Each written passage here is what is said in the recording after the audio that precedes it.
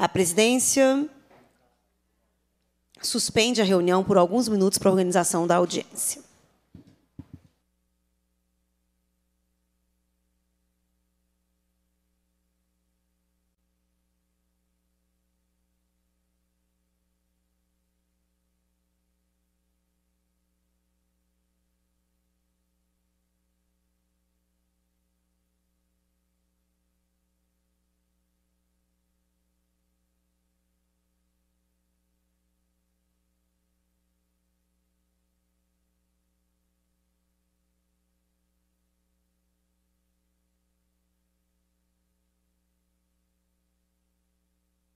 Audiência.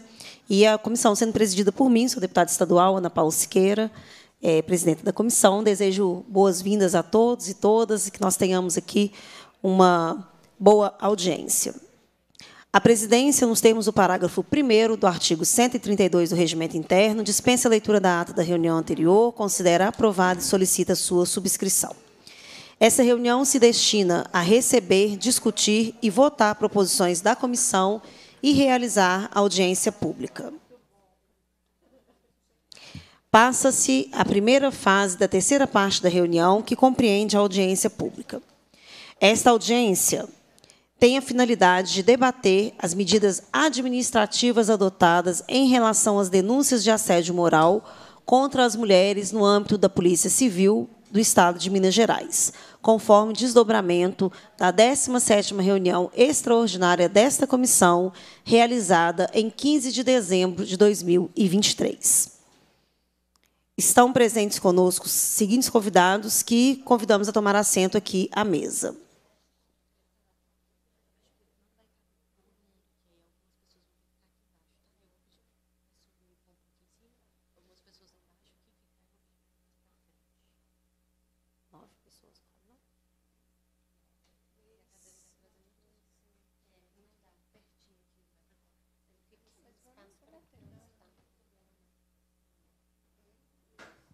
Convidamos a tomar assento Pedro Henrique Cunha, delegado da Corregedoria Geral da Polícia Civil.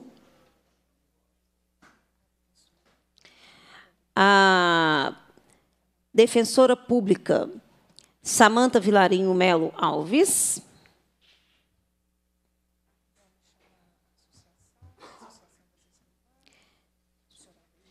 Convidamos também senhor Aldair Divino Drummond, ele que é presidente do Instituto Rafaela Drummond, em menção à honrosa memória da nossa querida Rafaela Drummond.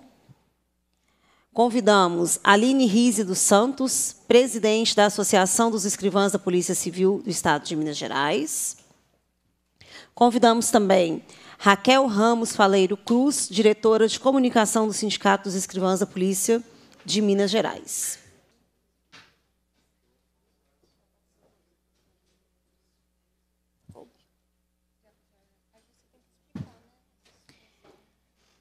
Registramos a presença, compondo aqui conosco a mesa extensiva, tá, gente? Nós temos aqui uma limitação de espaço nesse, nesse plenário, então nós fazemos a composição da mesa, mas fazemos a mesa estendida. Então, registramos também a presença da Vânia Cristina Cruz, da Cruz Correia, que é diretora executiva de Assuntos da Mulher do Sindicato dos Servidores da Polícia Civil de Minas Gerais.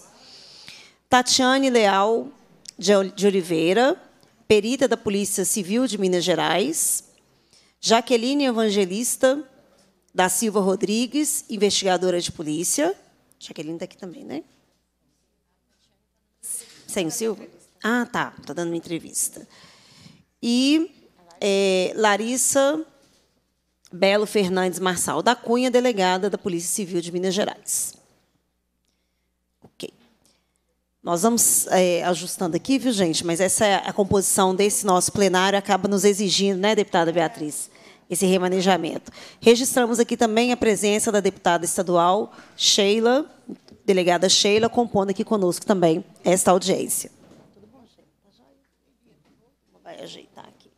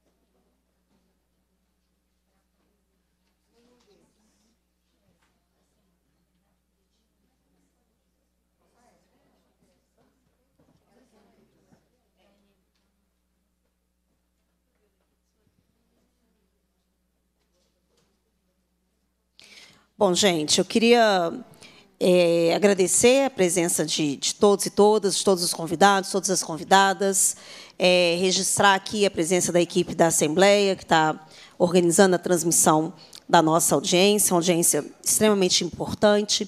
E antes de passar propriamente a palavra para a abertura da audiência com a deputada Beatriz Cerqueira, que é autora desse requerimento, eu queria fazer um registro aqui. Hoje é um dia bastante importante é, para, para a política de mulheres aqui no Estado de Minas Gerais.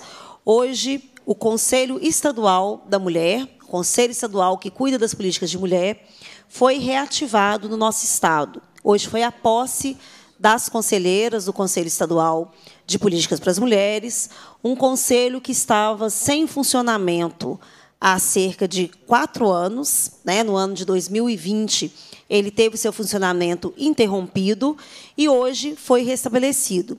Um conselho que é fundamental para a garantia da execução das políticas públicas para a fiscalização e para a organização de uma pauta que é uma pauta ampla, transversal e que precisa atender a diversidade das mulheres de Minas Gerais, é, não só nos seus territórios, como é, em todas as perspectivas políticas que afetam a vida das mulheres, e são muitas. Né?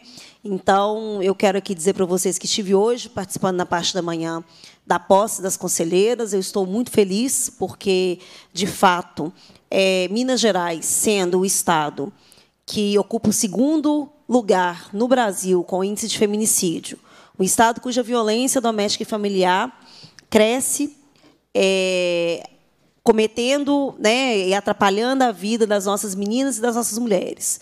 Um Estado onde a violência sexual contra as meninas também sofre uma crescente, onde as mulheres são as que mais é, seguem aí desempregadas, sem oportunidade, sem condição de trabalho, de estudo, onde os problemas ligados ainda à infraestrutura, à falta de saneamento básico, recai na vida das mulheres. Então, esse conselho é um conselho fundamental, a gente tem muita boa expectativa no trabalho deles, e eu queria aqui, como presidenta da comissão, é, dizer da nossa alegria é, porque essa foi uma batalha que nós travamos aí desde a legislatura passada. Foram várias audiências públicas, reuniões, requerimentos, ofícios, para que o Conselho pudesse estar funcionando. Agora, ele instalado, a comissão segue, né, deputada Beatriz, no trabalho de cobrar a, funcionar, a plena funcionalidade para que a Subsecretaria de Política das Mulheres do Estado de Minas Gerais possa entregar verdadeiramente a atenção que nós mulheres precisamos. Então, eu queria fazer esse registro é um dia 10 de abril, nós devemos anotar aí, porque é um dia muito importante para a política de mulheres. E eu passo agora a palavra para a deputada Beatriz Cerqueira, que é autora do requerimento que deu origem a essa reunião, para tecer suas palavras, é, suas considerações iniciais. Registrar, deputada Beatriz, que acompanhei é, a reunião que aconteceu no dia 15 de, de dezembro, né, uma das últimas audiências públicas do ano, é, no ano passado, e ali naquela audiência, a deputada fez o compromisso de dar sequência àquela escuta. Né? E me lembro muito bem dela dizer né, e reafirmar que as audiências públicas é, não são momentos, não são eventos, né? precisam de uma continuidade. E esse é um assunto que nós sabemos ainda demanda muito trabalho para que nós possamos aí estabelecer é, o fim dessas situações de assédio que, infelizmente, nós sabemos que acontecem, acontecem na Polícia Civil, acontecem em outras estruturas, e que nós estamos aqui também para desenvolver as estratégias para que sejam eliminadas toda e qualquer forma de violência contra nós mulheres. Então, eu queria parabenizar, Beatriz, por mais uma iniciativa, mais um importante trabalho, para que nós possamos aí é, dar início, então, à, à audiência pública. Presidenta, boa tarde. Deputada Sheila, que é membro desta comissão, boa tarde também. Boa tarde a cada convidada, cada convidado dessa audiência. É, é, esse espaço físico, ele de fato ele é limitador, mas essa mesa somos nós e vocês, não é? participando da audiência. Quero cumprimentar as pessoas que estão aqui na, nas galerias acompanhando essa audiência, bem como eu tenho certeza que é uma audiência que está sendo acompanhada é, virtualmente. É, primeiro, eu quero agradecer à deputada Ana Paula Siqueira, porque prontamente, depois que nós começamos esse trabalho aqui na Assembleia, todas as nossas, quase todas as nossas ações, à exceção da primeira, que foi na administração pública, todas têm sido tratadas aqui na comissão que ela preside, e de forma muito diligente, muito rápida.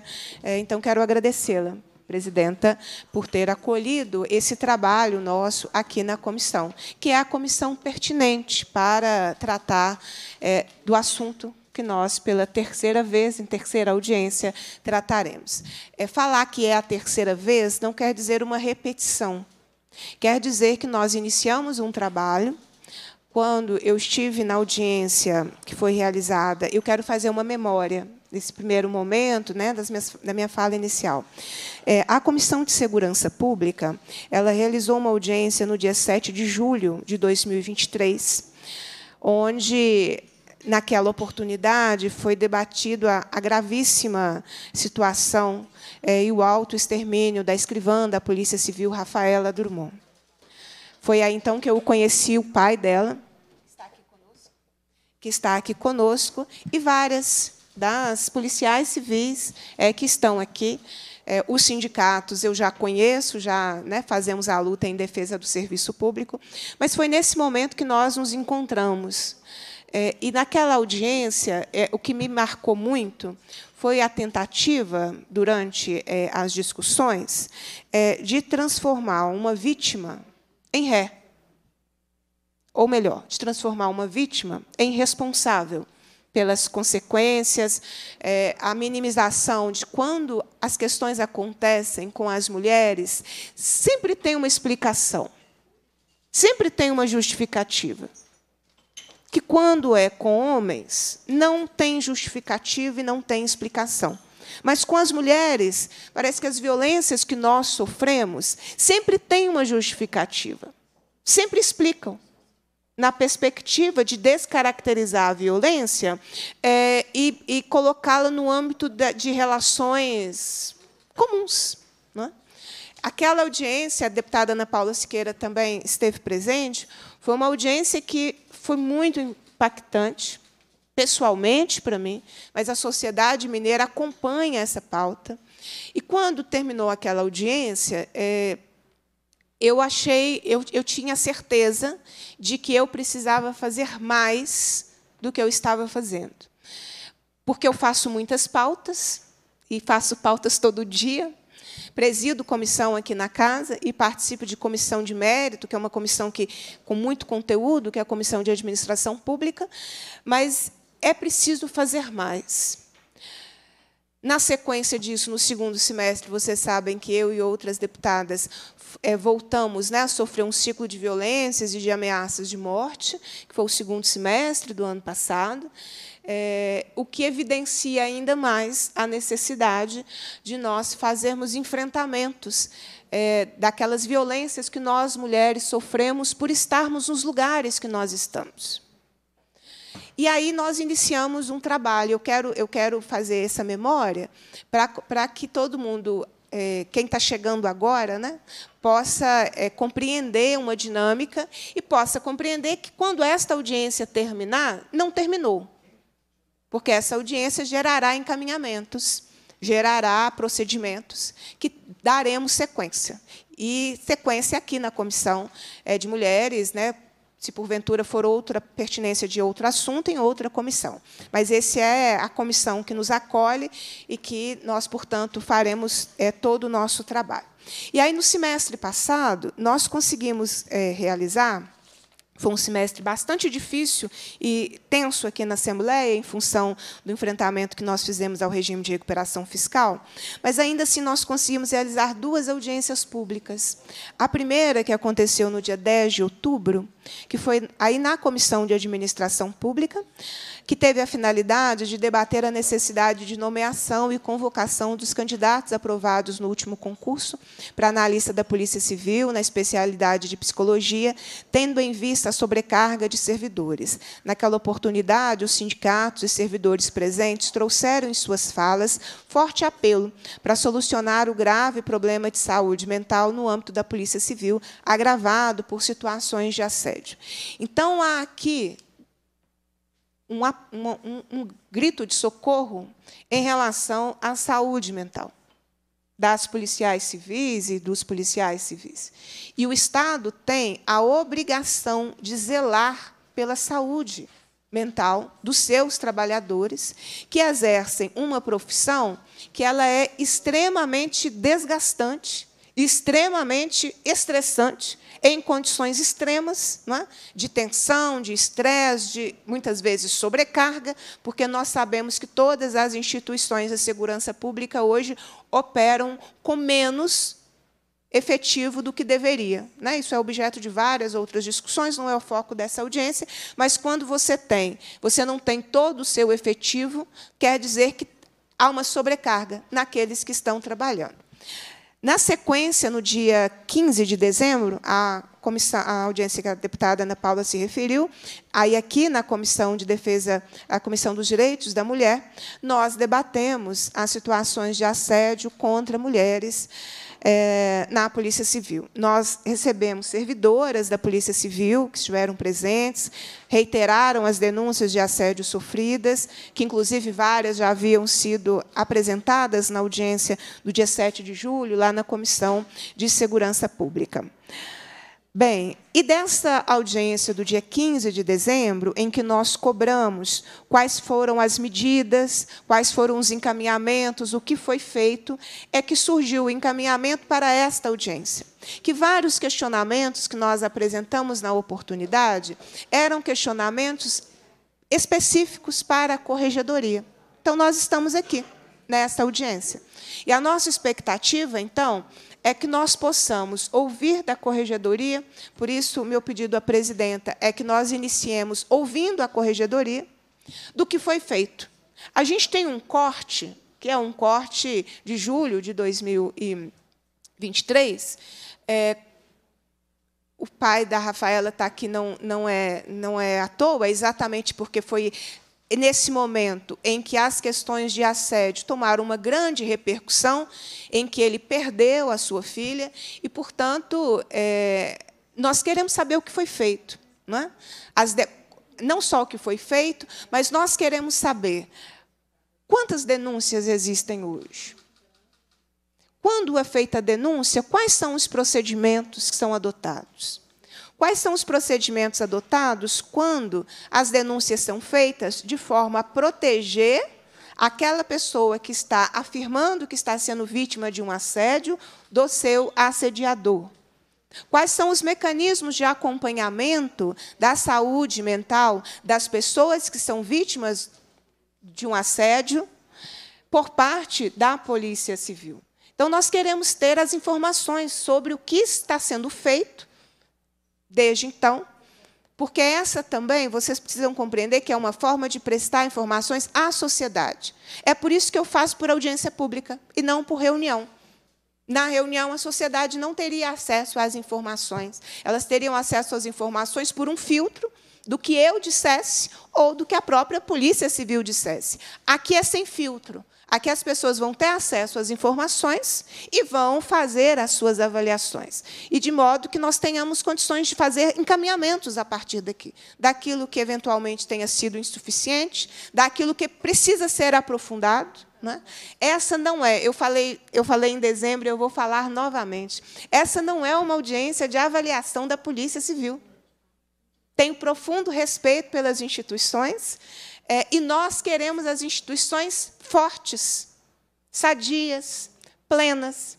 E, para isso, todas as instituições precisam ser sempre ambientes seguros para todas as mulheres. É? Então, é uma pauta, é, numa perspectiva, que é querer fortalecer a instituição cada vez mais. Porque, quando ela não presta informações à sociedade, ela também se enfraquece diante da sociedade. Né?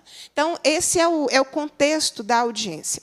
Para isso, presidenta, nós compusemos aqui um, um, um de convidados que nós julga, julgamos que eram importantes. Nós convidamos o Ministério Público, né, é, que nos retornou por telefone, me parece que não tem nenhuma, nenhum retorno formal, mas que, que acompanharia pelo YouTube a audiência. Eu queria fazer um apelo ao Ministério Público, porque acompanhar pelo YouTube não é forma de participar de uma audiência pública. Né? Na impossibilidade de estar conosco presencialmente, você tem a ferramenta virtual. Como nós, na semana passada, tivemos a presença do Ministério Público numa audiência lá na Comissão de Administração Pública, outro assunto, havia uma dificuldade de agenda enorme, e aí nós conseguimos é, possibilitar uma participação remota, no horário que a promotora tinha condições de participar. E deu muito certo. O Ministério Público é muito importante para a gente. Então, eu vou seguir convidando o Ministério Público em todas as ações aqui na Assembleia Legislativa pertinente é, a essa pauta. Então, é, a importância do Ministério Público. O Ministério Público do Trabalho também foi convidado, porque nós estamos falando de assédio moral, um assunto pertinente né, às relações de trabalho, que, nesse caso, nos justificou uma impossibilidade de estar presente, mas que segue fazendo o, acompanhamento desse assunto. Né? Então, é, e convidamos eu já expliquei, né? a própria é, a corregedoria, que está conosco, e todas as pessoas convidadas que já compuseram a nossa mesa. E acho muito importante a presença da Defensoria Pública, que está aqui conosco, a coordenadora estadual de promoção e defesa dos direitos das mulheres na Defensoria Pública de Minas Gerais. Porque esse não é assunto só do parlamento. E esse não é um assunto individual de cada pessoa que identificou que está sendo vítima de assédio e está tomando os procedimentos né, administrativos, penais, de defesa. Não é, não é para o debate de casos, de situações. Não é? Com, com todo respeito a todas as situações, mas o que, é que nós queremos? Nós queremos ações que sejam coletivas. Porque enquanto nós não tivermos isso, a chance de termos mais uma mulher, em alguma circunstância, vítima de assédio moral e sexual, vai permanecer grande entre nós. Então, nós queremos, é, e eu quero também agradecer às mulheres que se disponibilizaram a vir, porque não é fácil se expor, não é? Não é fácil se expor, é, apresentando a sua vida, né? É, porque quando nós somos vítimas de violência, é, e quando são as mulheres que são vítimas de violência, é, o nosso comportamento, a nossa forma de ser, o nosso pensamento, eles englobam tudo. Às vezes para justificar, às vezes para é, diminuir né, a potencialidade da, daquilo que nós, mulheres, estamos enfrentando. Então, quero agradecer a todas as mulheres, as que estão aqui, as que estão acompanhando aqui nas galerias, né, é, que se sentiram é, parte de, desse debate. É, então, essa, então, presidenta, eu acabei me alongando um pouco, eu peço desculpas, mas eu acho que é sempre necessário fazer um histórico é, demonstrando né, que esse é um esforço de continuidade é, do trabalho. Nós temos aqui já na Assembleia, quero também, ao finalizar, dar duas devolutivas. A primeira, que é exatamente para melhorar a legislação no enfrentamento ao assédio moral, nós apresentamos um projeto de lei, que é o projeto de lei complementar de número 46. Ele altera a lei complementar 116, acrescentando uma série de outras situações que precisam nitidamente estarem caracterizadas como assédio.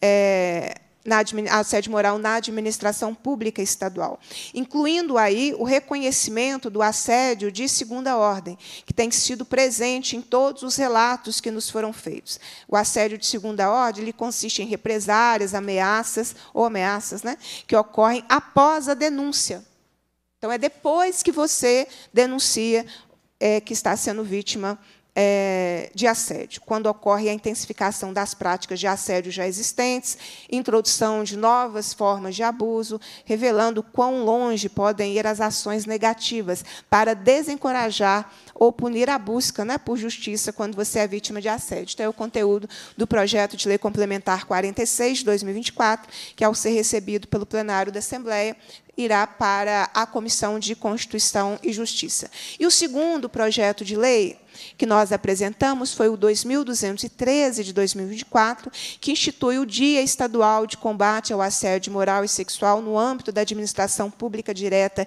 e indireta.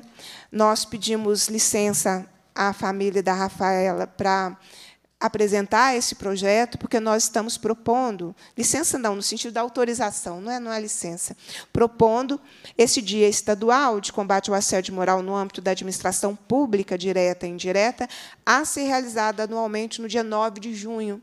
Foi a data que, per que nós perdemos a Rafaela. O objetivo disso é você ter é, no calendário uma data que obrigue, obrigue que esse assunto seja tratado. E em memória de, de, de uma, uma mulher que, na verdade, acabou constituindo um marco. Nós estamos aqui com tudo isso que eu disse, porque no dia 9 de junho a Rafaela nos deixou. Né? Então, é, cuidar dessa memória também ela é necessária. Né? Então, por isso que nós fizemos essa referência. E há uma série de encaminhamentos e requerimentos que foram já aprovados no âmbito aqui da comissão é, da Assembleia Legislativa, resultado desses processos é, que nós que nós trabalhamos. Né? A audiência que nós realizamos no dia 15, nós apresentamos um requerimento para que as notas taquigráficas, ou seja, o conteúdo da audiência, fosse encaminhado à Corregedoria Geral da Polícia Civil, aquela audiência do dia 15 de dezembro, para que tanto a Corregedoria quanto a chefia da Polícia Civil tivessem ciência. Nós já aprovamos é, um requerimento para ser encaminhado à chefe da Polícia Civil e à Corregedoria Geral da Polícia Civil pedido de informações sobre o número de denúncias, que é objeto dessa audiência. O número de denúncias sobre assédio moral e sexual recebidos após o caso trágico da escrivã Rafaela Drummond, o número de denúncias que foram transformadas em procedimentos apuratórios, ó, tudo que a gente quer aqui hoje. A tramitação de tais procedimentos no âmbito das instituições, o status de cada um dos procedimentos, o tempo médio de conclusão de cada apuração, o número de denunciados por assédio que já foram punidos, se houve acréscimo desses casos, considerando o período anterior à morte é, da, da, da escrivã Rafaela, se há algum procedimento que impeça a convivência no local de trabalho do denunciado com a denunciante, de forma a protegê-la e preservar sua saúde mental, bem como se foi adotada alguma providência preventiva com vistas a reduzir ou impedir o número de casos de assédio moral e sexual pessoal. O outro requerimento também aí relacionados à, à, primeira audiência, a providência para a nomeação de 193 escrivãs aprovados no concurso da Polícia Civil, edital 04 de 2021, e que fosse dada publicidade ao cronograma do processo de nomeação, a convocação de 4.292 candidatos aprovados da prova objetiva do concurso para investigador da Polícia, regido pelo edital número 5 de 2021, de forma que sejam realizadas as etapas faltantes né, do concurso, ah, nós também aprovamos o requerimento para que fosse encaminhada à subsecretaria de gestão é, da CEPLAG a nomeação a providências para a nomeação dos 193 escrivães aprovados da Polícia Civil,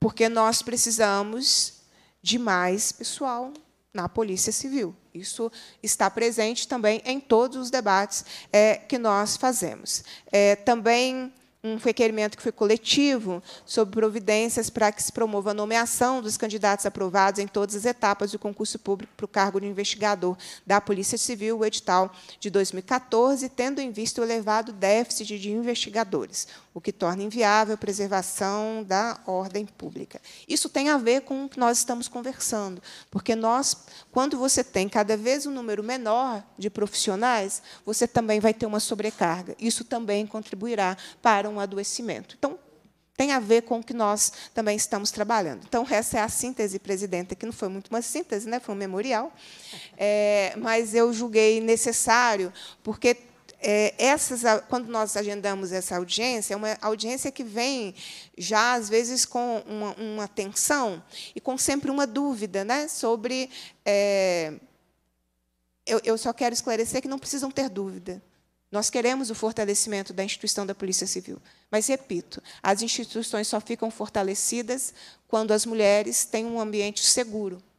E é sobre isso que nós queremos avançar. É? Então, tem uma grande expectativa com essa audiência, que nós possamos escutar tudo o que foi feito e, a partir do que foi feito, ter uma avaliação e ver os próximos passos para fortalecer é, esse ambiente livre de assédio moral e sexual da administração pública. Obrigada, presidenta. Nada, deputada Beatriz. Gente, esse assunto é um assunto extremamente importante, central para nós aqui, também na Comissão de Defesa dos Direitos das Mulheres. Nós, inclusive, demos uma celeridade para que pudéssemos marcar essa audiência em um horário extraordinário, né, um horário que a gente normalmente é, não faz a audiência em função da organização das agendas, mas por ser um assunto tão prioritário, tão importante, que visa né, o respeito, a qualidade de vida das nossas servidoras, eu marquei essa reunião, mesmo não podendo estar aqui para acompanhar, mas para que a gente não perdesse aí é, mais tempo né, e pudéssemos aproveitar o máximo possível. Então, nesse momento, deputada Beatriz, eu já tinha te explicado, né, a gente estou com uma, com uma agenda fora, eu vou precisar me retirar é, daqui a alguns minutos. Eu vou passar a presidência para que você possa fazer a condução. Né? A deputada Sheila está aqui, é membro da comissão, mas me sugeriu também que passasse a presidência é, para a senhora, dado é, a autoria do requerimento. E aí eu peço licença né, a todas vocês, a todos vocês. Os requerimentos que forem é, retirados aqui, encaminhados dessa audiência, serão aprovados na próxima reunião da nossa comissão, a reunião ordinária que acontece todas as terças-feiras, às 14 horas. Então, todos os requerimentos que forem aqui retirados, a gente aprova na próxima reunião. Ok? okay. Então, com a presidência, a deputada Beatriz Cerqueira.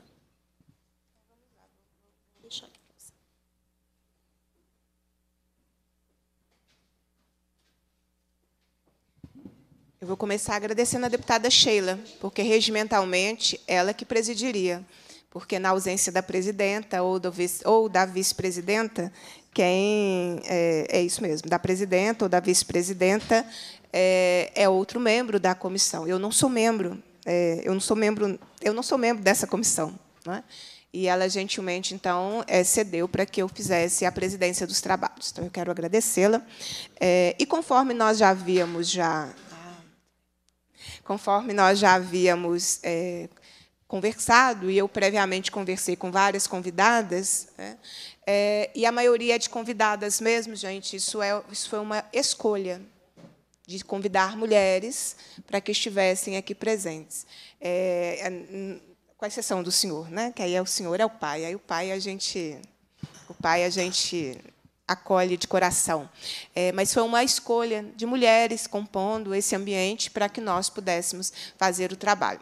Quem participa de audiências sabe, é, deixa eu compartilhar a dinâmica de audiências. Né? A gente tem a fala dos convidados, e, na sequência, a fala dos convidados, nós abrimos para eventuais é, considerações das pessoas que estão querendo nos acompanhar. Então, vai ter um momento que a gente vai pegar as inscrições para contribuições das pessoas que não estão aqui conosco. Eu já expliquei também que esse ambiente. A casa tem vários ambientes de plenário de comissões, gente. Então, esse aqui é um deles. Né? Na outra, nós fizemos num auditório e que não tinha essa separação de galeria. Mas acho que quatro ambientes nossos aqui, ou três, são dessa forma mesmo. Então, peço a compreensão de vocês, porque é, é a dinâmica da, do espaço físico mesmo. Né? Vamos começar, então, ouvindo a corregedoria? Dentro da, do foco dessa é, audiência, né, é, conforme eu já fiz todo o histórico aqui com vocês. Quem está representando a corregedoria aqui nessa audiência? É o delegado, que é da corregedoria, é Pedro Henrique Cunha. Então, eu agradeço a presença do senhor e já te passo a palavra para que o senhor possa trazer as suas considerações. Está ligado. Você pode começar a falar que ele vai, organizar, vai nivelando né, o som para o senhor. Bem? Boa tarde a todos. Inicialmente, gostaria de começar minha fala cumprimentando a excelentíssima senhora deputada estadual Beatriz Cerqueira, a deputada e colega, deputada Sheila, delegada Sheila. É, gostaria de aproveitar a oportunidade e cumprimentar também a defensora pública Samanta Vilarinho Melo Alves, a presidente da Associação dos Escrivães, Aline Rise dos Santos, bem como os demais representantes de entidades sindicais e representativas, presidente do Sindicato dos Escrivães, que eu havia identificado aqui também, cumprimentar os assessores parlamentares, os convidados e demais presentes. Uma boa tarde a todos. É, meu nome é Pedro Henrique Cunha, sou delegado de polícia, atualmente estou como assessor jurídico da Corregedoria Geral de Polícia Civil, aqui no estado de Minas Gerais. E, deputada Beatriz, é, em nome da corregedora, nós queríamos agradecer pelo convite que foi feito, a possibilidade de nós apresentarmos o nosso trabalho de forma séria, ética, é, é, comprometida com a sociedade mineira. E deixar registrado aqui que o meu encaminhamento ele se deve exclusivamente porque a corregedora é o último órgão julgador então, a, a emitir opiniões públicas poderia dar nulidade aos julgamentos. Então, a razão da corregedora não poder participar é porque ela figura como órgão julgador de inúmeros procedimentos. Então, nesse caso específico, ela solicitou que eu presenciasse, mas se assim não fosse, eu tenho certeza que a doutora Elizabeth se fazia presente também assim como a chefe de polícia, que também é órgão recursal na corregedoria. Então, nesses casos, eles não podem se manifestar por vedação legal. É...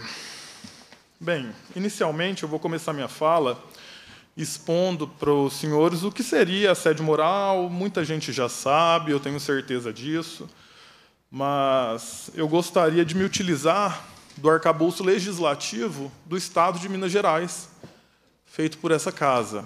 Né? E o artigo 3 da Lei Complementar 116 de 2021 prevê o que é assédio moral no Estado de Minas Gerais, com a seguinte destaque: Considera-se assédio moral a conduta de agente público que tenha por objetivo ou efeito degradar as condições de trabalho de outro agente público, atentar contra seus direitos ou sua dignidade, comprometer sua saúde física ou mental ou seu desenvolvimento profissional. É o que os nossos deputados definiram muito bem como assédio moral. E a caracterização do assédio moral, e aqui eu vou me valer da Controladoria Geral do Estado de Minas Gerais, ela apresenta uma definição de como se caracteriza o assédio moral.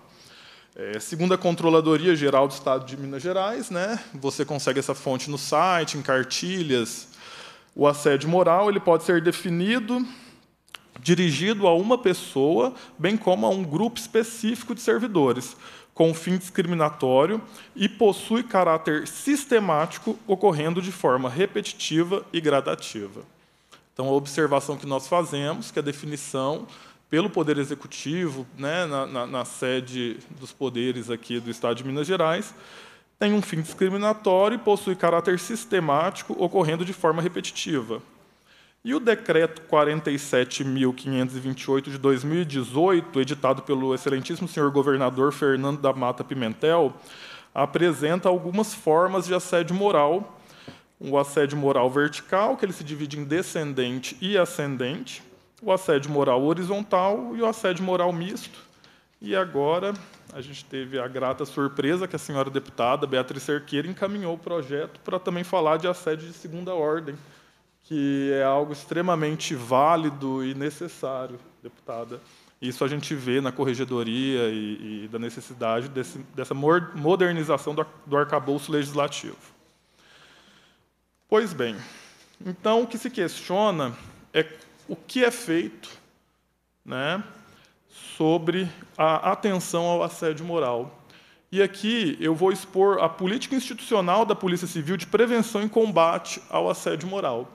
Tá? No estado de Minas Gerais nós temos uma série, uma política muito rigorosa e essa política ela dista aí de, dos idos de 2011, quando a gente identifica um dos primeiros diplomas legislativos com maior ênfase e abrangência no estado.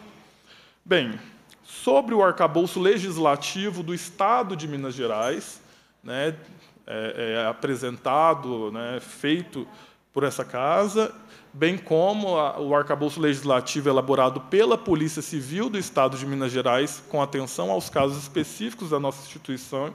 Nós temos a Lei Complementar 116 de 2011, que ela dispõe sobre a prevenção e a punição do assédio moral na administração pública estadual, prevendo pena, inclusive, de demissão e prazo prescricional de cinco anos, punição, e, e ela traz aí os procedimentos, inclusive com procedimento administrativo disciplinar. É uma lei muito voltada aí aos órgãos de controle interno. Posteriormente, em 2016, nós temos a Lei 22.404, que institui a Semana Estadual de Conscientização, Prevenção e Combate à Prática de Assédio Moral no âmbito da administração direta e indireta dos poderes do Estado. Salvo engano, é a segunda semana de março, onde inúmeros órgãos e entidades do Estado desempenham e desenvolvem ações para conscientização do, do assédio moral no Estado. Nós temos o decreto 47.528 de 2018, que regulamenta, no âmbito do Poder Executivo, a Lei Complementar 116, que dispõe sobre a prevenção e punição da assédio moral. Essa lei foi feita, como eu havia dito, pelo excelentíssimo senhor governador Fernando da Mata Pimentel. No âmbito da Polícia Civil, nós temos uma resolução, resolução 8.145 de 2020, essa resolução, posteriormente alterada pela resolução 8.171 de 2021 e alterada em março de 2023 pela resolução 8.253, institui a Comissão de Conciliação de Assédio Moral no âmbito da Polícia Civil e dispõe sobre sua composição. Então, no âmbito da Polícia Civil, nós temos essa comissão que será apresentada daqui a pouco. Nós temos uma segunda resolução, essa primeira resolução específica, Excelência, sobre o assédio moral. Então, a Polícia Civil, posteriormente a Chefia de Polícia, em 2021, instituiu uma segunda resolução, a Resolução 8.168, que institui a política de prevenção e combate ao assédio sexual no âmbito da Polícia Civil do Estado e da outras providências. E, por fim, nós temos uma resolução conjunta entre a Polícia Civil do Estado de Minas Gerais e a Controladoria Geral do Estado, é a Resolução Conjunta 8.169, que institui a política de prevenção e combate ao assédio sexual no âmbito da Polícia Civil de Minas Gerais e da outra, outras providências. Com base nisso, no planejamento estratégico de 2023 e 2000 a 2027, foi colocado como temática essa política institucional de combate ao assédio moral, ao assédio em suas, todas as suas formas, seja ele moral ou sexual. É, então, esse a gente tem aí o arcabouço legislativo, o planejamento estratégico e a missão institucional para a gente seguir. Eu estou aqui, Excelência, na, na condição representando a corregedoria, mas eu vou avançar e, e, pontuar alguns outros pontos. Eu só não tenho condição de aprofundar esses pontos, porque diz respeito à CADEPOL, ao Hospital da Polícia Civil. Na CADEPOL, quando a gente está falando de política institucional, a política institucional ela é multissetorial, então ela é desempenhada tanto pela chefia da polícia, quanto pela CADEPOL, quanto o Hospital da Polícia Civil, em todas as divisões dentro da Polícia Civil.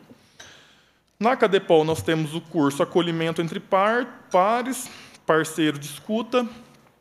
A primeira edição capacitou 1.086 policiais civis.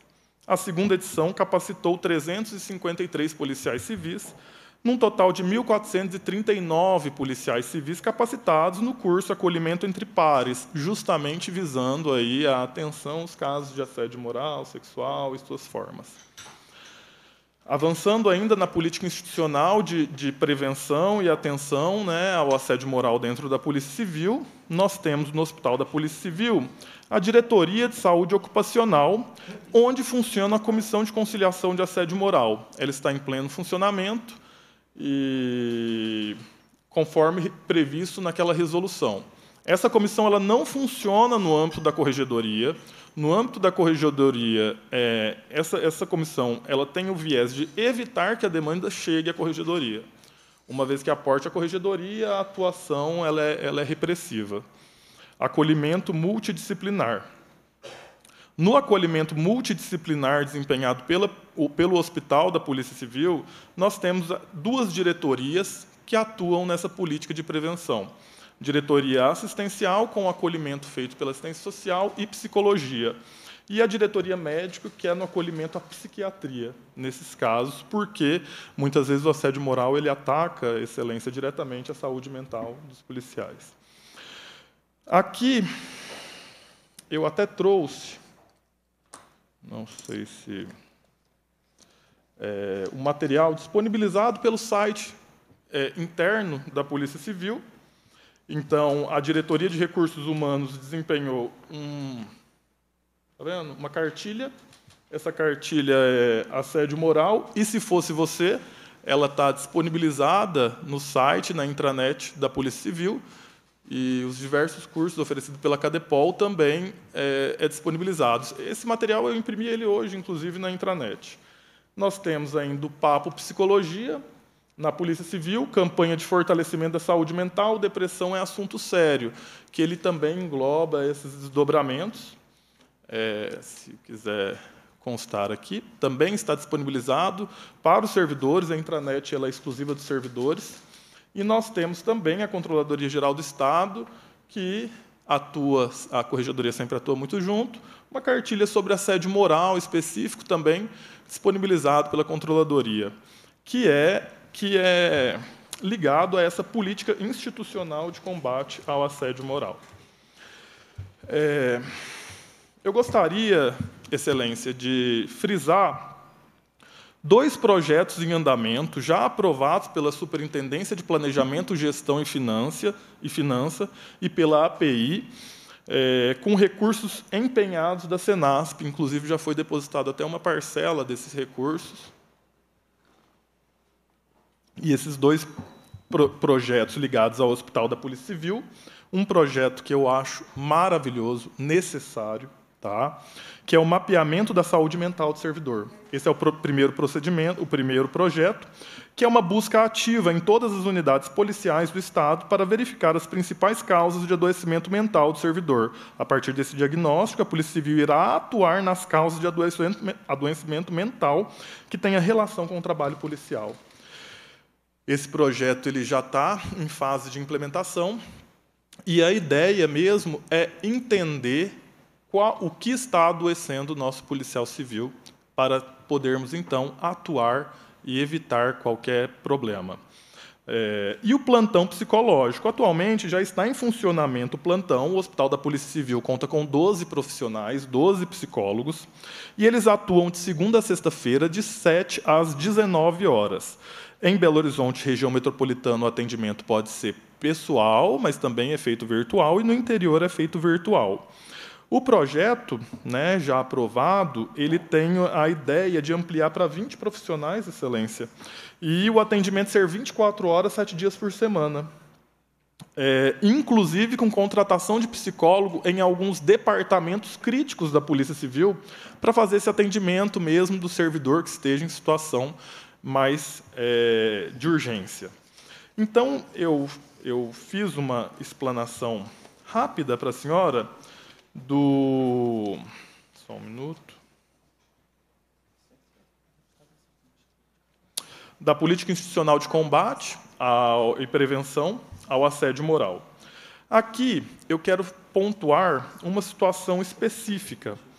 É, como eu havia dito outrora, como se caracteriza o assédio moral? nós temos, então, pela Controladoria Geral do Estado de Minas Gerais, pela jurisprudência do Supremo e STJ, que é uma questão pacífica, que a, a, o dano moral ele se caracteriza, ele possui um caráter sistemático, ocorrendo de forma repetitiva e gradativa. Então, ele tem que ser sistemático, acontecer em diversas, em, em inúmeras vezes.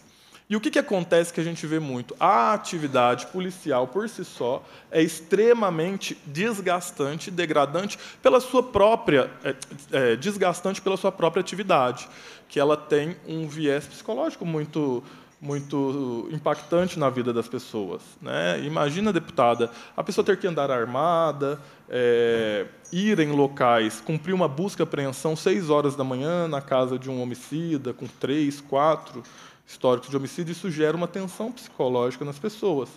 Então, mas isso faz parte da atividade policial. E muitas vezes é, é, o que se questiona aqui é o que caracteriza o dano moral e o que é, seria próprio da atividade policial, uma atividade de risco. Não obstante, a, policial, a Polícia Civil tem aposentadoria especial justamente por, por essa questão mais desgastante. Ok. É, Expondo isso, deputada, eu acho interessante que foi até um objeto de uma pergunta da senhora na última audiência sobre os fluxos da corregedoria, como que se dava o um atendimento, como se dava a recepção das, das manifestações.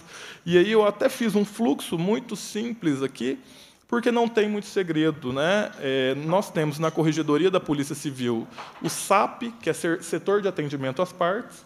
Então, durante de segunda a sexta, qualquer pessoa que chegar à corregedoria é, pode formalizar sua manifestação, sua reclamação, que ela será é, é, formalizada, escrita e encaminhada e distribuída. Quais são as formas de acesso dessas manifestações. A gente tem o SAP, Serviço de Atendimento às Partes, nós temos a Ouvidoria Geral do Estado, Excelência, através da Ouvidoria de Polícia, que recepciona essas manifestações e, posteriormente, distribui para a gente essas manifestações.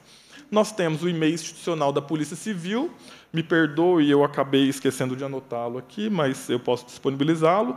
E nós temos o encaminhamento que é feito pelas autoridades policiais de todo o Estado, pelos próprios servidores de todos os estados, através do sistema SEI, que é um sistema de ofício. Nós temos também a recepção de demandas pelas chefias, pelo Ministério Público e pelo Poder Judiciário. Uma vez recebida esses procedimentos, eles são distribuídos a uma das cinco subcorregedorias ou a um núcleo adido da corregedoria. Atualmente, nós contamos com 16 núcleos espalhados no Estado. Inicialmente, quando a denúncia, a manifestação, ela é feita, principalmente quando for sob anonimato, a gente é feita uma verificação preliminar da, da informação, que é instaurada então uma diligência preliminar para se apurar os fatos. Uma vez que os fatos foram apurados, nós temos uma peculiaridade na corregedoria, excelência. Por quê? A atividade da Polícia Civil, ela é tipicamente investigativa. Então, na nossa corregedoria, nós instruímos inquéritos policiais e procedimentos administrativos disciplinares. Diferente a senhora da educação. Né? Então, quando vai para a educação, você não tem a, a, a, não consegue instaurar um inquérito policial. Geralmente, a demanda ela já recebe da Polícia Civil. Entendeu? Então, na Polícia Civil, é muito normal que um único fato gere dois procedimentos. Então, nós temos o inquérito policial instaurado, esse inquérito policial ele é instruído, posteriormente encaminhado à justiça, extraído cópia para instauração da sindicância administrativa, que ela vai gerar uma punição de até 90 dias, ou um processo administrativo disciplinar que pode gerar uma demissão. Então, na nossa corregedoria, pela própria atividade policial, nós acumulamos a função investigativa nos feitos criminais e não somente administrativos. Tá? Então, quando essa manifestação ela chega para a gente, a gente instaura o procedimento, identificando o crime, instaura o inquérito policial ou o termo circunstanciado de ocorrência, e, posteriormente, a gente é, desmembra esse procedimento para instaurar o procedimento administrativo disciplinar é, é, feita toda a instrução dos autos, seja da sindicância administrativa ou do, do processo administrativo, para o processamento. A comissão ou o delegado adido oferece um relatório e, afinal, ele é apresentado ao corregedor para julgamento, seja para arquivamento ou para punição. Tá? Então, o fluxo é esse. Agora, sobre o quantitativo de procedimentos ligados a, a assédio em todas as suas formas, deputada Sheila, eu fiz aqui um levantamento hoje. Hoje de manhã, 10 horas da manhã, eu peguei o portal da transparência e vi quantos servidores nós temos na Polícia Civil. Nós temos 1.120 delegados, 2.030 investigadores 1, 4.029 investigadores 2. Então, eu coloquei escrivães, peritos, médicos legistas, analista da Polícia Civil e atividades governamentais, técnicos da Polícia Civil e atividades governamentais, auxiliares da Polícia Civil e atividades governamentais, assistente administrativo da Polícia Civil, técnico assistente da Polícia Civil e analista da Polícia Civil, totalizando 12.748 servidores da Polícia Civil. Nós contamos ainda com, com os terceirizados, como o MGS, Excelência, né, e, em alguns casos, ainda cedidos. É, então, nesse universo de 12.748 é, servidores, no ano de 2019, a corregedoria recebeu procedimentos, é, é, é, formalizou procedimentos de assédio moral ou assédio sexual, assédio em todas as suas formas. Em 2019, nós tivemos três casos noticiados. 2020, nós tivemos 12 casos registrados. 2021, nós tivemos 11 casos registrados. 2022, nós tivemos 18 casos registrados. 2023, nós tivemos 35 casos registrados. 2024, a gente não fez o levantamento, que ainda é, é, não fechou o ano. Aqui, é, eu fiz um, um levantamento com a Controladoria Geral do Estado de Minas Gerais. Então, pra, pra, foi solicitado informações da Controladoria Geral do Estado de Minas Gerais sobre as reclamações, as manifestações que receberam pelo site. Em 2021, a ouvidoria de polícia, a ouvidoria de polícia é uma das ouvidorias dentro da Ouvidoria Geral do Estado, tá? Somente a ouvidoria de polícia recebeu 4.278 manifestações, 4.278, das quais 117 foram encaminhadas à corregedoria, sendo que apenas uma era de assédio moral. Em 2022, a ouvidoria de polícia recebeu 5.150 manifestações, das quais 110 foram encaminhadas à Corregedoria Geral de Polícia. Dessas 110, nove eram assédio moral. Em 2023, houve 3.958 manifestações à ouvidoria de polícia. Dessas, 74 foram encaminhadas à Corregedoria Geral das quais 12 tratavam-se de assédio moral, o que está em consonância com os números apresentados pela Corregedoria.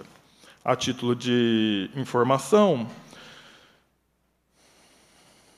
dos procedimentos, dos 11 procedimentos de 2021, nove já foram concluídos, dois ainda estão em tramitação. Dos dos procedimentos de 2022, 12 já foram concluídos e oito estão em tramitação. E dos procedimentos de 2023, oito foram concluídos e 28 ainda estão em tramitação. A corregedoria, atualmente, toda a corregedoria, contando as cinco subcorregedorias, contando as três comissões permanentes, mais a comissão especial, e os 16 núcleos da corregedoria possuem um estoque de procedimento de 4.059 procedimentos, dos quais atualmente estão em tramitação, que dizem respeito a assédio, 44, né, o que representaria algo em torno de 1% do nosso estoque de procedimentos.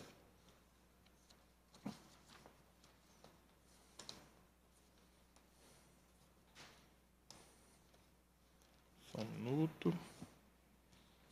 É, perfeito. So, sobre os números, são essas informações que estão registradas. Se tiver alguma pergunta, mais alguma coisa, deputado? Não, não, não, não peraí, peraí. Só terminou? Os números. Você vai falar mais alguma coisa dos números? Só terminou a sua fala. Só terminou toda a sua fala?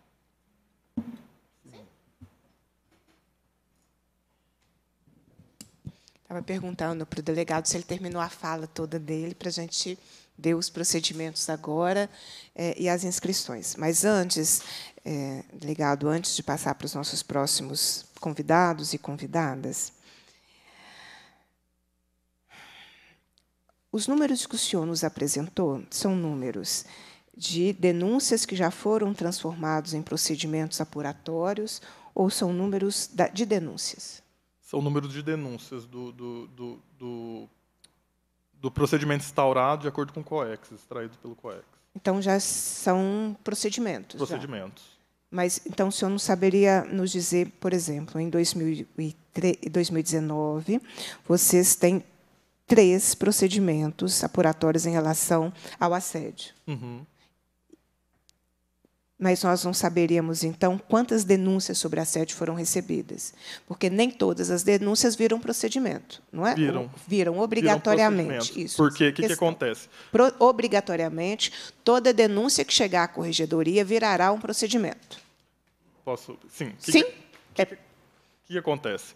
Nós chegamos à corregedoria, nós todos os procedimentos são obrigatoriamente distribuídos, e nós temos, então, é, instaura- de- a- em havendo informação de transgressão disciplinar ou fato criminoso, nós instauramos uma diligência preliminar para apuração. Se na manifestação não houver indicação de fato criminoso ou é, é, transgressão disciplinar, pode ser que eventualmente não se instaure, o que é muito difícil, porque nesse caso a gente solicita informação para a parte pleiteante e aí toma-se providências. Mas todos os procedimentos nesse caso são formalizados. Tá, mas então não há, em todos esses números que o senhor nos apresentou, não pode ter eh, tido nenhuma denúncia que eventualmente aconteceu exatamente isso que o senhor acabou de nos dizer. Olha, foi feito o procedimento foi, e não foi identificado que deveria prosseguir. Não, é porque a gente tem um sistema chamado COEX. Esses números foram extraídos do COEX, das informações Eu do COEX. Mas qualquer, um, é. qualquer relato, qualquer, um requerimento da senhora, ele é distribuído no COEX também. Tá, mas eu acho que eu não estou conseguindo. Vou tentar. Ah, essa informação são dos melhor. procedimentos. Tá, mas é, é, é, eu, eu, eu, a- eu avalio que eu fui vítima de assédio. Então, eu fiz a denúncia na corregedoria. E aí, essa minha denúncia, vocês fizeram, antes dela transformar num procedimento, vocês fazem uma verificação. Eu estou falando em termos eh, leigos, né? o senhor pode ir me uma corrigindo. diligência pela- Uma diligência, isso. Da denúncia que eu fiz, é feita uma diligência. Isso. E aí, essa diligência é que vai verificar se a, denúncia, a minha denúncia ela procederá ou não. A diligência preliminar, ela é um procedimento. Sim, eu compreendi. Mas a diligência é que determinará Determina se vai ser instaurado inquérito ou sindicância administrativa ou processo administrativo disciplinar. ou nada, ou arquivado. Ou ser arquivada a diligência, mas essa diligência, ela é um procedimento. Sim, então é, é- é exatamente Ela isso tem- que ela é eu quero capeada igual um compreender. inquérito policial. Então, todas as denúncias de assédio moral e sexual que foram é, encaminhadas, feitas à corregedoria, todas, elas geraram um procedimento, no mínimo a diligência. Sim, Sim. sim. E dessa não, mas só para que é importante a corregedoria é, nos explicar, porque eu acho que essa dúvida não é só minha. Sim, mas aí dessa diligência é, nós sabemos se dessa diligência quantas. Aí acho que eu estou conseguindo formular minha pergunta agora. Professor Cleiton, boa tarde. Registrar a presença de Vossa Excelência, presidente da Comissão de Cultura, aqui conosco. Quer vir para cá, não? É, das diligências, é, nós sabemos de das denúncias feitas que obrigatoriamente resultarem em alguma diligência para verificar. Se dessas diligências, quantas seguiram para outros procedimentos e quantas foram arquivadas porque a avaliação feita é de que não, não havia elementos para prosseguir. Esse é, é esse meu ponto. Sim. É, ó, Pega, gente- um, pega qualquer ano e me exemplifica, por gentileza. 2022. Dois, dois, por exemplo, 2022, quando a gente 18. fala nos procedimentos, 18 procedimentos em 2022, nós estamos falando de diligência preliminar, de inquérito, de sindicância e de PAD. Esses são os nossos procedimentos. A, a- a parte reclamante, ela pode, eventualmente, solicitar uma informação, registrar uma ocorrência policial que não caracteriza nada. Então, nesse, caso específico, esse procedimento ele pode ser solicitado informações para a parte pleiteante e não gerar uma diligência preliminar, nem inquérito e nem sindicância administrativa ou PAD. O que é muito difícil na corregedoria, porque geralmente a gente formaliza a diligência preliminar e toca o procedimento. Ao final da diligência, pode ser apurado que não houve nenhuma transgressão e nem crime. Uma, uma segunda dúvida, então. Vamos pegar os números de 2023. O senhor nos apresentou que foram 35 os números de assédio moral ou sexual que foram denunciados e estão sob investigação, eu poderia dizer assim? É, procedimento na corregedoria. O senhor nos disse que oito foram concluídos. Uhum. Qual foi a conclusão? A conclusão quer dizer, sim, aconteceu o assédio e o assediador está punido. Essa, concluída, essa conclusão ela pode ser arquivamento, punição ou indiciamento. Isso, é a minha pergunta é essa. Dos oito concluídos, o que foi indiciamento, arquivamento, eu, eu essa informação, é, punição? Eu posso procurar saber. Nós, ok, essa era a minha outra pergunta. É, o senhor nos disse, por exemplo, então, vai minha outra. Todas as perguntas estão no, no, nos requerimentos, né? Eu, eu, eu, peguei minha colinha ali. O senhor falou, por exemplo, 2001, 2021, vamos pegar 2021. Foram 11 procedimentos de apuração de assédio. É... Não, a... não, não, desculpa, Excelência. Ah. É, são 11 fatos são 11 fatos. 11 fatos. Ok, 11 fatos. Então, são 11 fatos, Porque, tudo bem. como eu havia explicado, um mesmo fato ele pode gerar um inquérito policial. No caso de indiciamento, você então, gera... Tudo bem, mas tudo bem. 11 fatos. Isso. Desses 11 fatos, é, o senhor também nos disse que nove foram concluídos. Uhum. Considerando que nós estamos em 2024, então tem dois fatos aqui que ainda estão em procedimento, de 2021 Sim. para 2024. Aí vai a minha outra pergunta, que também é do requerimento.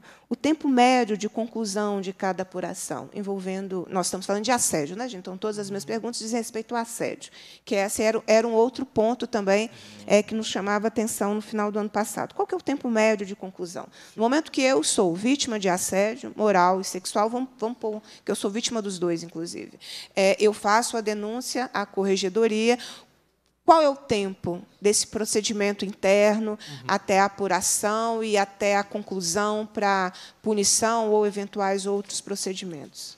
Excelência, média geral, eu posso fixar um prazo em torno de um ano e meio, mas não é um fato. Por quê? Um inquérito policial de maior complexidade ele pode demorar anos. Nós temos inquéritos policiais aí. Mas nós estamos falando de assédio.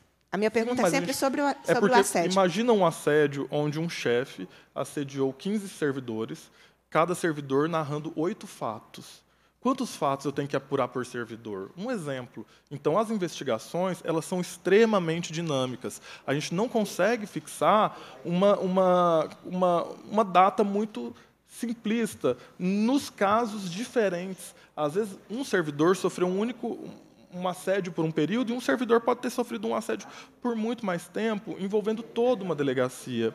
Mas, então, é, assim, mas, vamos ah. lá. O tempo médio que a gente tem observado gira em torno de um ano e meio nos casos dentro da média, mas você pode ter mais tempo ou não. É, mas a, a, a pergunta Bom, vai ter, vai, vou fazer uma outra pergunta para o senhor, então, que vai nos ajudar a compreender isso que nós estamos conversando. É, as mulheres vítimas de assédio, é, moral ou sexual, quando elas denunciam e geram o procedimento, elas, é, quais são os procedimentos que a protegem de continuar convivendo com seu assediador?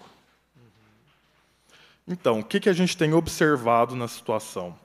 No, no caso concreto, a, os delegados adidos eles têm a liberalidade de solicitar uma medida cautelar de remoção desse servidor. O que eu tenho observado? Essas remoções elas têm acontecido. Não, mas não é a minha pergunta, se o senhor me permita. Não, mas... É, se o senhor me permite. É, então, vamos... É, vamos é, eu, não, é, eu sou vítima do assédio. Denunciei a corregedoria. Meu assediador trabalha comigo. Uhum. Na medida em que a corregedoria tem a, tem a informação de que é possível né? Estou dizendo, é possível porque eu compreendo que tem que haver apuração. Nós não estamos aqui fazendo rito sumário de sair é, punindo ninguém, julgando ninguém, sem, sem o devido né, gente, direito contraditório, da defesa, o devido processo legal. Né? Nós sabemos de tudo isso. É, na medida em que, eu, quando eu, vítima de um assédio, é, aí vamos tentar compreender que, quando uma mulher ela consegue denunciar, não foi na primeira vez. Para a gente conseguir é, é, identificar, porque o assédio também ele não é de fácil identificação. Não é assim, ops, acendeu a luzinha, assédio no ar. Não funciona assim. Não é? A identificação do assédio ela é complexa, é, inclusive, em várias circunstâncias, é, acontece inclusive pela repetição né, do comportamento. É, há uma, há uma, há, há uma dificuldade, né, quando você é vítima de violência, de você conseguir criar condições de denunciar. É, e aí, quando a denúncia chega, é porque ela não aconteceu ontem, já tem um ciclo rolando há um tempo que é, é impossível definir, descrever por quanto tempo isso está acontecendo. E aí, no momento que, que, que, a denúncia chega e que a corregedoria sabe, opa, tem uma mulher que pode estar sendo vítima de assédio moral e sexual. Eu estou colocando pode, porque depende ainda de procedimentos de apuração.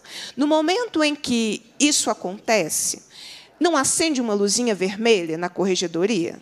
Vermelha não, vermelha é uma, é uma, é uma, é uma cor tão boa, né?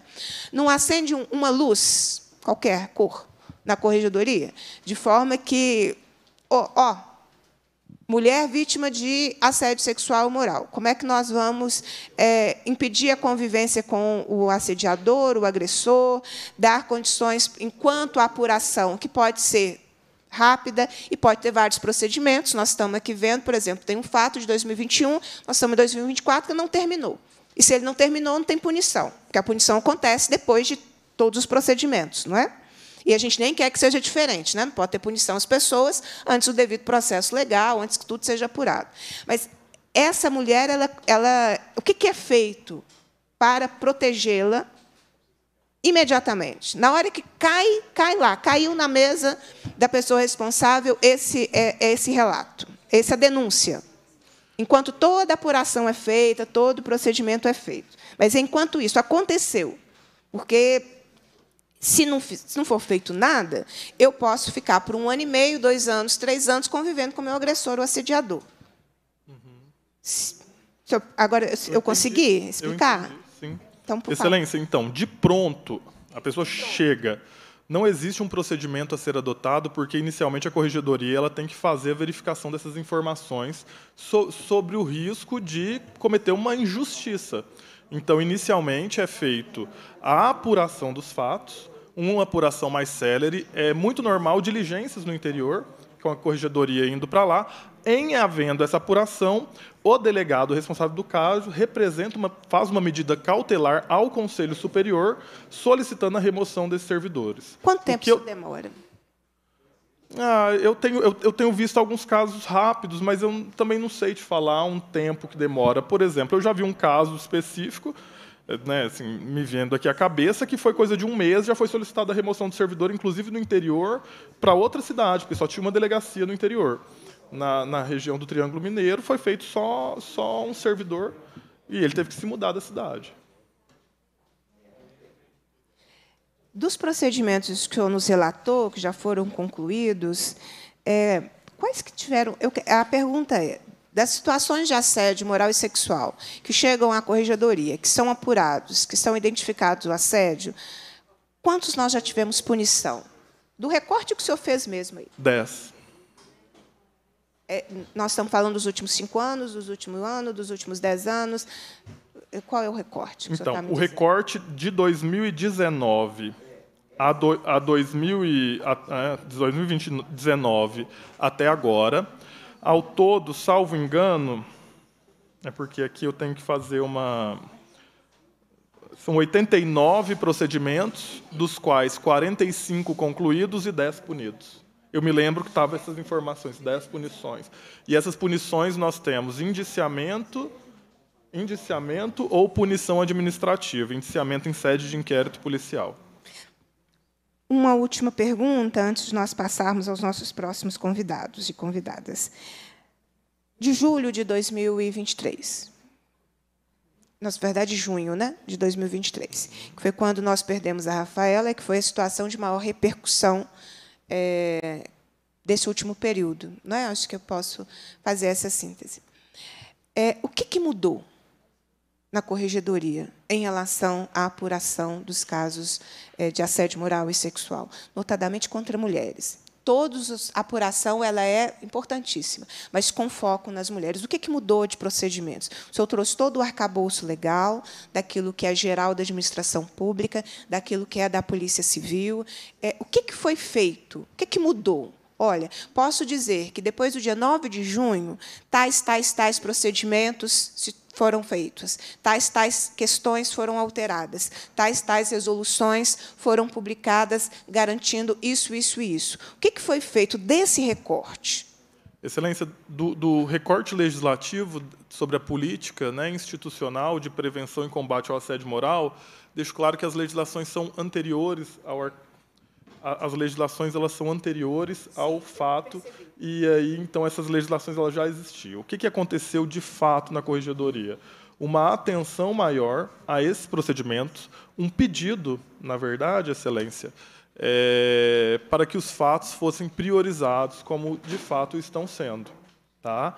Então, houve sim uma manifestação das autoridades responsáveis solicitando uma maior atenção a esses casos, justamente por ser uma situação muito delicada e que houve um start, um gatilho aí.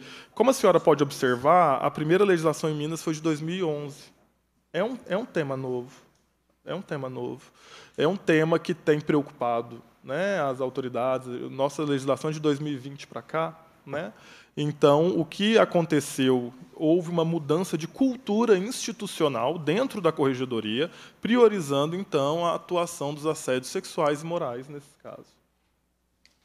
É, então, eu poderia. É, eu, então, como é que o senhor é, materializa para mim é, essa mudança da cultura?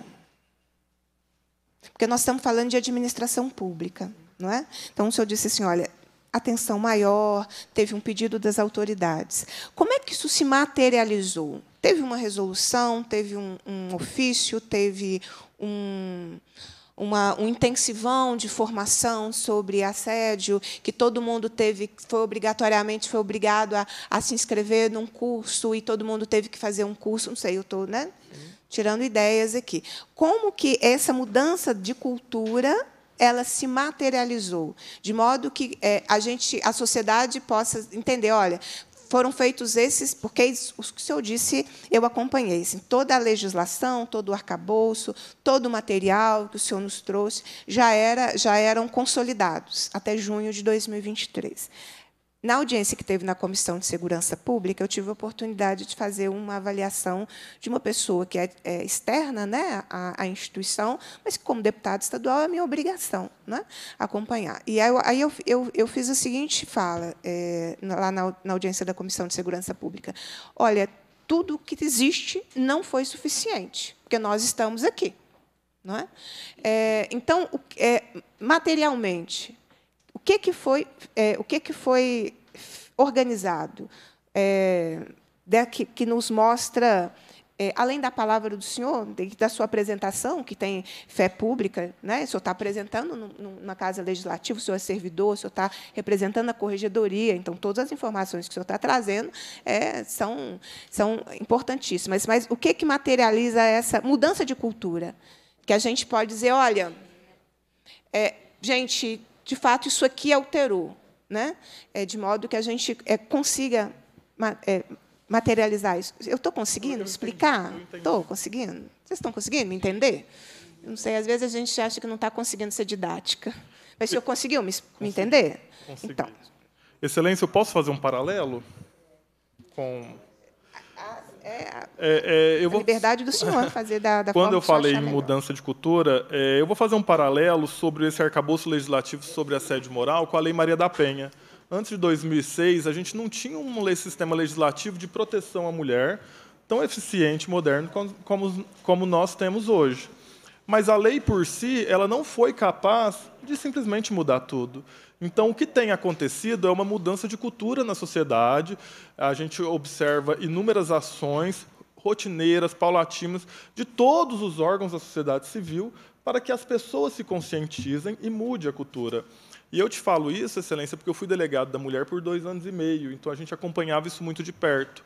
A mesma coisa, deputada, eu falo quanto à questão do assédio moral.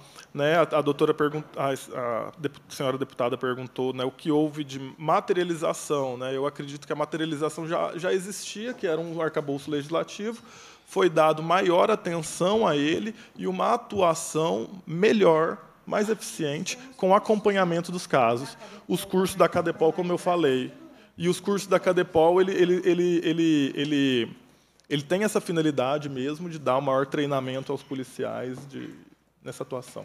Sim, eu, eu, eu, eu finalizei meu, minhas, minhas. Eu não sei se o senhor foi avisado que eu faço audiência meio dialogada mesmo, né? Não, mas... Não sei se o senhor foi avisado de que isso seria possível, é, mas eu vou pegar os, o exemplo do senhor para sintetizar o que eu queria dizer, que o seu exemplo me ajudou.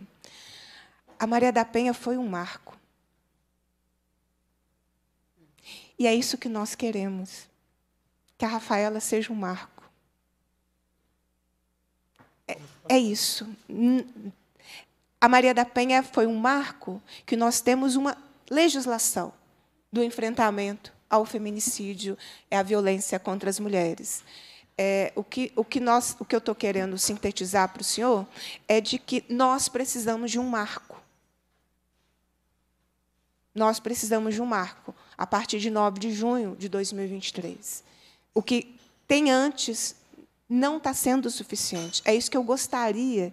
Eu estou tentando ser muito didática, muito respeitosa. É isso que eu estou tentando dizer, que não está suficiente.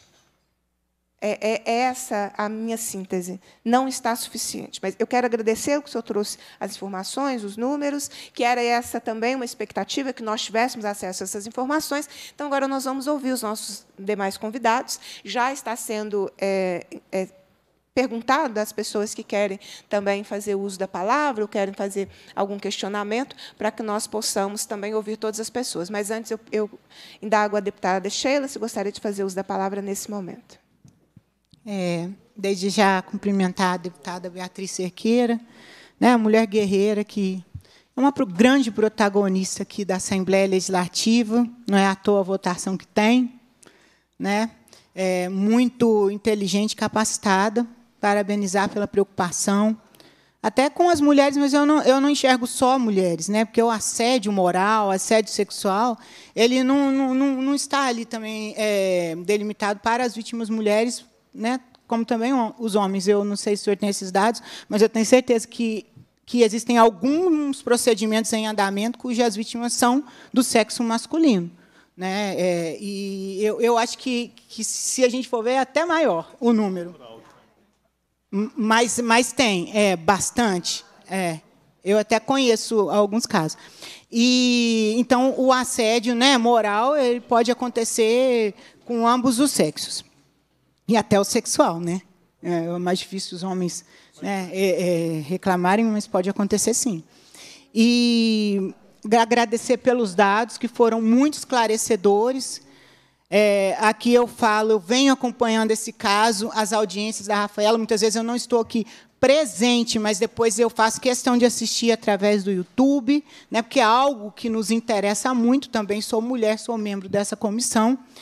E sou policial civil também. Eu, agora, em junho, eu completo 23 anos de Polícia Civil sendo 18 aqui no Estado de Minas Gerais, estou licenciada é, das atividades efetivas a partir de desde 2019, mas a gente nunca se afasta, porque são nossas pautas, a gente é muito procurado, né? Nós somos muito procurados no gabinete para orientação, para encaminhamentos e também para esse tipo de ação que tem sido feita aqui hoje. Bem, já ocupei cargo de delegada regional também. É, eu, na minha época, nunca recebi nenhum tipo de ocorrência relacionada a assédio moral ou sexual na minha instituição e também não presenciei de perto esses casos.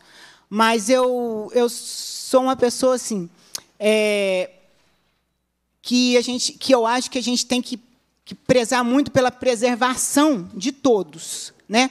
Tanto da pessoa que está denunciando quanto da pessoa que está sendo denunciada. A gente tem que ter esse tipo de olhar esse, é, e preservar essas duas pessoas. É, eu conheço pessoalmente um caso recente, né, de uma pessoa que fez, registrou, afirmou um assédio sexual de um colega, né, com todas as letras e tal, e essa investigação foi tocando e descobriu-se que era mentira. E depois, né, é, a pessoa até pediu desculpas e tudo mais, respondeu por falta, falsa comunicação de crime. E cujo objetivo dessa pessoa era conseguir uma transferência de local. Só que aí foi comprovado através de imagens que a pessoa nem sabia que tinha, e ela acabou até por confessar que realmente tinha criado essa história. Eu não estou dizendo né, que a maioria das pessoas fazem isso, mas pode acontecer, por isso tem que ter esse cuidado. Eu até comentava aqui com o deputado professor Cleiton, né, um exemplo, por exemplo, ah, às vezes é, gente, nós temos vários assessores que trabalham com a gente, às vezes de forma pessoal, né, muitas vezes ah, fica um, dois no gabinete até mais tarde, estamos ali pessoalmente, né, sem provas e sem nada, e, e, por exemplo, eu posso ser acusada de assédio moral ou sexual e eu tenho o direito de me defender, porque são consequências graves também para quem é acusado. Então, esse período, né, esse trabalho extremamente minucioso de oitiva, né, ele é super importante. O que eu acho que não deve acontecer é, por exemplo, uma pessoa tentar denunciar, procurar os órgãos competentes e, não, não, e ser impedida de fazer uma denúncia, ou a partir do momento que ela faça ali uma denúncia, que, que passe-se panos quentes né, naquela investigação, que não ouçam as partes, que não toquem investigação. Né? Então, isso é que não pode acontecer, de jeito nenhum, que aí está ferindo ali o direito das pessoas. Né? Então, é, é, é, o trabalho com muita responsabilidade, como assim é de costume né? na, na corregedoria da Polícia Civil, até onde eu sei. Tá? Então, é isso, é dizer que é, o procedimento tem que ser esse mesmo, né? não tem outra forma. A gente trabalha a Polícia Civil é, quase que no apagar das luzes. Nosso número de servidores é extremamente insuficiente, como bem disse a Beatriz Cerqueira aqui no início, né? é muito insuficiente. Se a gente for olhar, por exemplo, hoje o número de servidores que nós temos é menos da metade que tínhamos há 20 anos atrás. E isso sem fazer um comparativo proporcional ao aumento da população e da criminalidade. Então, todos os setores sofrem muito, é, as pessoas sofrem ali uma carga psicológica, emocional com o trabalho que já não é fácil. Nós temos muitos casos de adoecimento, mesmo psicológico, né, relacionados ao trabalho. Eu, inclusive, estou concluindo um mestrado agora na área de psicologia, é, psicologia voltado ao crime. E um dos trabalhos finais que eu estou fazendo, com a ajuda, inclusive, de dados da Polícia Civil, é sobre o controle de saúde mental dos policiais civis de Minas Gerais. Né, com, esse, com esse recorte de tempo de 2019 para cá também. Então, nós tivemos acesso, claro que eu não posso expor isso, mas nós tivemos acesso aí a, a muitos casos né, de que a pessoa acabou adoecendo psicologicamente, mentalmente, e que está sendo acompanhada e que precisa de um cuidado maior e não de tanta exposição.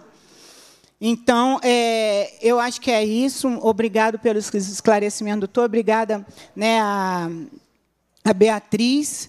Deixar aqui também meus sentimentos né, aos pais e à, à família da Rafaela. Né, eu, eu acho que caso igual da Rafaela, infelizmente, foi uma fatalidade, por isso que eu também acho que tem que ser um marco. Eu desconheço, né, desse, durante esses anos todos que eu estou trabalhando na Polícia Civil de Minas Gerais, são cerca de 18 anos, que trabalhei mais seis no Rio de Janeiro, eu desconheço outro caso igual ou semelhante ao que aconteceu a Rafaela, com a Rafaela. Aconteceu sim, né? É um marco, sim, e a gente não pode minimizar porque foi um caso. Né? Foi um caso, mas é uma mulher, é uma família, é uma servidora. E, em relação à questão da dificuldade de acesso aos servidores da Polícia Civil à denúncia, é, é, até difícil a gente falar, ah, chegou na corregedoria, não foi atendido, não conseguiu fazer. Primeiro, porque tem os canais da ouvidoria. E segundo, porque todos os servidores, tanto os delegados, peritos, médicos legistas, é, investigadores, escrivães, têm acesso ao sistema informatizado da Polícia Civil, o sistema REDS. Então, ele, se ele se sentiu vítima de algum crime, ele mesmo pode entrar lá no REDS e registrar uma denúncia. O REDS não apaga, não, ele fica ali. Então, tem que ser tomada providência. Né? Então, se a pessoa se sente né, é, que foi vítima de um crime, ameaçada, por qualquer um, ela pode sentar ali e registrar a sua própria ocorrência, que isso não vai apagar e a providência tem que ser tomada. Se não acontecer, existe a prova ali de que ela registrou, denunciou e não foi feito nada, e ela pode levar isso ao órgão fiscalizador, inclusive, que é o Ministério Público. Né? E, e é o que deve ser feito mesmo. Muito obrigado, viu? Obrigada, deputada. Eu vou passar para as considerações do deputado professor Cleiton, que está aqui conosco. Fala daqui, Cleiton.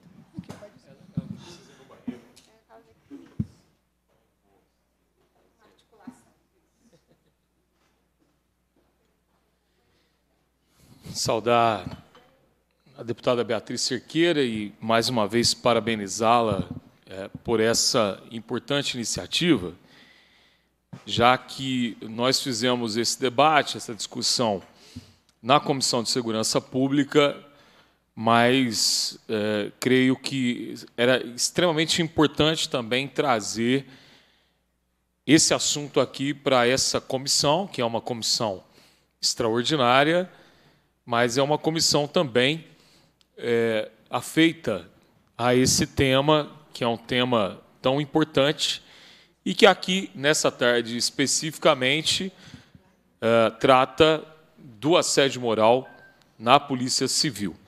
Cumprimentar aqui o doutor Pedro Henrique Cunha, que é delegado da Corregedoria Geral da Polícia Civil. Em nome dele, todos os servidores da Polícia Civil, aqueles que estão aqui, que são uh, filiados e membros dos sindicatos, mas de uma forma muito especial quero cumprimentar aqui e em nome dele todos os convidados, todos aqueles que estão na mesa, que estão presentes nessa audiência pública, meu amigo, que virou amigo, seu Aldair, que é o pai da Rafaela, é, e que nós tivemos a oportunidade de, de várias vezes conversarmos, dialogarmos, inclusive também buscarmos algumas questões. Eh, gente, é, primeiro que nós precisamos colocar as coisas no seu devido lugar. Quando eu digo isso, eu queria chamar a atenção para um debate que eu já faço aqui nessa casa desde 2019, quando assumi, quando fui membro, doutor Pedro, é, e um dos idealizadores de uma frente parlamentar de combate ao suicídio, à automutilação e à depressão. Isso porque é, nós estamos em um momento e o processo pós-pandêmico aguçou ainda mais isso. É, e pasmem vocês, porque os números são assustadores. O que mais mata no planeta hoje guerra civil, criminalidade e suicídio. Só que se nós somarmos as pessoas que morrem vítimas da criminalidade em vários rincões do planeta e as pessoas que são vítimas das guerras civis, não se chega à metade das pessoas que cometem o autoextermínio, o suicídio. A cada três minutos, uma pessoa suicida no planeta. Até 2018, 2019, isso era um dado, um problema do hemisfério norte. E passou a ser um problema nosso.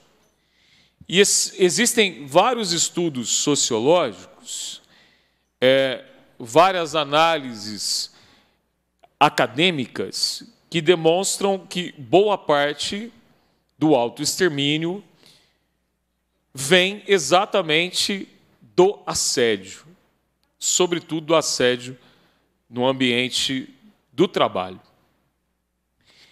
Por isso que, infelizmente, a Rafaela, que a gente aqui é, lembra e faz memória, que, como disse a delegada Sheila, deputada delegada Sheila, é, ela desconhecia outro caso, é, como a da Rafaela, na Polícia Civil, mas são muitos os casos que não estão inseridos na Polícia Civil, estão inseridos na administração pública.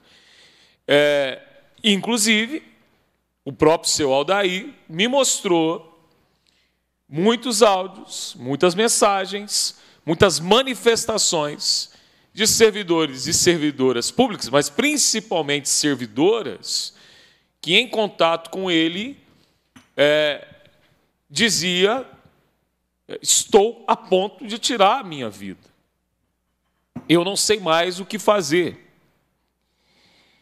É por isso que, provocado, no bom sentido aqui, pela Aline, que é uma servidora de carreira do Estado e da Polícia Civil, eu apresentei aqui na Assembleia um projeto de lei complementar que, com autorização da família, é, nós demos o nome de Lei Rafaela Drummond, que, inclusive, na próxima reunião da Comissão de Administração Pública, ela que já passou pela CCJ, vai ser votada na, na APU tenho certeza que vai ser aprovada. Porque, doutor, nós tínhamos uma brecha é, no Estatuto do Servidor Público que não contemplava a questão de assédio moral. E outros estados já o fizeram. Até porque o assediador, como eu sempre digo, ele tem que ser extirpado da administração pública. Aquele que é assediador, é, e que quando isso é comprovado, ele tem que ser excluído, ele não serve para estar no convívio social e muito menos exercendo uma função de chefia. Agora, é, de nada adiantará qualquer lei ou qualquer tipo de processo legislativo nessa casa se as instituições do Estado continuarem exercendo o seu caráter corporativo. Não dá para fingir é, que se está fazendo alguma coisa quando, na verdade, os órgãos de correção dos rumos da administração passam muito mais pano, protegem muito mais os seus, do que propriamente punindo aqueles que deveriam ser punidos. Porque o que nós precisamos evitar é que novas Rafaelas, se me permite, seu Aldair, surjam. E, infelizmente, se nada for feito, e se nós não utilizarmos esse é, é, momento em que nós estamos vivendo, novas Rafaelas surgirão, doutor. Isso porque o que a gente escuta é que a, quando se recorre, por exemplo, ao amparo é, daqueles que deveriam amparar, abraçar, acolher, ouvir, escutar, para combater o assédio, é, essas pessoas não são ouvidas. Ou quando elas procuram é, o espaço, que seria o espaço para cuidar da sua saúde laboral, aqueles que deveriam fazê-lo vêm com um, uma série de, de atestados e uma série ali é, de até mesmo diagnósticos, que são diagnósticos que envergonham a classe médica, porque utilizam desse espaço para definirem aquilo que o assediador define muito bem. Porque o que, que o assediador faz? Não, ela é louca. Ela é louca. Porque isso é o mais fácil. Eu estou aqui fazendo essa fala, deputada Beatriz Cerqueira, porque é, eu acho que a deputada ela tem a obrigação de abraçar, acolher e defender as mulheres. Mas, para mim, é, não é uma obrigação, é uma questão de princípios. É uma questão mesmo de bandeira de vida. É, isso porque eu já estive no exercício de um cargo de chefia, de uma direção, de uma grande instituição de ensino, é, e o dia em que eu vi que um dos diretores estava utilizando do seu poder para assediar as professoras, eu fiz questão de imediatamente tirar da minha vida, da minha história e da minha presença aquele cidadão. A Polícia Civil de Minas Gerais ela tem diante, uh, tem diante da sua história a possibilidade de fazer uma correção de rota e não simplesmente fingir que está fazendo alguma coisa. Eu não estou dizendo que isso tenha acontecido, mas pelas denúncias, pelos áudios que chegam pelo seu Aldair, é, pelas coisas que chegaram pós Rafaela Drummond ao nosso gabinete, pelas pessoas que eu já recebi, é, e aí não coloco só a Polícia Civil aqui, não, deputada Beatriz Cerqueira, porque é, é, na nossa área, na área da educação, muitas denúncias têm chegado também.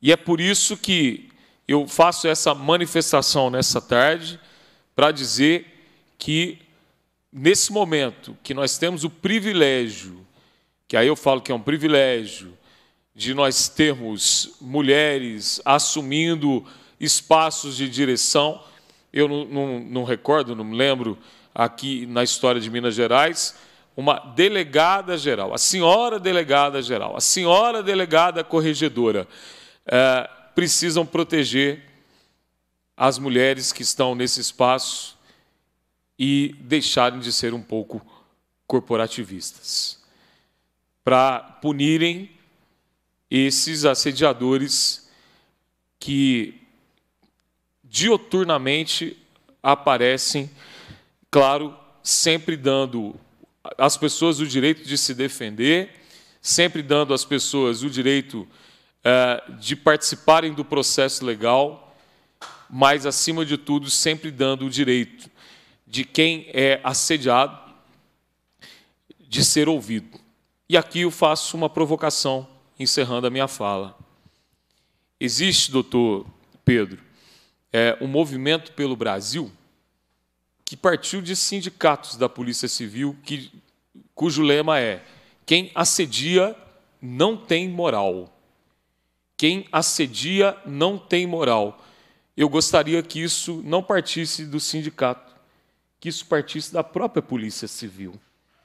Que fosse a Polícia Civil a abraçar essa causa e a colocar isso como lema para que a memória da Rafaela Drummond e o que aconteceu com ela seja preservado e que a presença do seu Aldair aqui não seja apenas figurativa, mas que seja algo que nunca mais aconteça em uma instituição tão importante, tão valorosa, histórica e que precisa, inclusive, de valorização na recomposição das perdas inflacionárias, porque isso eu sempre vou falar, porque a gente não pode esquecer disso também.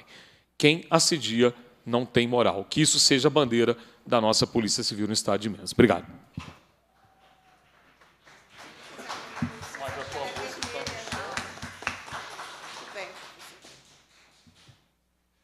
Obrigada, professor Cleiton. Nós vamos agora ouvir nosso convidado desta audiência, o senhor Aldair, Aldair Drummond, que hoje, então, é presidente, pai da Rafaela Drummond e hoje presidente do Instituto Rafaela Drummond. Obrigado pela presença do senhor. Com a palavra para suas considerações. Boa noite a todos, já passou das seis. Boa noite, deputada. Boa noite, deputada Sheila. Boa noite, senhor, deputado, o senhor delegado Pedro. Boa noite a todos presentes. Boa noite a Milênia, Júlia, ao Léo de Brasília, a Ana, a senhora. Boa noite, boa noite a todos. Bom, eu vou resumir poucas coisas. A Rafaela, a Rafaela era uma menina que não é homofóbica nem racista. Veja bem, característica que um homem santo tem, o Papa tem, o Papa Francisco tem essa característica. Ele não é homofóbico, não é racista. E eu, eu, e a minha esposa entregamos a minha filha para a Cadepal, para a Polícia Civil, perfeito, 100%, com autoestima 100% perfeita, toda vibrante, pensando que estava tá, entrando numa instituição moderna, atual, mas a gente foi percebendo que não estava. Ela estava entrando numa instituição que estava parada no tempo, na década de 70, 60, entendeu? Que o machismo impera, o assédio impera muito forte lá dentro. Bom, quando ela foi transferida para a cidade de Canandaí, para ela foi uma felicidade, ficava perto da família, perto dos pais, né? Para nós seria muito bom mas foi muito pelo contrário. Lá ela encontrou ela sofreu, assim que ela sofreu a importunação sexual do inspetor Celso, e ela relatou para o delegado Itamar. Eu acho, que, eu, por isso que eu penso que, toda, com todo respeito ao doutor Pedro, ali tem muita teoria, tá na, é só teoria, na prática não funciona. Na prática não funciona assim. A gente percebe que as delegacias de polícia, com todo respeito, parece navio naufragado, entendeu? Não tem aquela união com a chefia, parece que está deslocado. E o que, que o delegado fez? Agiu sozinho lá, ele foi e juntaram eles, e o que, que eles praticaram na minha filha? Um assédio vertical. Um assédio vertical, um assédio moral vertical, descendente do delegado para minha filha, durante um ano, hein? E um assédio vertical ascendente desse inspetor Celso, e um assédio moral horizontal de todos os policiais. Eles não tiveram misericórdia da minha filha, todos eles, todos eles. E uma discriminação de gênero de todos os policiais. Policiais da cidade de Carandaí. Veja bem, não estou afirmando de outros lugares. Estou afirmando o que aconteceu na cidade de Carandaí com a minha filha. Isso eu estou falando, eu tenho, eu tenho consistência do que eu estou falando, eu tenho certeza do que estou falando. Porque eu, eu claro, uns advogados apurou todo o inquérito da polícia, que a corredoria foi muito parcial a doutora Érica, com todo respeito, eu vou usar a palavra fraca, com relação profissional, com relação à análise dela. Não posso falar outra coisa, ela foi parcial, entendeu? Por isso que tem que ter leis sérias, leis sérias que combatem o assediador. O assediador, na verdade, ele não tem misericórdia da vítima, não tem, entendeu? Ele é um, psicopata, um psicopata invisível, entendeu? Tudo isso que todo mundo falou aqui, o assédio moral mata. Ele matou minha filha, ele acabou com a autoestima da minha filha. A minha filha ficou doente nesse período todo, entendeu? Já não ela, não, ela não desabafou com o pai e com a mãe, não sei por qual motivo que ela não desabafou com o pai, não levou para mim esse problema. Talvez eu pudesse ter uma solução para ela. E veja, ela foi levando, desabafou com a amiga, a amiga não foi tão amiga dela, e, e essa amiga tinha conexão dentro da polícia. Tinha um policial lá que passava, quando a minha filha dava, surtava na delegacia, que sempre a surtava, porque a pressão é tanta, imagina, que como, como que a mulher faz trabalhando com um cara que assediou ela? Hein? Teve assédio sexual, reputação. Ela vendo aquela figura, aquele cara, aí ele faz aqueles assédios velados, que vocês sabem o que é assédio velado. Entendeu? Aí todos os policiais assediaram a minha filha, o assédio moral, cometeram um determinado assédio. Por que, que esse, esse policial, que tinha amizade com essa amiga da minha filha, não informou para o pai e para a mãe? Sendo que esses policiais encontravam comigo toda sexta-feira, podia chegar, oh, sua filha está doente, sua filha não está normal, sua filha está surtando toda semana, todo dia na delegacia. O, o, delegado Itamar, que me assediou, no dia que a minha filha, que eu estava no necrotério lá esperando o corpo da minha filha chegar, que está saindo da. onde faz essa coisa. Aí esse delegado foi com um monte de policial me assediando, querendo saber que se eu sabia de alguma coisa. Que, que, será que tinha alguma coisa muito séria lá? Não sei. Entendeu? E foram todos esses policial de Canadá em cima de mim lá. Entendeu? E por que, que eles foram em cima? Porque eles não me avisaram que a minha filha estava doente, não avisou para minha esposa. Veja, é, existe muito. E eu percebi o seguinte: aí eu procurei analisar todo o procedimento da polícia. Eu gostaria, deputada, que perguntasse o seguinte: qual é a função da Polícia Civil na, com a sociedade? Que é uma visão da sociedade tem para a Polícia Civil? Procura saber como que a, polícia, a sociedade enxerga a Polícia Civil, entendeu? A Polícia Civil, eu vejo o seguinte, com todo respeito a vocês que são policiais. Vê, eu fui convidado no mês de março, no mês das mulheres, a participar de cinco, cinco é, é, apoio às mulheres, né? Eu não vi nenhum deles a Polícia Civil. Eu não vi. Eu fui convidado como instituto, como presidente do instituto. Entendeu? Veja bem, a Polícia Civil está distante da população. Entendeu? Isso pode estar afetando também na, na, no assédio também. Entendeu? Eu acho que tem que, tem que analisar isso direitinho. Eu tive agora em, em Brasília, num congresso internacional de, das policiais, né? de vários policiais de outros países. E a, a policial do, do, do, do da Guatemala, ela ficou abismada de saber que, que tem tanto assim, auto-extermínio, tanto assédio na Polícia Civil, nas polícias de, de, do Brasil, porque ela tinha vários problemas, de várias polícias do Brasil que estavam com problema, entendeu? Então, é uma sugestão que eu faço. Faz um, faz um intercâmbio lá com a, com a policial da, da, Guatemala, os policiais da Guatemala, por que, que lá não tem esse problema tanto? Lá tem o, o machismo, que tem, né? mas não tem esse, esse caso de assédio moral em cima das mulheres. As mulheres do, do Equador também falaram comigo isso também. Entendeu? É isso que eu trago. Eu vejo se, se a Polícia Civil, igual o, professor, o deputado professor Cleito falou, se a Polícia Civil não modernizar, eles vão acabar municipalizando a Polícia Civil, viu? É o próximo passo. Porque nos Estados Unidos, é nos países desenvolvidos, tudo é municipalizado. Entendeu? Eu, é eu acredito que vão acabar, as autoridades vão acabar chegando nesse ponto.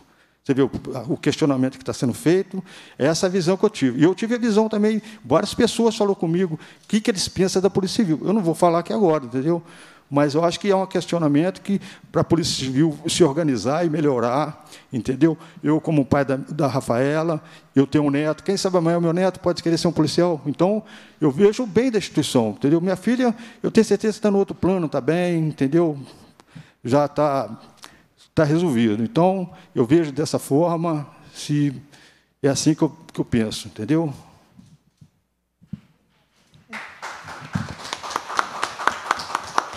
Deputado. Obrigada. Oi. Delegada. Depois Sheila. eu posso fazer uma pergunta? Claro, Sheila. Com a palavra. É, é porque eu fiquei assim com algumas dúvidas, até anotei aqui. Né? Não necessariamente para o pai da, da Rafaela, é muito triste, né? Eu imagino que isso é uma dor que Deus me livre. Eu sou mãe de quatro e eu não posso nem imaginar uma coisa dessa. Mas eu fiquei é, até foi um detalhe da fala do doutor Pedro que tem a ver com, né, com com os questionamentos da audiência pública em relação aos números. Né? É, ele colocou um número de casos em 2019 e depois foi, esses números eles foram crescendo né, progressivamente até é, o ano de 2023. É, que em 2023 foram 35 denúncias de assédio. Né? Aí eu queria falar para ele se se em algum momento eles se questionaram por que do número né, dessa crescente número de, de assédios agora no ano de 2023, se essas denúncias é, aconteceram no pós o ocorrido com a Rafaela, às vezes que encorajou outras pessoas a, a denunciar, ou se não tem relação com isso, sabe, para a gente saber, porque a gente sabe que quando acontece um fato assim, normalmente, né, as pessoas, é, como no caso da violência contra a mulher, que hoje temos a Lei Maria da Penha, e o número de denúncias aumentou, não, que os, não necessariamente que os casos tenham aumentado, mas que as pessoas se sentem mais protegidas para denunciar e as informações têm chegado mais. Eu queria saber dele essa questão dos números, do aumento do número, do, do número a, a, a que se refere esse aumento? Eu aproveitar e já tem mais uma outra pergunta que foi feita na participação no chat. Aí, se eu puder responder os dois questionamentos. É uma pergunta que veio pelo chat, é a seguinte: abre diligência é, e que horas a corregedoria informa para quem denunciou é, que não vai abrir nada. Nesse caso, né, na circunstância em que não vai abrir nada, não vai dar prosseguimento à denúncia. Em que momento é, a pessoa é informada, a quem denunciou é informada pela corregedoria de que não resultará em nenhum procedimento. E eu quero fazer uma pergunta minha, duas. O senhor falou que são quantas subcorregedorias? Cinco. É, eu vou insistir é, na necessidade de ter algo novo depois do dia 9 de junho de 2023. A Polícia Civil não avaliou, talvez, a necessidade de nós termos é, uma subcorregedoria que tratasse exclusivamente, especificamente, se especializasse no enfrentamento ao assédio. Porque eu compreendi, o senhor trouxe, por exemplo, 4 mil e tantos procedimentos, senhor trouxe os números todos, foram muito importantes, que a gente tem a dimensão toda. Mas é, tem a dimensão de, de 4 mil e tantos procedimentos, esse número eu não anotei, mas de 4 mil e tantos procedimentos, 35 são de assédio. Mas é, não, não foi feita uma avaliação de que há uma necessidade de uma estrutura especializada porque nós estamos, eu vou repetir, nós estamos diante de é, uma violência que ela não é fácil de ser caracterizada. O assédio sexual e moral contra uma mulher não é fácil de ser caracterizado. O deputado professor Cleiton comentou aqui a expressão que nós escutamos, né? Louca, estressada, surtada, eu estou dando outros adjetivos com os quais nós somos tratadas. É, as nossas denúncias, via é, elas têm uma chance enorme de serem descaracterizadas. O pai da Rafaela acabou de dar um exemplo concreto de como foi descaracterizado quando ela recorreu a um superior em relação ao assédio que ela enfrentava. Então, diante disso, né, do que nós vivemos, aquela ideia de que nós precisamos aprender e ter novas práticas, não teve nenhuma avaliação de, de é, uma estrutura específica que pudesse responder melhor, mais rápido ou específica, espe especializada, não é? vamos dizer assim. Minha última pergunta. Hoje é possível a Polícia Civil é, dizer à sociedade onde que o sistema falhou com a Rafaela? Claro, com a palavra. Deputada Sheila, posso responder posso... primeiro a, a... Pode. É, é, é, mas só para complementar também minha dúvida, se o senhor puder falar, obviamente, que eu sei, eu sei, conheço o trabalho da corregedoria, eu sei que vocês acompanham os processos mesmo depois de judicializado, né? Eu queria saber se, é, em que pé que está, né? Mesmo sabendo que não sei se a corregedoria já concluiu, saber se a corregedoria já concluiu esse procedimento da Rafaela, se já foi encaminhado para a justiça, se já existe algum parecer. É, é, é, eu acho que né, a maioria das pessoas tem essa curiosidade. Eu posso responder a deputada Abi?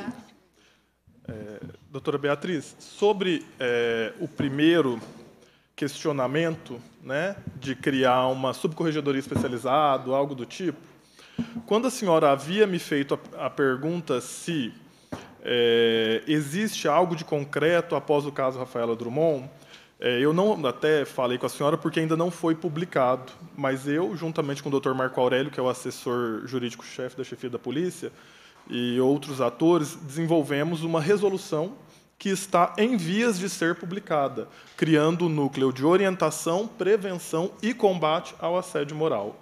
Então, esse núcleo ele vai funcionar no âmbito também das estruturas, inclusive da corregedoria, para essa atenção ainda não foi publicado porque ele demanda né, maiores pareceres jurídicos e tudo mais, mas eu posso te assegurar. A senhora me fez a pergunta e eu não falei porque, como não foi publicado, eu não sei se eu poderia falar. Então, eu mandei uma mensagem para minha chefe, perguntei se eu poderia falar, ela me autorizou. Por isso que eu só estou falando agora. Então, respondendo à pergunta da senhora, está em vias de, de ser publicada uma nova resolução, criando um núcleo de orientação, prevenção e combate ao assédio moral.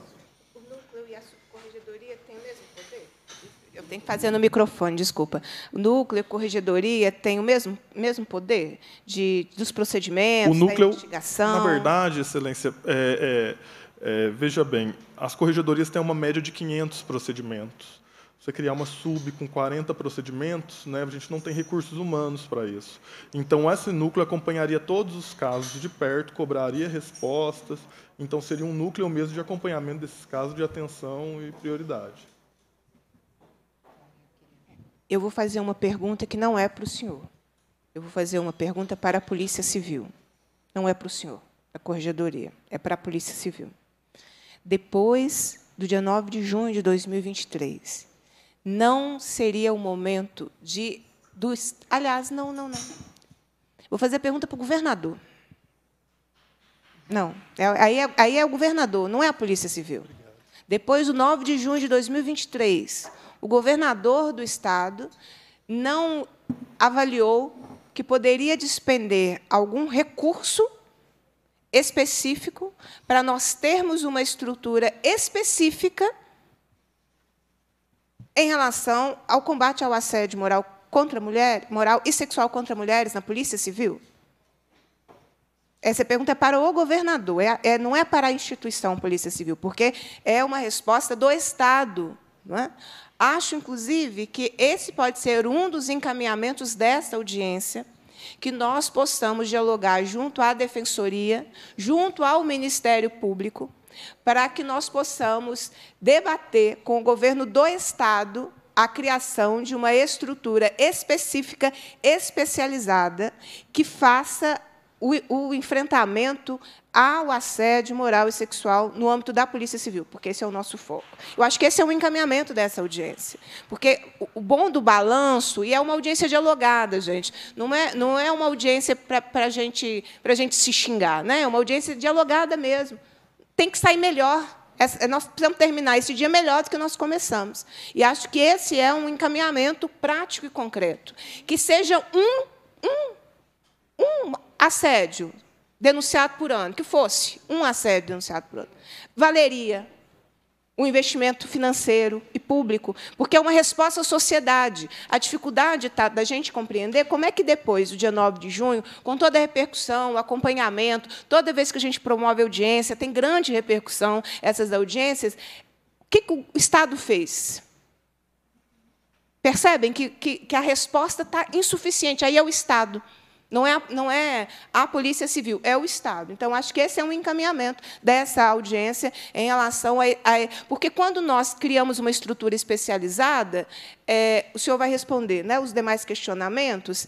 É, nós precisamos criar um ambiente, um ambiente acolhedor a quem queira denunciar. Nós não podemos afirmar que esse ambiente é acolhedor hoje, porque há opiniões divergentes em relação a isso. Nós precisamos ter um ambiente acolhedor e você ter uma estrutura específica. Eu estou falando de estrutura, gente, porque não tem um nome, né? Nós estamos conversando aqui, estamos fazendo encaminhamento. Pode ser uma saída. Então, acho que é um encaminhamento não é para a Polícia Civil, é para o governador do Estado. E aí eu acho que uma articulação com a Defensoria, com o Ministério Público e o Ministério Público do Trabalho pode ser um caminho para nós avançarmos numa, numa no, no, marco que a gente está tanto buscando para esse enfrentamento estrutural. Vou devolver a palavra para o senhor para os outros questionamentos. O que a senhora fez no papelzinho, o, o questionamento que a senhora havia me feito, que havia mandado da plateia, eu, eu, eu perguntei se, se o sistema consegue avaliar onde ele falhou com a, com a Rafaela Drummond. Ah, se, tá. se a Polícia Civil consegue fazer esse, essa devolutiva à sociedade. Então, Excelência, é, como a minha fala é exclusiva para corregedoria, eu não sei, tipo, não, não, tenho autoridade para respondê-la. Okay? Desculpa, deputada Sheila, ah, me perdoa, mas é, a senhora poderia re, re, repetir a pergunta? Então, é, sobre é, a questão, é, é, a, que, a que fatores o senhor associa o número de, o aumento do número de denúncias de 2019, mas principalmente de 2023, que foi um aumento bem maior, e a segunda, pra, se o senhor pode, né, senhor pode passar para a gente notícias atuais sobre o caso da Rafaela. Qual foi a conclusão da corregedoria? Se já houve, se já está na justiça? Qual que, o que nós temos de atual sobre isso? 2022, 2018, é, 2022, doutora, nós tivemos noticiado 18 fatos de assédio na corregedoria e em 2023 nós tivemos 35. O, o aumento deu porque 13 fatos desses 35 é, diz respeito a cinco pessoas.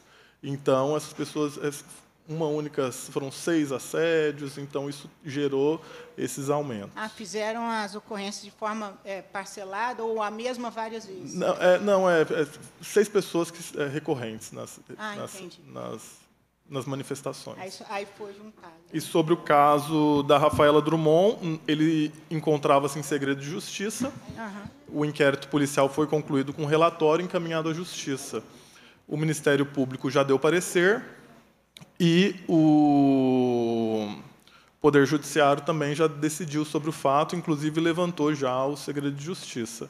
Não está mais em segredo de justiça. Não está mais em segredo de justiça. O, de, o senhor sabe? O, o quê? A conclusão? É. Tem o parecer do MP aqui sobre os fatos, e aí eles explicam. É, a conclusão, é, ao, ao, que tudo foi investigado, o Ministério Público concluiu pelo, pela formalização de indiciamento, né, como foi da corregedoria, por condescendência criminosa, especificamente porque a autoridade que tomou conhecimento de que a autoridade que tomou conhecimento de, da briga que teve na delegacia, não noticiou a corregedoria. Quanto aos fatos criminais, as partes se manifestaram que não queriam providências criminais. Mas a autoridade ela tinha o dever de ofício de comunicar à corregedoria, porque se trata Mesmo de uma sem situação. representação criminal. Mesmo sem representação, porque se trata de uma transgressão disciplinar e você não teria essa representação. Então, somente quanto a isso. Todos os outros casos, o MP entendeu que não aconteceu. E, e é público, né? Essa decisão, gente. A decisão é pública. Nós vamos dar sequência, nós vamos ouvir agora a Aline Risse, que é presidenta da Associação dos Escrivães da Polícia Civil do Estado de Minas Gerais.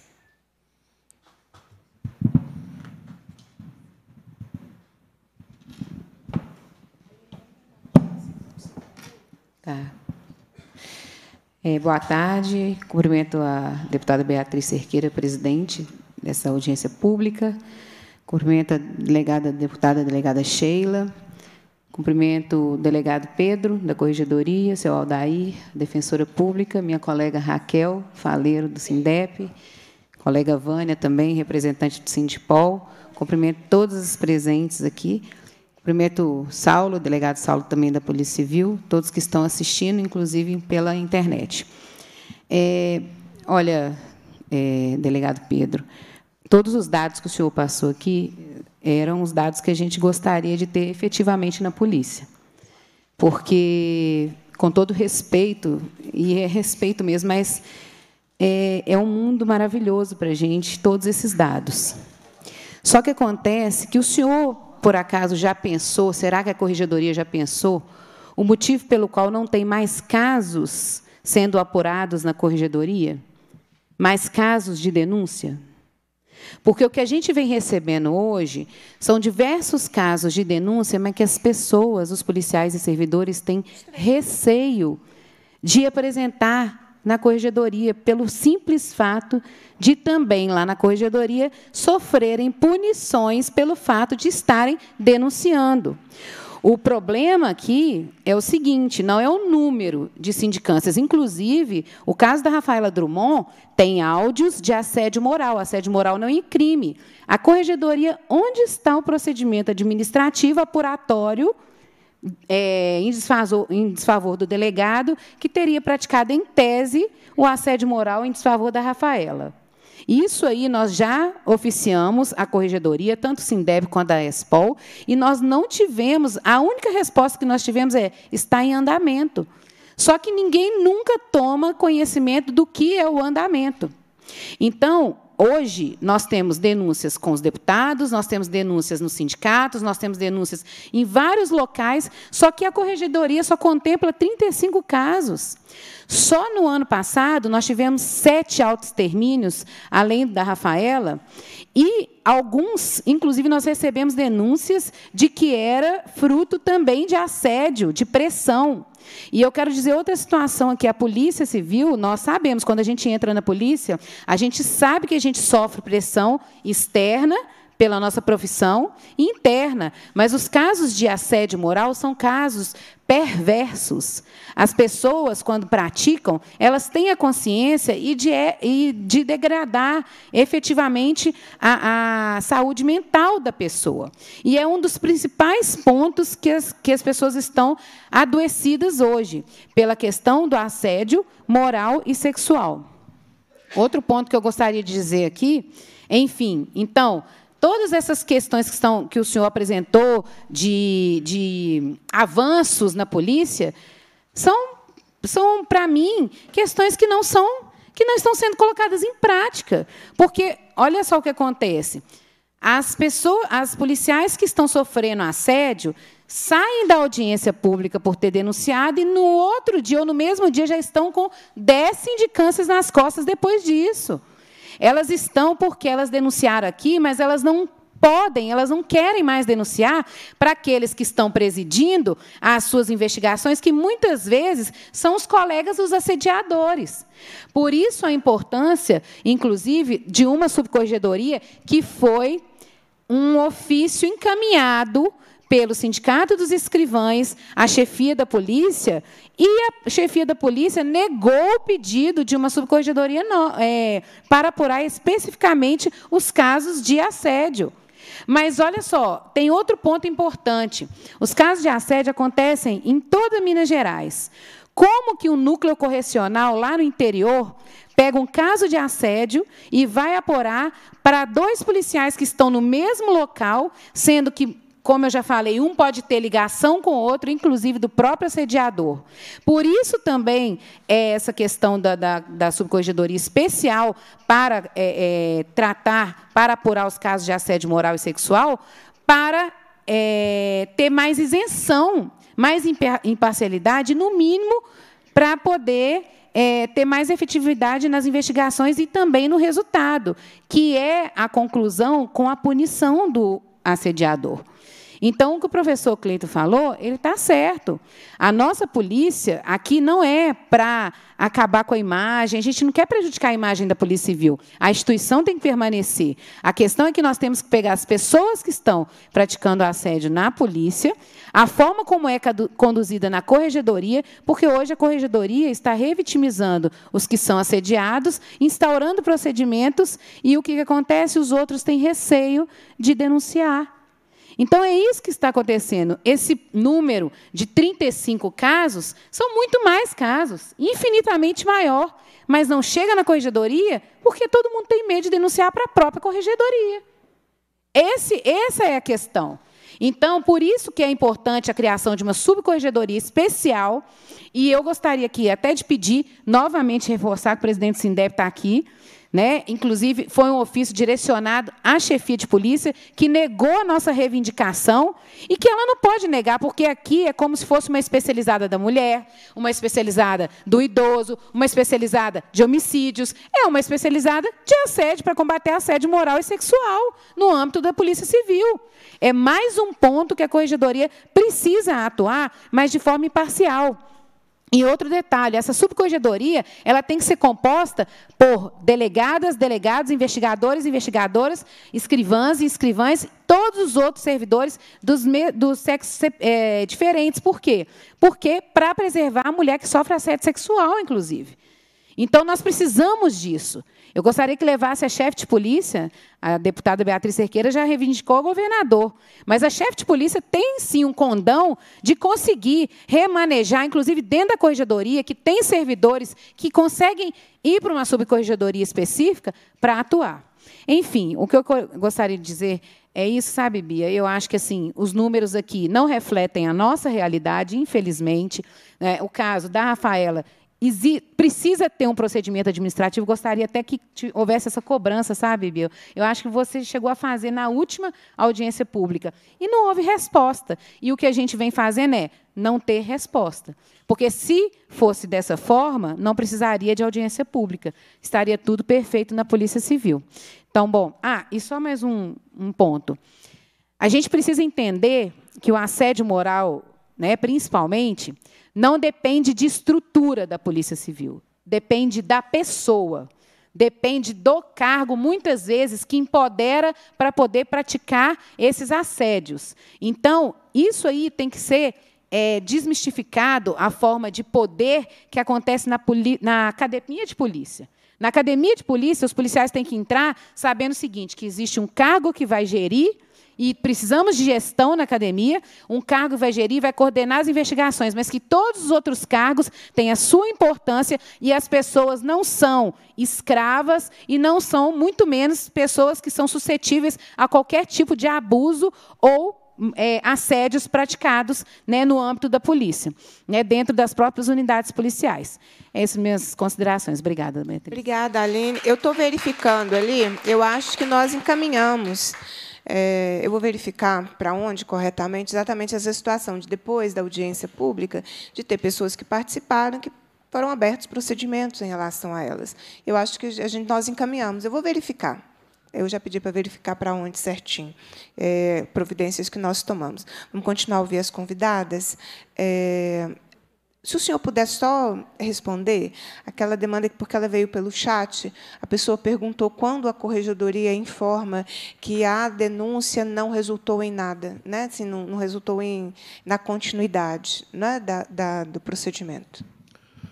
É, deputada, não existe é, legislação determinando a intimação das partes, então é feita a apuração é, e, ao final, a gente, caso haja o arquivamento, o procedimento fica à disposição para consulta.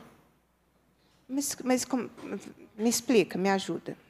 É, eu denunciei. Uhum. Aí houve lá o procedimento que é, foi feito e no procedimento a conclusão é de que não deveria haver prosseguimento. Uhum. Aí é arquivado. Uhum. Como eu tenho acesso a isso? Vocês não me falam? Não é feita uma intimação da parte. Não há essa, essa determinação legal. É, é, é disponibilizado para consulta. Ok. É, vamos ouvir a nossa próxima convidada? Vânia Cristina Correia, diretora executiva de Assuntos da Mulher do Sindicato dos Servidores da Polícia Civil de Minas Gerais. É, boa noite a todos. Deputada Beatriz. Sim? Não menos. Eu só, só nem gosto de falar muito, não. Pode ficar tranquila. Boa noite, deputada. É, na figura da senhora, eu cumprimento os demais componentes da mesa. E eu gostaria é, de complementar, é, de falar daquela pergunta que a senhora fez o, para o nosso corregedor, é, quando o sistema falhou com a Rafaela. Na realidade, o sistema tem falhado há anos. A Rafaela realmente será um marco. Mas o que aconteceu com a Rafaela já acontecia lá atrás, quando a Polícia Civil foi abandonada. O número que o, que o doutor trouxe hoje para a gente, de 12.748 servidores, esse número deveria ser de investigadores da Polícia Civil. Do jeito que está, então, assim, com essa falta de efetivo, essa falta de parceria, de decência do governador com a Polícia Civil, com os que passaram também, mas este de agora é uma coisa extraordinária, impactante. O que, tem o que tem sido feito com a Polícia Civil é uma covardia. E isso realmente vai impactar nessa questão do serviço das servidoras da Polícia Civil. Hoje, é, nós temos equipes de um homem e uma mulher. Como que vai ser isso? A investigadora com receio de ser assediada e o investigador com receio de ter, de ter uma denúncia. Como é que consegue trabalhar em paz na Polícia Civil com um pouco mais de 6 mil investigadores para trabalhar dentro de Minas Gerais inteiro, com equipes reduzidas de policiais. Isso impacta também na vida do servidor, ele adoece. É complicado, então, e ainda, além disso, o que falta e foi dito na, na, na audiência passada, que nós temos que tentar fazer do melhor que podemos com o que temos mas está difícil a situação. Mas foi dito, foi dada uma sugestão, e isso falta uma empatia muito grande dos nossos, das nossas autoridades, né, dos nossos superiores em geral. Que eu não tenho visto mesmo, sabe, essa a gestão humanizada porque a situação está muito crítica. E ainda se não houver é, se não houver essa empatia dentro da própria casa em solucionar problemas pequenos para que não gere um assédio sexual ou moral qualquer que seja é muito complicado de solucionar. Nós temos recebido denúncias que hoje não, é, como já foi dito várias vezes para caracterizar um assédio é meio complicado mesmo. Para que nós vamos esperar virar um assédio por que, que nós não podemos resolver o problema antecipadamente para não, que não gere isso? Nós temos atendido colegas, temos dado atenção. Uma simples visita à nossa unidade soluciona o problema. Depois os colegas ligam agradecendo: olha, muito obrigado por ter vindo aqui, deu certo, estou em paz, estou trabalhando bem. E é isso que nós precisamos. É isso que a gente está esperando. A gente está esperando que a Polícia Civil realmente, que, que as autoridades olhem para ela de uma forma humana, de uma forma decente, de uma forma que queira mesmo segurança pública efetiva, forte, que dê resultado para as pessoas, que abrace os seus servidores. Os servidores estão abandonados. E é por, nós estamos aqui hoje por causa de problemas há anos que vem acontecendo. Eu sou de, eu entrei para a polícia em 1990, aposentei ano passado, amo minha profissão e sofria assédio lá em 1900 e alguma coisa, onde a gente não podia nem tratar do assunto, mas a gente resolvia era na marra. Era de, de mano a mano ali, eu e meu colega. Acabou, eu coloquei, a gente coloquei no carro, pronto, acabou, e vida que segue. Mas hoje a situação é diferente. Hoje a polícia está abandonada, e isso está refletindo essas questões desses assédios, moral e sexual. Então, isso precisa ser revisto. E a gerência, a gestão humanizada faz parte. Nós precisamos muito que as nossas chefias passem isso para as nossas autoridades. Delegado, inspetor, chefe de equipe, sabe? Eles precisam olhar para o colega de uma forma mais humana, porque isso vai evitar muito, muitos problemas dentro da nossa casa. Era o que eu tinha para falar. Eu te agradeço. Obrigada pela presença e participação conosco. Nós vamos aproveitar, então, ouvimos o Sindicato de Servidores da Polícia Civil, vamos ver o Sindicato dos Escrivães da Polícia Civil. Cadê a Raquel? O Sinep, Raquel Ramos Cruz, também trazer sua contribuição ao debate.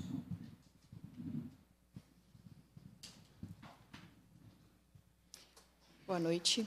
Já é boa noite, né? Já. boa noite a todos. Cumprimento a mesa em nome da deputada Beatriz Cerqueira, agradecê-la mais uma vez por abrir esse espaço de debate para um tema tão importante. Bom, como ela falou, sou Raquel Faleiro, sou diretora de comunicação do Sindicato dos Escrivães de Polícia. E o nosso sindicato, desde a sua fundação, ele tem lutado muito pela modernização e pela profissionalização do trabalho da Polícia Civil, para que se dedique cada vez de forma mais profissional. Mas, infelizmente, como a Vânia estava falando, a gente tem visto uma polícia cada vez mais sucateada, condições cada vez mais degradadas de trabalho.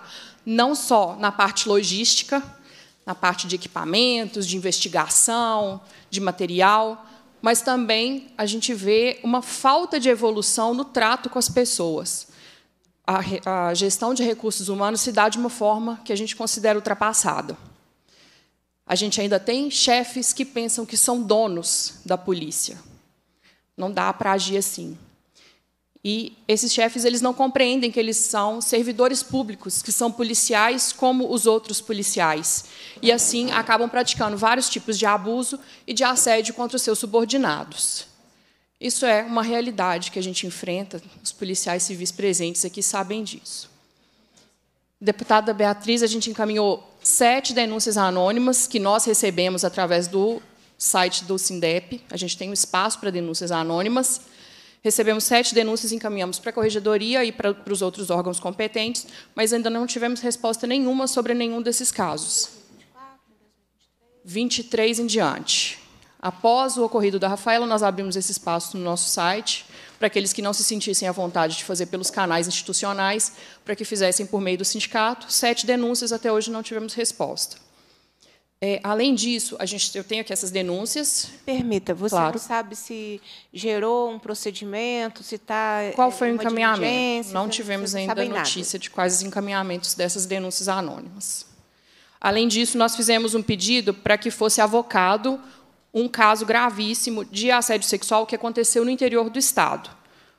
Por causa da gravidade, nós pedimos que a Corregedoria de Belo Horizonte, né, a Corregedoria Geral, trouxesse a apuração para Belo Horizonte, mas também não tivemos resposta nesse sentido. Aparentemente, não é um, algo que a Corregedoria tem, tenha entendido como importante de fazer essa avocação, né, fazer esse deslocamento da, da apuração para a capital. Incorreu naquele caso de que talvez alguém próximo do assediador faria a apuração, e não é o que a gente considera ideal. É, também pedimos informações sobre os procedimentos administrativos, como a Aline citou, com relação ao caso específico da Rafaela, procedimentos administrativos que tenham sido adotados no âmbito da Polícia Civil, já que a investigação no Ministério Público teve a apresentação de denúncia, são esferas diversas, né? E também ainda não nos mantivemos ignorados nessa, nessa nossa, nesse nosso pedido. Por isso, mais uma vez, a gente agradece a deputada por ter compreendido a gravidade disso e trazer a discussão para dentro da Casa Legislativa, onde não é possível ignorar esse tipo de pedido. É... Quando a gente questiona sobre respostas, a gente não está querendo só um documento que fale o que foi feito. O que a gente chama de resposta são punições efetivas. São investigações que sejam devidamente céleres para verdadeiramente apurar os fatos. Nós queremos a verdade, a apuração e, quando for necessário, a devida punição. É, a gente precisa parar, a gente precisa frear essas pessoas que acham que estão acima da lei e que acreditam que não vão ser responsabilizadas porque não vai existir uma investigação efetiva ou porque, se tiver investigação, não vai dar em nada, como a gente ouviu algum tempo atrás. É, essas pessoas provavelmente enxergam que na polícia o combate ao assédio não é uma prioridade. A saúde mental do servidor não é uma prioridade né, dentro da polícia. E assim, os nossos colegas continuam adoecendo e alguns sendo levados ao autoextermínio. No ano passado, foram nove casos de autoextermínio dentro da Polícia Civil. É um número muito alto, quase um autoextermínio por mês. E a Polícia Civil, a Corregedoria, o que, que fizeram? Principalmente depois do dia 9 de junho, depois do ocorrido com a nossa colega Rafaela. No entendimento do SINDEP, ainda não foi feito o mínimo necessário para mudar. A gente não tem ações que a gente identifique que, a partir delas, vão haver mudanças efetivas no que ocorreu. E a gente envia para a gente enviou um ofício para a corregedoria, aliás, para a chefia de polícia, né, pedindo que fosse implementada a subcorregedoria que foi citada pela, pela deputada Beatriz, subcorregedoria especial para investigar crimes de assédio. A resposta da chefia é que não haveria necessidade de uma subcorregedoria especial, uma vez que as outras subcorregedorias já existentes seriam suficientes para esse tipo de apuração. Mas a gente entende que não é bem assim. Se a lógica fosse essa, a gente não precisaria de uma delegacia especializada para apurar crimes de tráfico, ou para apurar crimes de homicídio, ou para apurar crimes de violência contra a mulher. Poderia deixar que as delegacias de área fizessem essas apurações já que não é necessário levar em conta a especificidade. E se a gente for seguir essa lógica, agora a lógica contrária de que é necessário ter uma especializada, então a gente entende que a polícia precisa sim, não só de um núcleo, mas de uma subcorregedoria. É, o problema do assédio na polícia é a questão central do adoecimento mental dos servidores. Então, é um assunto que precisa, sim, ser tratado como algo grave, como algo específico, com atitudes específicas para lidar com isso. Não adianta a gente ter delegacias bem estruturadas, ter isso nem é uma exceção, na verdade, né? Delegacias bem estruturadas e delegacias com pessoal suficiente são raridade. A gente fez algumas viagens, algumas visitas ao interior Encontramos delegacias assim, mas geralmente custeadas pela prefeitura, não é estrutura fornecida pelo Estado. E mesmo quando a delegacia tem boa estrutura, tem um bom quantitativo de pessoal, quando a gente tem um ambiente de trabalho que é degradante, por causa do tratamento que é dado pelo chefe, isso vai causar adoecimento do servidor, por mais que todas as outras condições estejam favoráveis. Então, além do desrespeito do governo, que a gente tem lidado com a questão salarial, a gente ainda tem que lidar com esse desprezo e com a arrogância de alguns assediadores dentro da Polícia Civil. Essa é a verdade. Eles acreditam que eles vão ser intocáveis, vão ficar impunes, e é por isso que a gente precisa que a deputada interceda, sim, junto à chefia da polícia, para que a gente tenha a, a implementação dessa subcorregedoria especial de apuração de casos de assédio, e a gente pede mais, que dentro dessa subcorregedoria a gente tenha equipes especiais para os crimes de violência sexual. Já existe, já existem diretrizes que determinam que os crimes contra a mulher sejam apurados prioritariamente por mulheres. Por que não trazer isso para o âmbito da corregedoria? Quando for uma colega que for vítima de violência sexual, por que não uma equipe com mulheres para dar um atendimento digno para essas colegas? Bom, agradeço mais uma vez a deputada por abrir esse espaço e a gente espera evoluções verdadeiras após essas discussões. Muito obrigada. Obrigada, Raquel. Nós vamos agora, gente.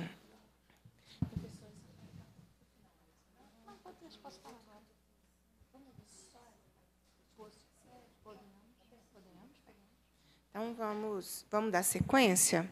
É, vamos ouvir agora a Tatiana. Tatiana Leal, perita da Polícia Civil de Minas Gerais. É, nós vamos ouvir a Tatiana, Jaqueline e Larissa. Nós temos três inscrições de pessoas que querem falar. E aí eu, a minha sugestão é nós ouvirmos as, essas pessoas, eu passo a defensora, a defensora e aí a gente tenta fazer encaminhamentos. Tá bem? É, eu chamei a Tatiane. Então, por favor, Tatiane. Tatiane, cinco minutinhos, mais ou menos? Vou tentar. Boa noite, boa noite, presidente, boa noite, corregedor, boa noite, deputada Sheila, boa noite a toda a mesa, senhora Daí, boa noite a todos os presentes, boa noite à minha família que está aqui, né? Porque antes eu não conseguia trazer minha família para lugar nenhum, né? Porque eu sou uma vítima de assédio. E no dia 7 de 7 de 2023, eu tive a coragem de é, denunciar. Não sei se o doutor sabe do meu caso, mas acho que eu sou bem conhecida dentro da corregedoria, né? Inclusive em jornais, né? É, outro dia eu fiquei sabendo que eu estou no TikTok. Então, assim, eu estou bem conhecida, bem popular agora.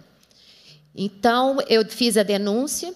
Eu estou conferindo aqui, e acabei de conferir, que em que em julho mesmo foi instaurada uma diligência preliminar, que é a diligência é, 284123, para verificar né, a denúncia que eu havia feito. O, o, assediador, a remoção que foi, ocorreu por conveniência da disciplina, que foi, inclusive, pela mesma corregedora que investigou o caso do senhor Aldair, é, também tem vários históricos né, de que ela realiza esse tipo de remoção. Se eu mostrar, igual eu mostrei para o judiciário, né, porque eu levei tudo para o judiciário. Então, se eu mostrar a, no, no, fundamento que ela apresentou para minha remoção, desculpa, essa é a minha opinião, eu ainda tenho direito, né, estamos no Estado democrático e tenho direito à minha opinião, sem depois sofrer nenhuma sindicância, né, ou PAD. Então, assim, é, ridículas, sabe? E, e ele colocou é, para investigar um, um, corregedor adido que é, é, como é que fala? É subordinado à própria corregedora. Ele vem investigar a chefe dele? Não dá, né? E a diligência ela encontra parada. E o doutor falou que, em casos de assédio, há celeridade. Então, eu pergunto: dez meses não dá tempo para verificar nada? Para ficar ainda na fase de diligência preliminar? Ou foi arquivado? Porque os, os advogados né, que atuam para mim, que são do sindicato, já me informaram que não, está lá rolando. Da mesma forma, tem outra diligência que está aqui, mas não importa o número, que foi feita no dia é, 7, no dia 10 do 7 pelo Ministério Público, né? E também encontra como diligência preliminar até hoje. Nada foi feito. Agora vamos contar o que aconteceu comigo após a audiência do dia 15 de dezembro. Mais sindicância, mais inquéritos, mais perseguições. Entendeu? E eu não vou aceitar mais. Não vou. Dói, Dói ser assediada. Faço minha terapia, oriento a todas as assediadas, todas que me procuram. Eu falo para fazer terapia, entendeu? Porque se for esperar alguma coisa da polícia, você não vai ganhar nada. Não vai. Muito bonito, adoro as leis, eu também sou formada em direito. É, eu fui bem colocada no concurso para perito criminal. Na época eu estava afiadíssima, hoje em dia até penso, poxa, por que eu não tentei para outro, né? Promotor, juiz, né? Eu já tinha experiência, mas não.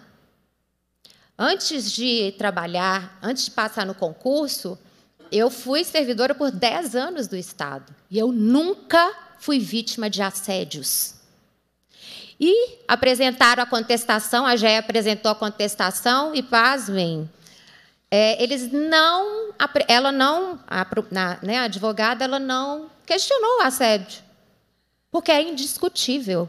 Porque eu tenho provas documentais de tudo que eu passei na mão do assediador. Agora, eu não consigo entender como que a corregedoria não consegue realizar nada.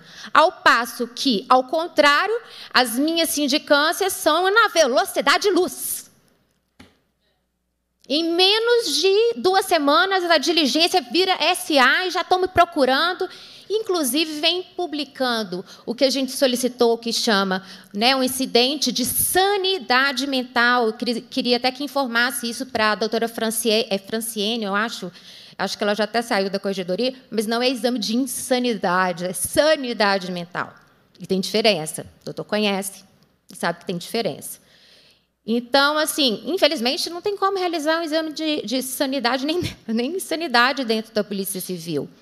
Porque os médicos que me aposentaram, ah, gente, vai ter uma outra audiência para discutir né, esse assunto, né, referente à perícia e tudo, mas, assim, coisa mais horrorosa para não falar coisa pior. Inclusive, é, eu falo com muita tristeza que a Corregedoria de Polícia ela tem as mãos sujas de sangue. Não só da, do caso da Rafaela, mas antes, sabe, seu Daí? Em 2022, também teve um colega que cometeu suicídio por causa de inúmeras sindicâncias que ele estava sofrendo, perseguição, e ainda matou a esposa. Sabe? Então foi um caso muito triste. E o pior de tudo é saber que dentro da corregedoria os colegas comemoraram. Sabe por que, que eles comemoraram? Porque eles ficaram livres de tantos procedimentos referentes àquela pessoa. Um dia a advogada foi protocolar, a estagiária foi protocolar uma petição minha e a pessoa que recebeu no protocolo da corregedoria responde, é, só fez assim: ai meu Deus, é da Tatiane porque tem medo.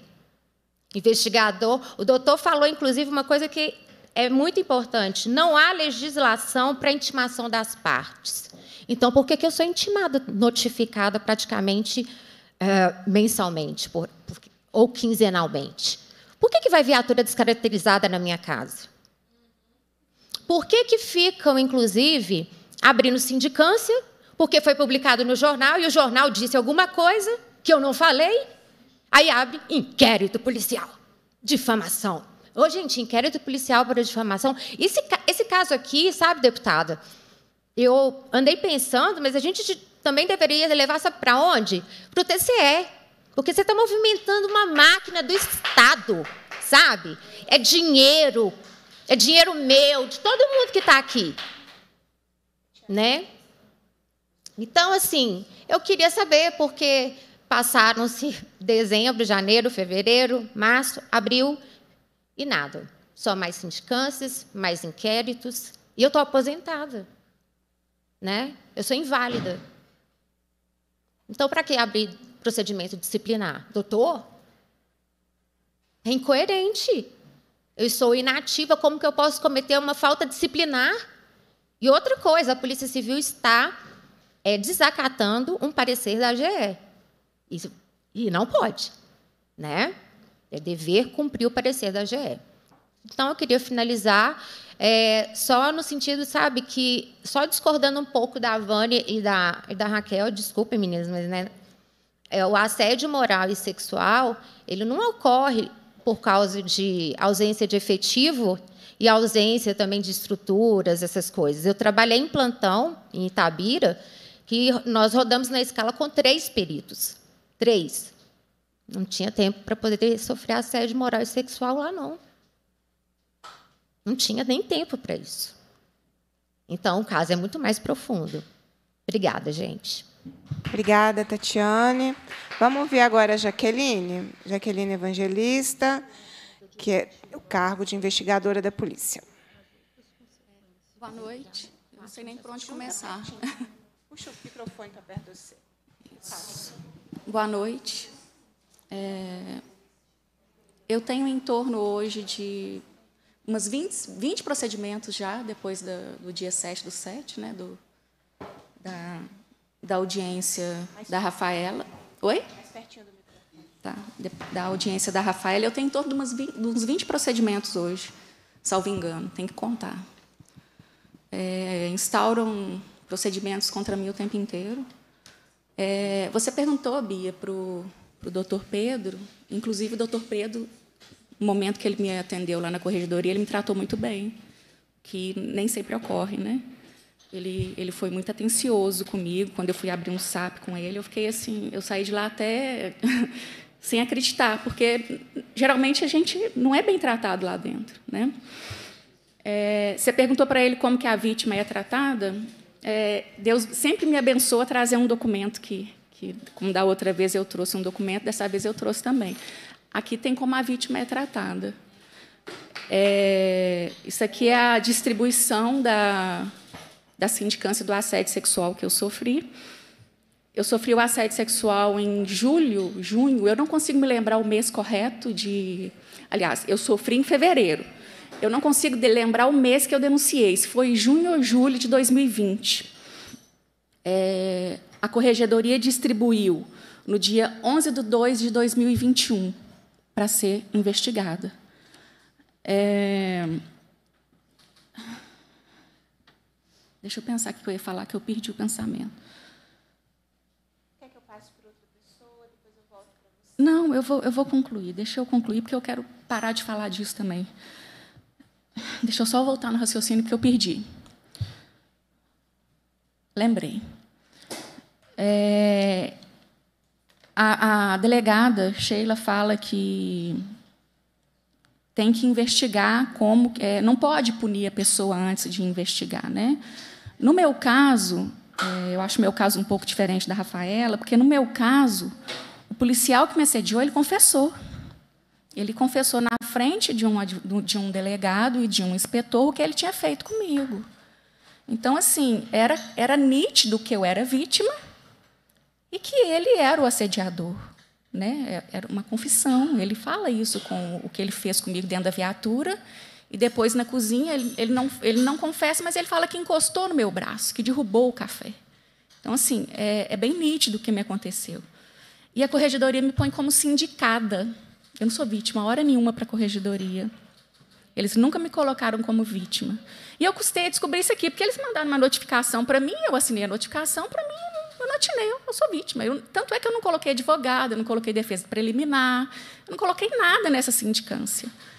E um dia eu entrei na sala da doutora Letícia, porque o primeiro ato, um dos primeiros atos, quando ela chegou lá, foi me levar na sala dela, me fazer contar novamente para ela, ou seja, eu fui revitimizada. Eu tive que contar para ela novamente os episódios dos assédios que eu sofri. E ela determinou que eu iria trabalhar com ela. Lá na corregedoria, ela está mentindo no papel, falando que me convidou.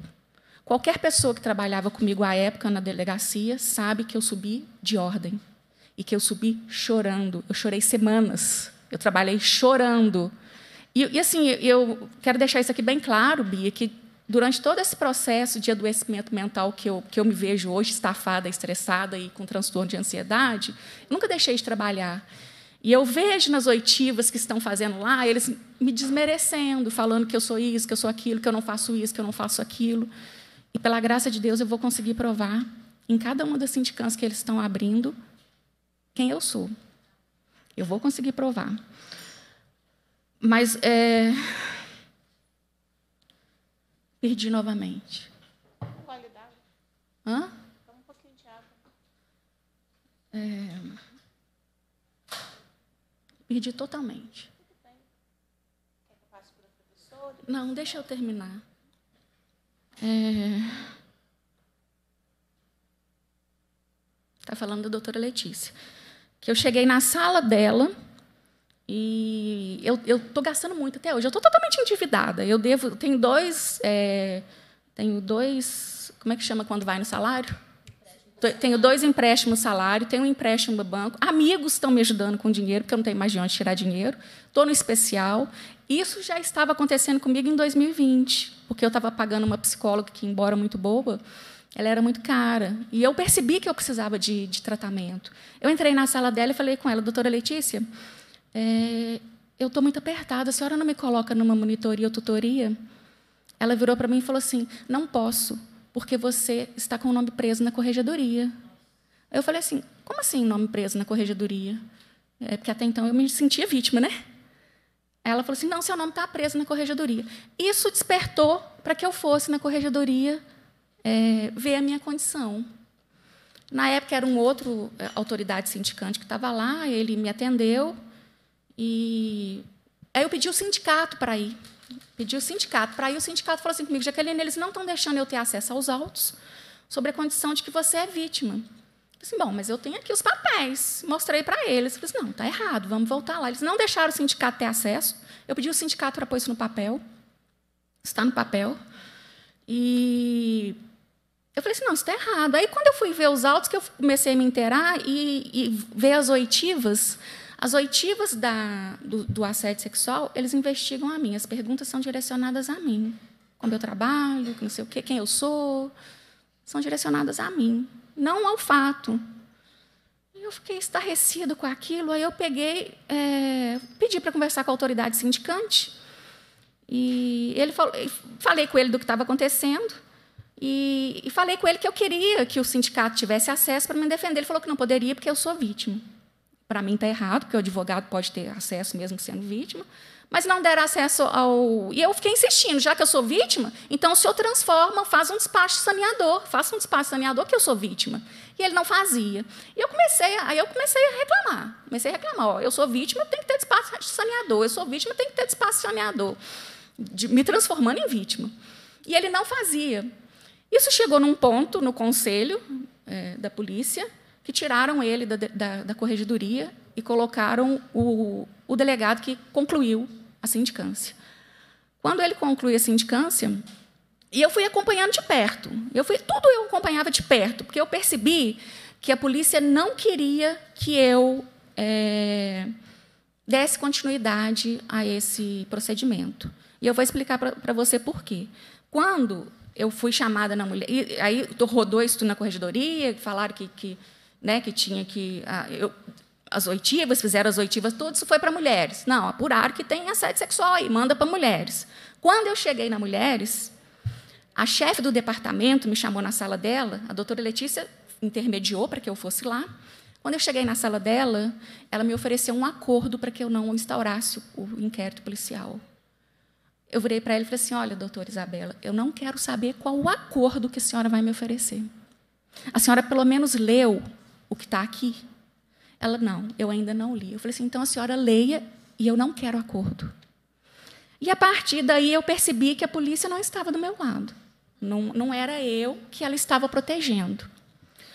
Isso me, foi me causando um transtorno muito grande, porque eu vi que o sindicato não tinha atuação, eles não tinham como atuar porque a corregedoria não deixava atuar.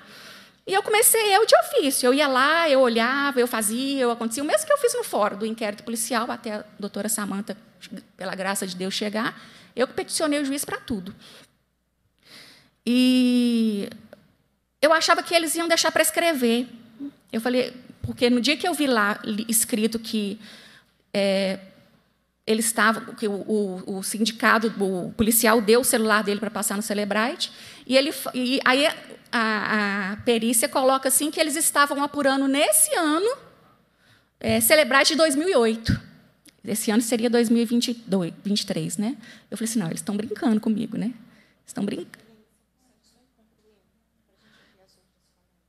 Deixa eu pelo menos terminar essa, Bia, dessa sindicância do assédio, que eu queria falar de três sindicâncias que eu estou sofrendo. Tá. Tá.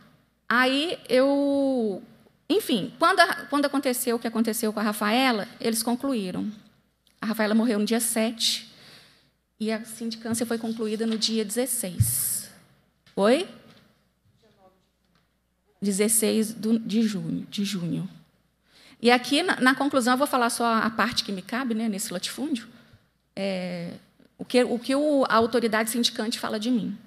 Fala assim, em tempo dos impactos psicológicos naturais da IPC Jaqueline Evangelista Rodrigues, de ter sofrido conduta sexualmente impertinente, cujo sofrimento mental consubstanciado em aparente ideação persecutória e obsessiva em relação aos autos, e ainda indicado pelos insistentes pedidos de vista, peticionamentos nestes autos e representação junto à ouvidoria, a fim de primar pela saúde mental da policial, que é de interesse público, e a boa atuação profissional, com vulcro no artigo tal, sugiro que a investigadora seja encaminhada à avaliação pericial e tratamento psicológico psiquiátrico no Hospital da Polícia. Eu estou sendo punida com uma perícia. porque essa sindicância não se trata de mim.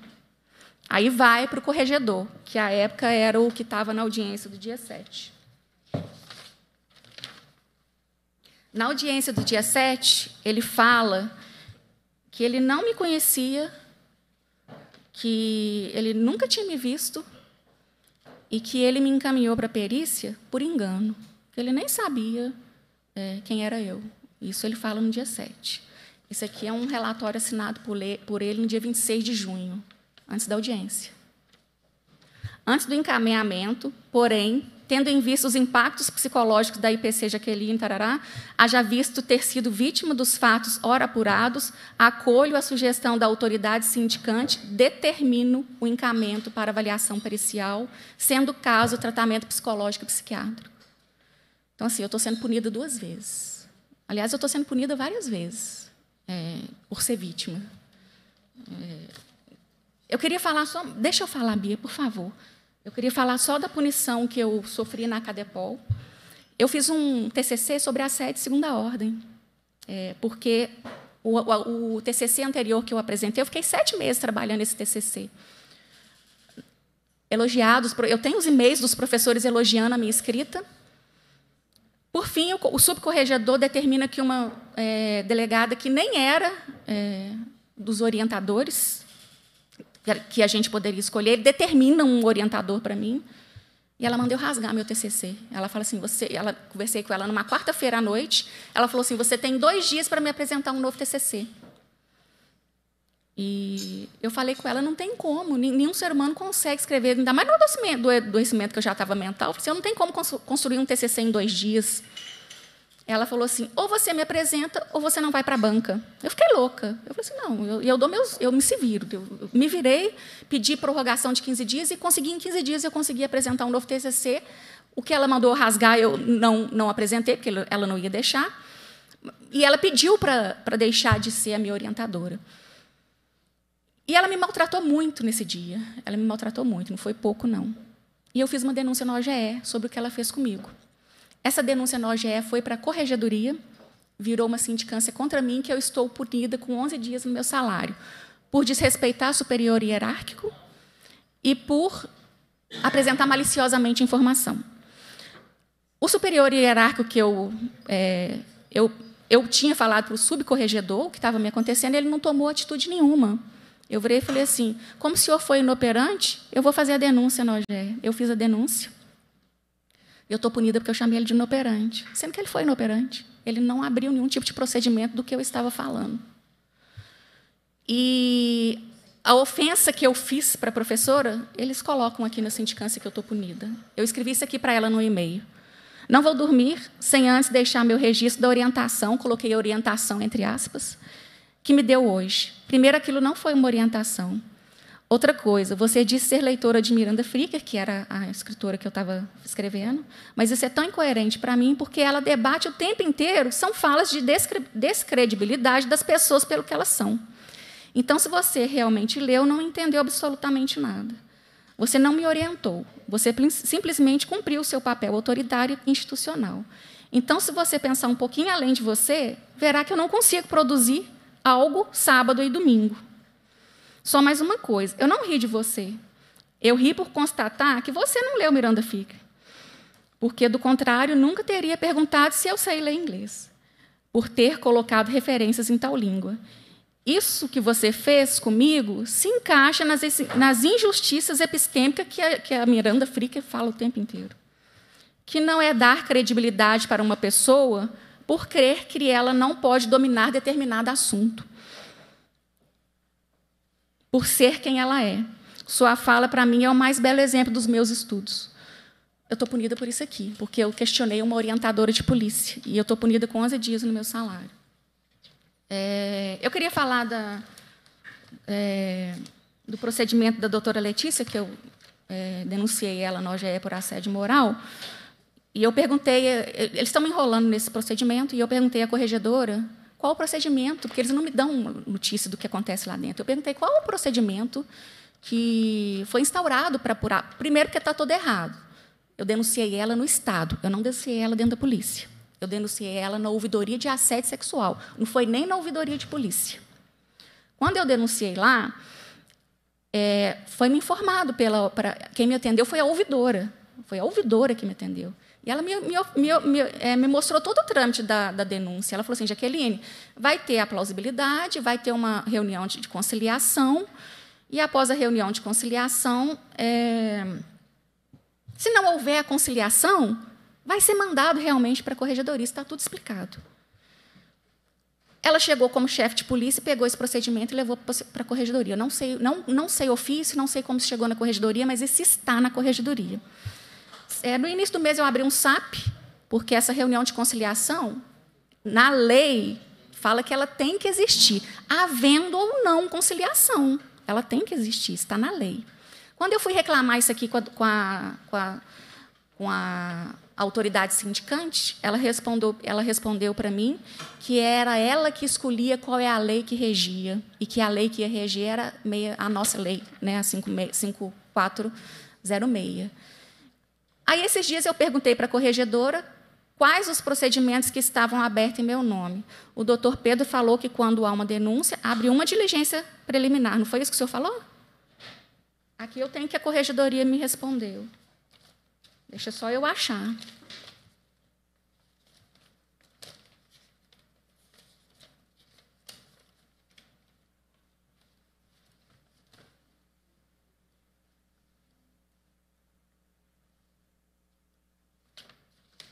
Em atendimento ao despacho tal, informe que, através do sistema tal, constatei que a manifestação citada consta relacionada a três feitos, a ser distribuído como DP 280.597, 286.388, 286.389, 286.390. Eu tenho quatro diligências preliminares contra mim porque eu denunciei ela de assédio moral. Então, assim, é, eu acho isso. Eu, eu, pensei muito em vir aqui hoje. Hoje eu até fui no, no, psicólogo, porque o meu suporte, o suporte que eu tenho é o psicólogo e o psiquiatra, que eles me deixam muito tranquilo é, em relação ao que eu estou passando, porque eles deixam, eles falam comigo o tempo inteiro que os CIDs que a perícia me dá não são os CIDs que eles me dão. Então, assim, a, é, e eu falava com, com, com o meu psicólogo, né, que eu estou vivendo um assédio de segunda ordem dentro da polícia, né? Eu, é, totalmente o assédio de segunda ordem, é, ordem é o que eu vivo dentro da polícia. E eu falei com ele que eu, eu não sabia se eu ia vir aqui hoje para falar, se eu ia dar entrevista, porque eu estou tão cansada disso tudo que eu não sei se vale a pena. E ele falou, Jaqueline, faz o que você achar melhor. E, enfim, eu, eu quero resumir que o apoio que eu tenho é do meu psiquiatra e do meu psicólogo, e agora da doutora Samanta, que está acompanhando tudo, que está tá caminhando ao meu lado. Né? E só mais uma coisa que eu quero falar em relação à sindicância da Acadepol. É, a autoridade sindicante, é, quando ele vai me ouvir, ele já é a segunda vez que ele me ouve dentro da corregedoria, ele muda toda a minha oitiva. Eu falo uma coisa, ele dita outra para a escrivã. Na primeira vez, quando ele fez isso, eu percebi e corrigi ele. Ele corrigiu e consertou. Na, última, segunda vez que ele fez isso, ele não corrigiu. Ele, ele, ele, ele dita o que ele quer, eu já estou com a cabeça ruim, eu não percebi. E depois ele senta no, na frente do computador e ele tira nomes que eu citei e pessoa e coloca frases que eu não disse. E eu tenho muita tranquilidade para estar tá falando isso aqui, porque eu gravo quando eu vou na corregedoria. Então, quando eu chego em casa e eu escuto o que aconteceu, eu falo assim: meu Deus, como eu deixei passar isso? Mas eu não tenho como me culpar. É ele que não poderia ter feito isso. Porque a minha cabeça já não está me ajudando mais. Eu estou num nível de estresse que eu não aguento mais. Outra coisa que ele conclui aqui nessa que eu li nessa, nessa sindicância, ele fala que eu estou muito bem saudável. Eu peticiono a corregedoria que ele me mostre, porque tudo meu é gravado, que ele me mostre em qual momento que eu digo que eu estou bem saudável. Ele não, eles não me devolvem nenhum tipo de petição que eu faço raríssimo eles me devolverem algum tipo de petição. Só os que eu peço no portal da transparência e me negam. Todo documento que eu peticiono o Estado, a, a, aliás, eu peticiono a, a polícia, até chegar no nível do Estado, ambos me negam. Eu não tenho documento nenhum do que eu preciso. E perdi o que eu ia falar. Já estou concluindo, Blia. Eu, só, eu ia falar uma coisa importante. É, eu estava falando que ele, que, ele, que ele fala que eu estou bem saudável, né? Era isso que eu ia falar. Eu quero. É, eu, são quatro anos de adoecimento. Eu denunciei isso em 2020. Então agora eu vou. Eu ainda não tinha falado isso mas o que o está acontecendo comigo está tão escancarado, porque eles publicam no SEI, eles colocam documento sigiloso meu no SEI, para todo lado tem documento sigiloso meu. Então, não tem mais porque eu, eu já estou exposta mesmo. Então, eu vou te falar o, o que me aconteceu. Ele fala que eu estou bem saudável. Eu desenvolvi um glaucoma. Quando essa professora me maltratou na Cadepol, a minha pressão foi a quase 20. Eu passei tanto mal que eu senti uma nucalgia, eu falei, meu Deus, eu vou morrer aqui dentro. O, o enfermeiro da Acadepol me avaliou, falou assim, Jaqueline, você precisa ir para o hospital agora. Eu falei assim, eu não vou perder a aula, porque eu sou, eu, eu sou daquelas que não gostam de perder a aula. Eu não vou perder a aula. Na hora que eu sair daqui, eu vou para o hospital. E eu fui dormir. Eu falei assim, não, não vou no hospital. Eu dormir vai me fazer melhor. Eu, eu amanheci passando mal de madrugada, fui parar no hospital. Eu desenvolvi uma pressão alta, eu desenvolvi um colesterol alto, eu tive uma suspeita de câncer, eu tive que fazer uma cirurgia. Eu desenvolvi uma doença autoimune e eu engordei 15 quilos. E eu tenho que ouvir um homem dizendo que eu estou bem saudável. Então, assim, é, eu, eu falei isso já com meu psicólogo, que eu não me importo mais com o que a polícia faz comigo. Porque quando eu leio as oitivas das testemunhas da doutora Letícia, é, eu não conheço aquela Jaqueline. E, e eu peticiono com as minhas testemunhas, as minhas testemunhas são negadas. E o que eu falei com ele é o seguinte: existe a Jaqueline que eu sou e a Jaqueline que eu tenho que defender. Então, é, eu estou me, eu me desvencilhando dessa Jaqueline para eu conseguir sobreviver, porque a pressão que eu estou sofrendo é muito grande. É, não tem como eu falar dos 20 procedimentos, mas eu consegui falar dos três que eu queria. Obrigada, Jaqueline. Vou suspender os trabalhos por cinco minutos. Os trabalhos estão suspensos.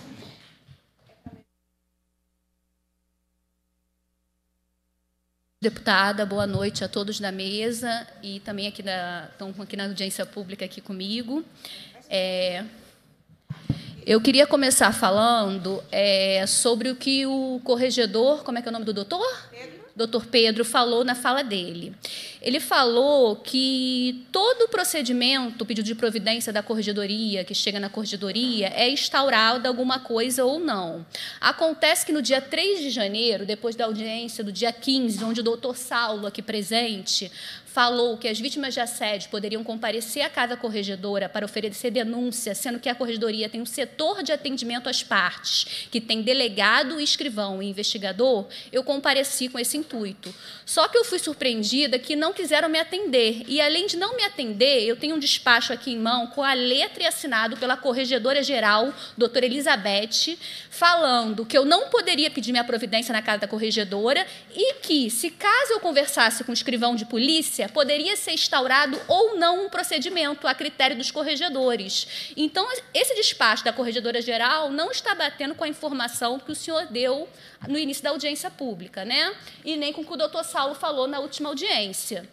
E aí, na minha ida à cada corregedora ontem, né, é, eu fui dar uma olhada nos procedimentos. Eu sou uma das poucas vítimas de assédio que só está respondendo a um inquérito policial, que é igual uma sindicância, por meio de prova ilícita, que eu já pedi para desentranhar, mas a corredoria fica segurando isso. Ocorre que esse inquérito, essa sindicância que eu estou respondendo, ele foi instaurado contra mim para ocultar crimes que eu denunciei praticados por servidores da Polícia Civil de Minas Gerais. Na hora que eu coloquei esses crimes no processo eletrônico, que estava lá na quarta vara criminal de juiz de fora, o juiz, é, depois de um ano e meio, deu uma decisão judicial perguntando se eu quero conciliar no processo penal, que é uma coisa que não existe. Ele usou o Código de Processo Civil para perguntar se eu quero conciliar quando eu boto as provas dos crimes dos policiais, porque até ali eu era autora dessa última desse único inquérito de sindicância.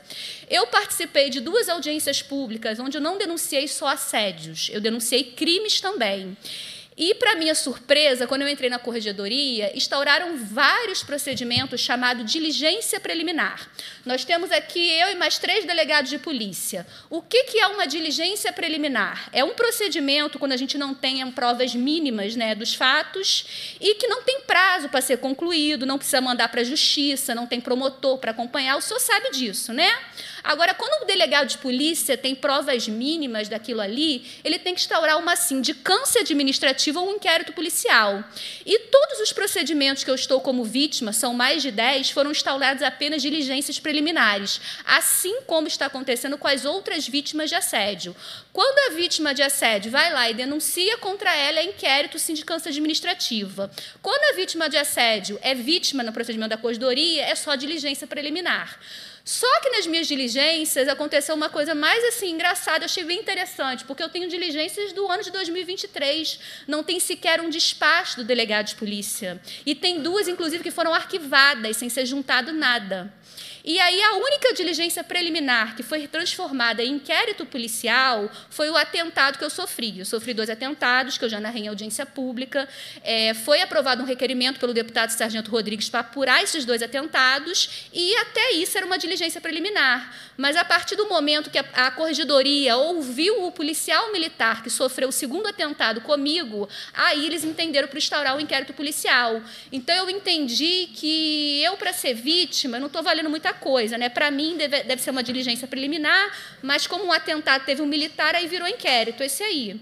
Quanto aos outros procedimentos, realmente não tem despacho. E aí eu tomei uma decisão que eu já estava fazendo há algum tempo, igual na última audiência.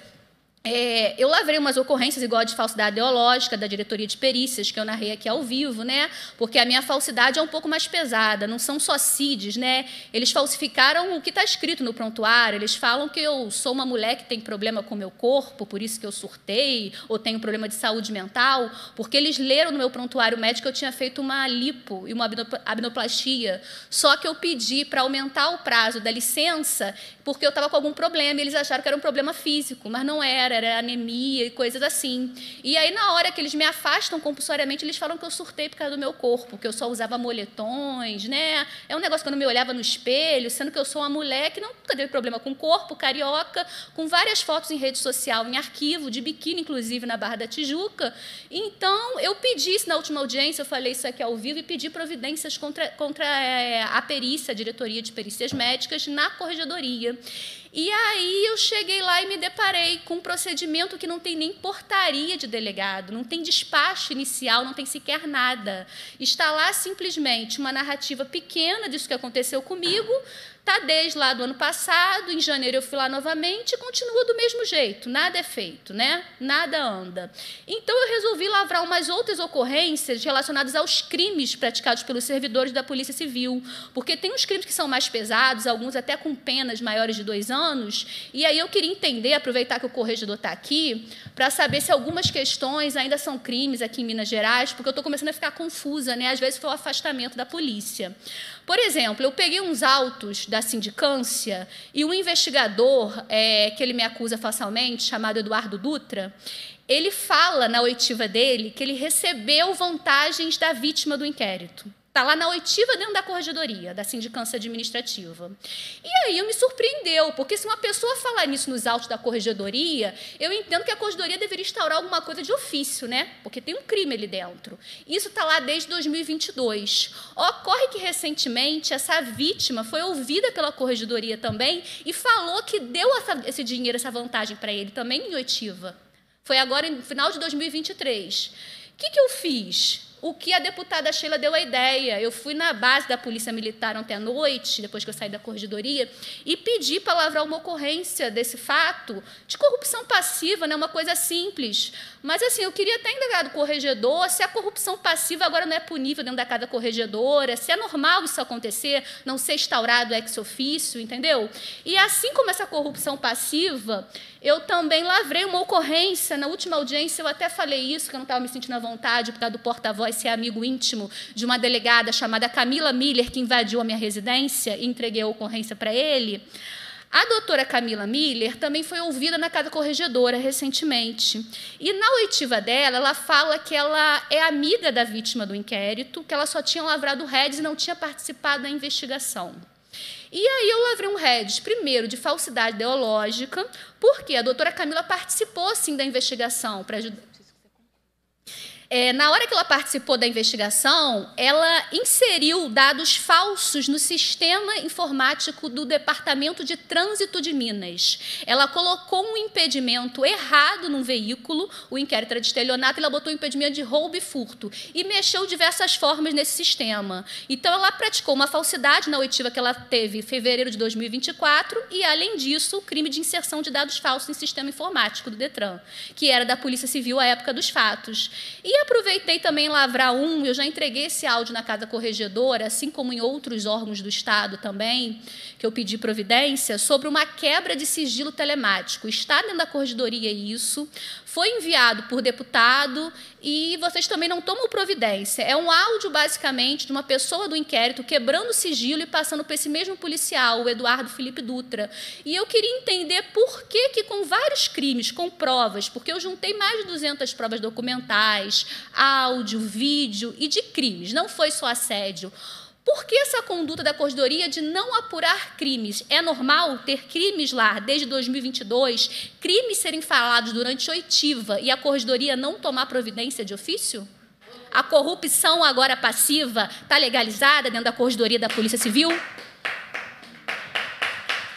Larissa. Ok? Ok? Ah, mais uma coisinha só, deputada. É, no único procedimento que eu estou como autora, o meu inquérito e minha sindicância, tem um artigo 325 que é TCO, divulgação em rede social. E eu fui assediada pelo ex-chefe de polícia, o doutor Joaquim porque rolou na imprensa e em grupos de WhatsApp da Polícia Civil que a deputada Sheila utilizou o helicóptero junto com o doutor Joaquim para fazer campanha política na Zona da Mata, em Juiz de Fora. Inclusive, eu fiquei duas horas numa sala por causa disso, em reunião, até tarde da noite. E isso vazou em vários lugares, o helicóptero foi para muitos lugares, e o doutor Joaquim acreditava que fui eu que tinha filmado aquela reunião a portas fechadas com a deputada. Então, eu queria aproveitar para falar sobre, sobre esse assédio do doutor Joaquim, e por isso que ele me transferiu por disciplina com um ato ilegal também, violando a lei orgânica da polícia. Obrigada. Nós vamos. Eu posso comentar? A palavra, a deputada Sheila. É, do, é, cumprimentar aqui a doutora Larissa, né? Eu não a conheço pessoalmente, acho que eu. eu Nós se... recebemos juntas já na festa de final do ano de Juiz de Fora. É, mas assim, eu não, nem me recordo também. É, sobre essa questão aí né, de helicóptero, é só fazer uma correção aqui, viu? Porque eu não utilizei o helicóptero da Polícia Civil para fazer campanha política, não, até porque nem era período de campanha eleitoral. Né? Eu peguei uma carona com o doutor Joaquim, porque a convite meu, nem foi a convite, a requerimento mesmo aqui, né? inclusive de comissões, ele foi até algumas cidades da Zona da Mata que estão em situações extremamente críticas. Por exemplo, a cidade de São João Nepomuceno, né? Tem apenas um delegado de polícia, onde outrora já houveram cinco delegados de polícia. Não tem gente para trabalhar, e o único delegado que tem lá na cidade, ele, além de responder por São João Nepomuceno, responde no plantão regionalizado de Juiz de Fora, que atende mais 26 municípios no plantão, e depois fica 72 horas de folga sem comparecer à cidade de São João, que é uma cidade grande. Carangola, idem um delegado de polícia para atender a região inteira, que vai de Carangola, Fervedouro, que é uma cidade super perigosa. Só tem um delegado. Inclusive, mostrar também que a delegacia de Fervedouro estava com as portas fechadas. Foi fechada a delegacia. Sobraram apenas dois escrivães, porque foram aposentando, saindo de licença e tal. Sobraram dois policiais, investigadores, aliás. Então, eles foram transferidos e fecharam as portas da delegacia. E depois, em, na cidade de Além Paraíba, a mesma coisa. Criminalidade extremamente perigosa, divisa com o estado do Rio de Janeiro. E lá pouquíssima gente para trabalhar, sem a mínima estrutura, e acabaram e tinham acabado de tirar a vida do filho, inclusive, de um vereador lá na cidade, que foi assassinado por revanche. Então, assim, eram situações extremamente graves, o chefe de polícia tinha obrigação de ir lá para fiscalizar e para que ele soubesse de perto o que está acontecendo, porque eu recebo essas denúncias no meu gabinete todos os dias e reclamações por parte dos é, por parte né, do, dos prefeitos e dos investigadores ali da cidade. Então, deixar aqui registrado que meu trabalho é sério, eu não preciso usar dos aparatos da Polícia Civil para fazer campanha política, tá, doutora Larissa? E, é, e também, assim, é, eu acredito, eu não tive acesso, não, não, estou, não estava sabendo que a senhora está respondendo nenhuma sindicância por conta disso, até porque é, é, vieram me, me, questionar, acho que foi a GE, né, é, me ouviram aqui, eu respondi isso e pronto, porque eu não, não estava errado. Isso é comum, o, o chefe de polícia tem status de secretário de Estado, é comum, muitas vezes, o deputado estadual, federal, pegar carona nas aeronaves do governo e junto para fazer as diligências, que é o meu trabalho de fiscalização. Totalmente legítimo. E eu, eu penso que a senhora está respondendo essa sindicância porque postou isso nas suas redes sociais. Ah, e mais do que isso, a senhora, né? que nem me conhece, fez um comentário nas redes sociais dizendo, inclusive, que eu era líder, líder de facção criminosa. Na eu cidade, aham, uh -huh, eu tenho os prints. Foi doutor Cláudio. Eu não denunciei, não. eu não sou disso, eu não sou mulher disso. Entendeu? Gente, se, gente, todo mundo me conhece. Ela me conhecia, é? o, Sheila, não, eu não Sheila, conhecia, não. Eu Sheila, Sheila me, me, me, permita. Uhum. Ou nós vamos retomar o objetivo da audiência ou eu vou encerrá-la. Exatamente. Nós vamos fazer uma escolha aqui agora. Porque a gente tem encaminhamentos tem a defensoria pública. Eu acredito que nosso objetivo é avançar no enfrentamento ao assédio, daquilo que, enquanto a Comissão de Mulheres e o nosso trabalho pode avançar. Nossa convidada fez a sua intervenção, a deputada pediu a palavra, está fazendo a intervenção dela. Quando ela finalizar, eu vou passar às próximas duas convidadas. Mas, se não tivermos condições de dar sequência, aí nós vamos encerrar a audiência inclusive sem encaminhamento. O que eu acho que não é o que nós, que estamos fazendo essa luta de enfrentamento ao assédio, queremos. Então, eu vou pedir para. Vou retomar a palavra a deputada, ela vai concluir. Tem mais duas pessoas inscritas. Nós vamos ouvi-las, vamos ouvir a defensora e eu vou fazer os encaminhamentos. Porque é importante que uma audiência termine com encaminhamentos. Uma audiência com essa importância, acompanhado pela sociedade, como nós estamos sendo acompanhados, a quem interessa que ela não termine com encaminhamentos. Então, nós vamos fazer um esforço para que a gente consiga concluir essa audiência com os encaminhamentos, tá bem? Pode ser? Então, nós vamos, vou retomar a palavra à deputada, que é membro dessa comissão. E, na sequência, nós vamos ouvir as duas pessoas que estão inscritas, a defensora, e eu vou encaminhar. É muito importante que a gente consiga fechar a audiência, encaminhar. Porque senão perde o sentido todo o trabalho que nós estamos aqui desde as quatro da tarde. Deputada. Exatamente. É, o que eu quis dizer, o, o deputado Bia e a todos os ouvintes, também não poderia deixar né, de apresentar aqui as minhas explicações, até porque é uma audiência pública que está sendo passada para todo lugar. Então, as pessoas vão achar que realmente eu usei o helicóptero da minha instituição, da instituição que eu faço parte, né, também para fazer política, e eu não o fiz. Tá? Eu não fiz nenhuma irregularidade.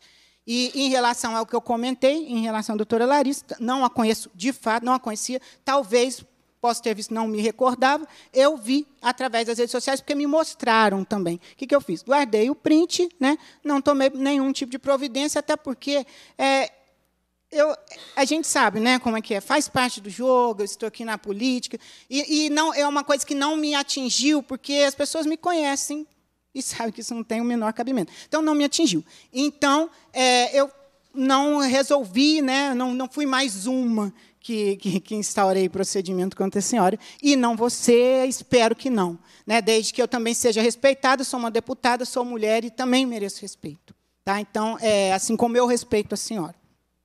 Obrigada, deputada. Nós vamos agora ouvir. Nós temos duas inscrições. A Milena de Moraes Clementino, falei seu sobrenome correto? A Milena. Depois nós vamos ouvir a Juliana e depois a Juliana, nós vamos ouvir a defensora. A critério de vocês, gente, da, da forma que vocês julgarem melhor. Juliana? Juliana, então. Juliana. Então, nós vamos primeiro ouvir a Juliana Gonçalves Coelho é, e depois a Milena, então. Isso. Você é. pudesse apresentar, Juliana, porque é, é, uma inscrição, né? Eu quero dizer com isso que não está, não tem já os créditos da descrição. Sei. Sua. É, sou Juliana, eu sou de Governador Valadares, eu sou formada em Psicologia pela Universidade Federal de Goiás. É, hoje eu estou com 33 anos e eu fui vítima é, de um delegado da Polícia Civil, que no momento que eu me dei conta, eu não fui vítima apenas dele, mas de toda a corporação. Eu já denunciei 15 delegados da Polícia Civil da minha cidade. É, e depois, esperando aí é, resultados do Ministério Público, eu também sofri mais é, dificuldades de acesso à justiça através do Ministério Público. Então, é, é muito difícil é, eu falar assim, olhando nos olhos e tudo. Eu escrevi, eu vou ler também rapidamente. É bom que faz um bom tempo do faz um bom uso do tempo aqui, né?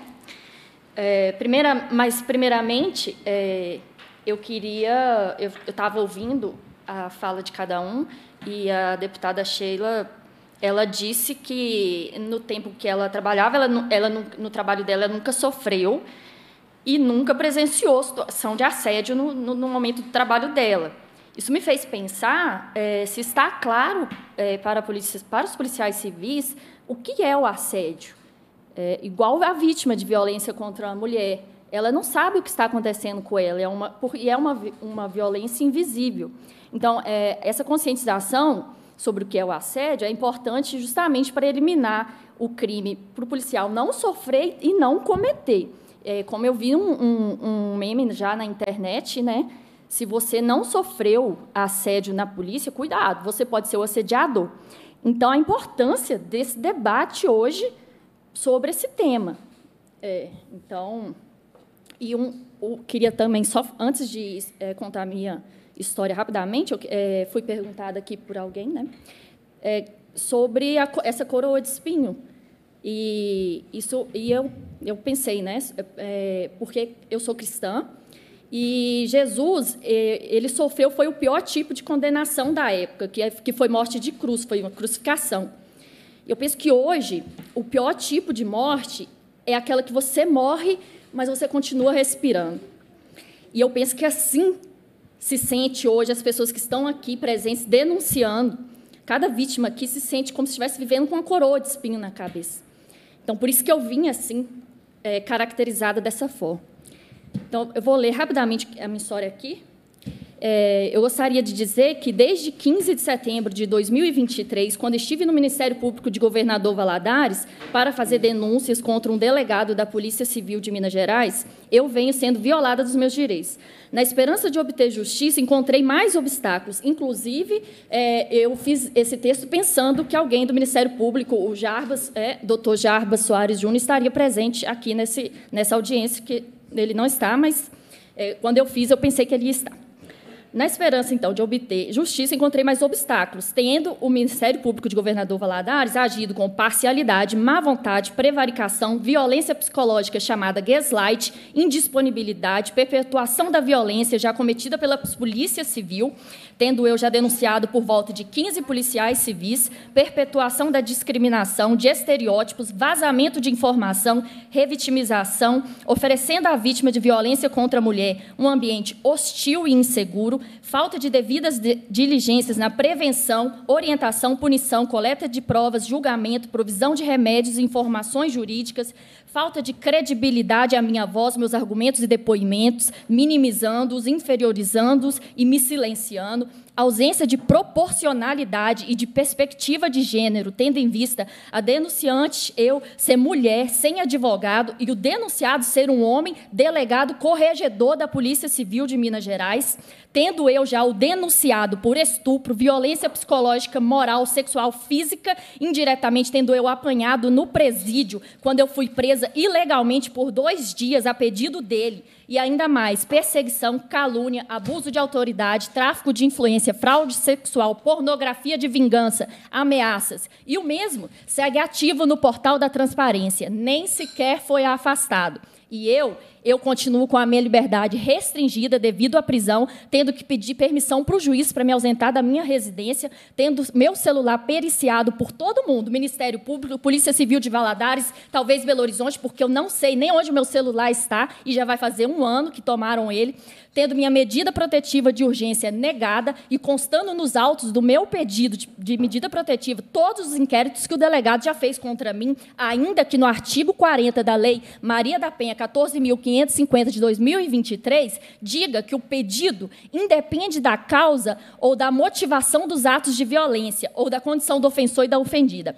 tendo a promotora anexado nos autos que, de acordo com ela, não via necessidade de medida protetiva de urgência. E o juiz, também já denunciado no CNJ por excesso de prazo, ter acolhido o parecer dela. Eu pergunto se eu preciso morrer para conseguir uma medida protetiva. E depois que eu morrer, eu pergunto se o Ministério Público vai negociar, vai avaliar a minha morte por dois mil reais, como fizeram com a Rafaela Drummond. Em abril de 2023, a Polícia Civil invadiu a minha casa sem ordem de juiz, apreendeu meu celular sob constrangimento ilegal, pegou a minha senha, me levaram para a delegacia, onde eu fiquei algemada no banco do corredor por mais de cinco horas. E após levada para o presídio, sem comer, beber água, e fui solta dois dias após, sem audiência de custódia. E após soltura, a Polícia Civil foi, no dia seguinte, em minha casa, intimar eu e minha mãe para ir depor sobre inquéritos de 2022 que esse delegado fazia contra mim, eu nem sabia que existia. Foram quatro vezes por dois dias seguidos até eu ter que ter contratado um advogado porque eu estava extremamente debilitada e arruinada. Tendo em vista que eu faço tratamento psiquiátrico desde 2013, quando, por causa dos diversos abusos dele e outros delegados, eu tentei suicídio por três vezes, tendo já sido diagnosticada e devidamente tratada pelo CERSAM de Minas Gerais. Foi quando eu e minha mãe tentamos denunciar na Polícia Civil e houve prevaricação, não sabendo que podíamos ainda recorrer ao Ministério Público, como hoje eu faço, mas novamente encontro barreiras. A Polícia Civil de Minas Gerais me buscou em Valadares, me buscou num hotel com a sua viatura, me encontrando com os braços e as pernas cortadas, sangrando, dopada com remédios, alcoolizada, e eu tenho as cicatrizes até hoje, me levou para o hospital regional e esse boletim de ocorrência está desaparecido. Como uma organização criminosa, a Polícia Civil de Valadares me colocou como agressora e o delegado como vítima. E isso com conhecimento do Ministério Público de Minas Gerais. Um dia antes da minha mãe ir na delegacia depor, um amigo do delegado me procurou para me falar que se eu não comparecesse a nenhuma intimação, ele, o delegado, retiraria toda a acusação que já fez contra mim. Hoje eu tenho plena convicção que se eu aceitasse essa proposta, ele não retiraria acusação nenhuma, e eu nem sei se ele tem autoridade para isso, mas, pelo contrário, observando as condutas do mesmo e as histórias das minhas companheiras de, de guerra nessa, nessa luta, certamente ele acrescentaria mais calúnias contra mim, dizendo e tentando provar como eu sou uma mulher que não cumpro ordens e não respeita a justiça, conforme boletim calunioso, onde ele tentou me colocar como desequilibrada emocionalmente e potencialmente perigosa, porque adentrei delegacia sem cautela, sem respeito aos servidores, fazendo ameaças contra policiais civis. Momento em que eu estava gravando todas as vezes que eu compareci na delegacia, procurar filmagens do dia que eu fui presa. E eu provei como eu fui discreta, respeitosa, recatada e desconstruindo tudo que ele falou, provando a calúnia. Então eu pergunto, eu queria perguntar é, ao doutor Jarbas Soares, a, a, ao Ministério Público, se a recomendação feita dia 22 de março de 2023 pelo, pelo Conselho Nacional do Ministério Público, CN02, está sendo cumprida. Percebam que a má administração pode ser muito mais perigosa que uma guerra.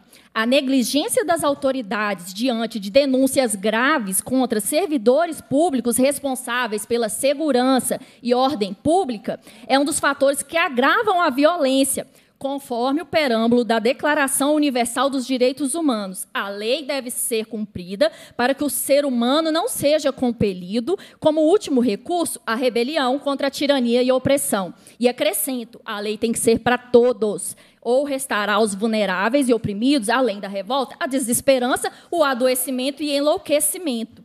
Eu estou nessa audiência pública hoje porque eu estou sendo violentada institucionalmente pelo, pela Polícia Civil de Minas Gerais e pelo Ministério Público de Minas Gerais. E eu estou pedindo socorro por mim e por todas as mulheres.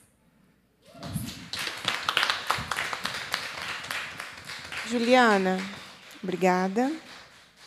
Nós vamos tentar encaminhar. A partir do seu relato, quando a defensora, é, na fala da defensora, nós vamos tentar fazer os encaminhamentos, tá bem? Obrigada. É, Milena, então? Milena de Moraes Clementino. Da mesma forma, Milena, eu vou pedir para você se apresentar e fazer sua intervenção. Boa noite a todos. Meu nome é Milena Moraes Clementino. Eu sou psicóloga jurídica. Em 2023, eu fui surpreendida por uma busca e apreensão no meu lar prender o meu celular.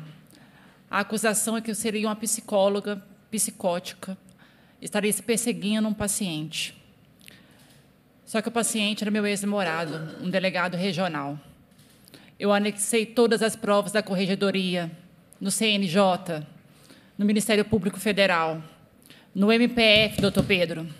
Eu anexei todas as provas. Eram áudios, eram atas notariais. Não existe um PCNet não existe um inquérito onde fala que ele é o réu. Somente fala que eu era uma psicóloga perseguindo ele.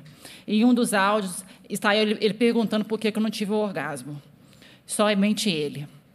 Após a denúncia, a minha casa foi tentar. Eu, eu sofri uma tentativa de invasão na minha casa após a medida protetiva. Somente tive uma medida protetiva, porque a nossa palavra não, não vale como a Maria Penha descreve. Eu fui no delegado, o delegado disse que eu era para voltar outra data, porque ele não faria nada. Aí o delegado-chefe desse DEPOL disse que era um tráfico de influência, uma palavra que eu não conhecia. Era desse meu ex com, com delegado que pegou meu celular. Era um esquema entre eles. Eu denunciei o tráfico de influência, anexei em ata notarial. Fui eu fazer isso, eu sofri uma tentativa de invasão na minha casa. Nem essa PCNet sobre isso não, não existe eu estou saindo do meu estado, porque o meu estado não me protege. Eu fui na corregedoria hoje, não existe nada contra ele. Só existe eu sendo uma, uma psicóloga perseguindo um paciente. Se a desembargadora já viu que era um processo, que era um relacionamento, eu já ganhei medida protetiva, porque o juiz deferiu uma, uma medida protetiva para ele, na minha busca e apreensão, e após a, a busca a medida protetiva dele, ele ficou me, correndo atrás de mim. Aí o senhor fala que tem medidas, cabíveis a delegados, ele não é punido, ele é exaltado na rede social. Eu acabei de sair, eu viajei 10 horas para estar aqui, acabei de sair da corregedoria.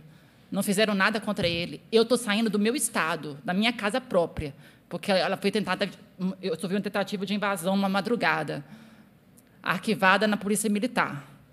O meu estado não me protege. A Polícia Civil de Minas, ela é corrupta, ela tem tráfico de influência, e ninguém está tomando providência disso. Não precisa morrer mais mulheres. A Rafaela foi uma fatalidade que não devia ter acontecido. Nós precisamos de providência. Nós não precisamos deles somente ser punidos judicialmente vocês exaltando eles em redes sociais, não. Não tem um inquérito que fala que ele é o réu. Tem um inquérito que fala que eu sou a ré, que eu sou uma psicóloga perseguindo um paciente que, o CRP já apurou, falou que eu não, ele nunca fez uma, uma consulta comigo, comigo. A desembargadora já falou que ele nunca foi meu paciente, era um relacionamento. Ele usou o judiciário e o tráfico de influência para fazer uma busca e apreensão na minha casa. Meu celular ficou prendido mais de 150 dias. Eu acabei de ver na corregedoria que foi uma, foi uma instauração errada que fizeram. Anexei as provas do meu celular. Então, o tráfico de influência está em toda parte. Na corregedoria, na Polícia Civil, que pegou meu celular, e na corregedoria, que, que instaurou o inquérito. Está em todo lugar. E não estão tomando providência. A mulher não tem proteção aqui em Minas. Quem está violentando a gente é a Polícia Civil.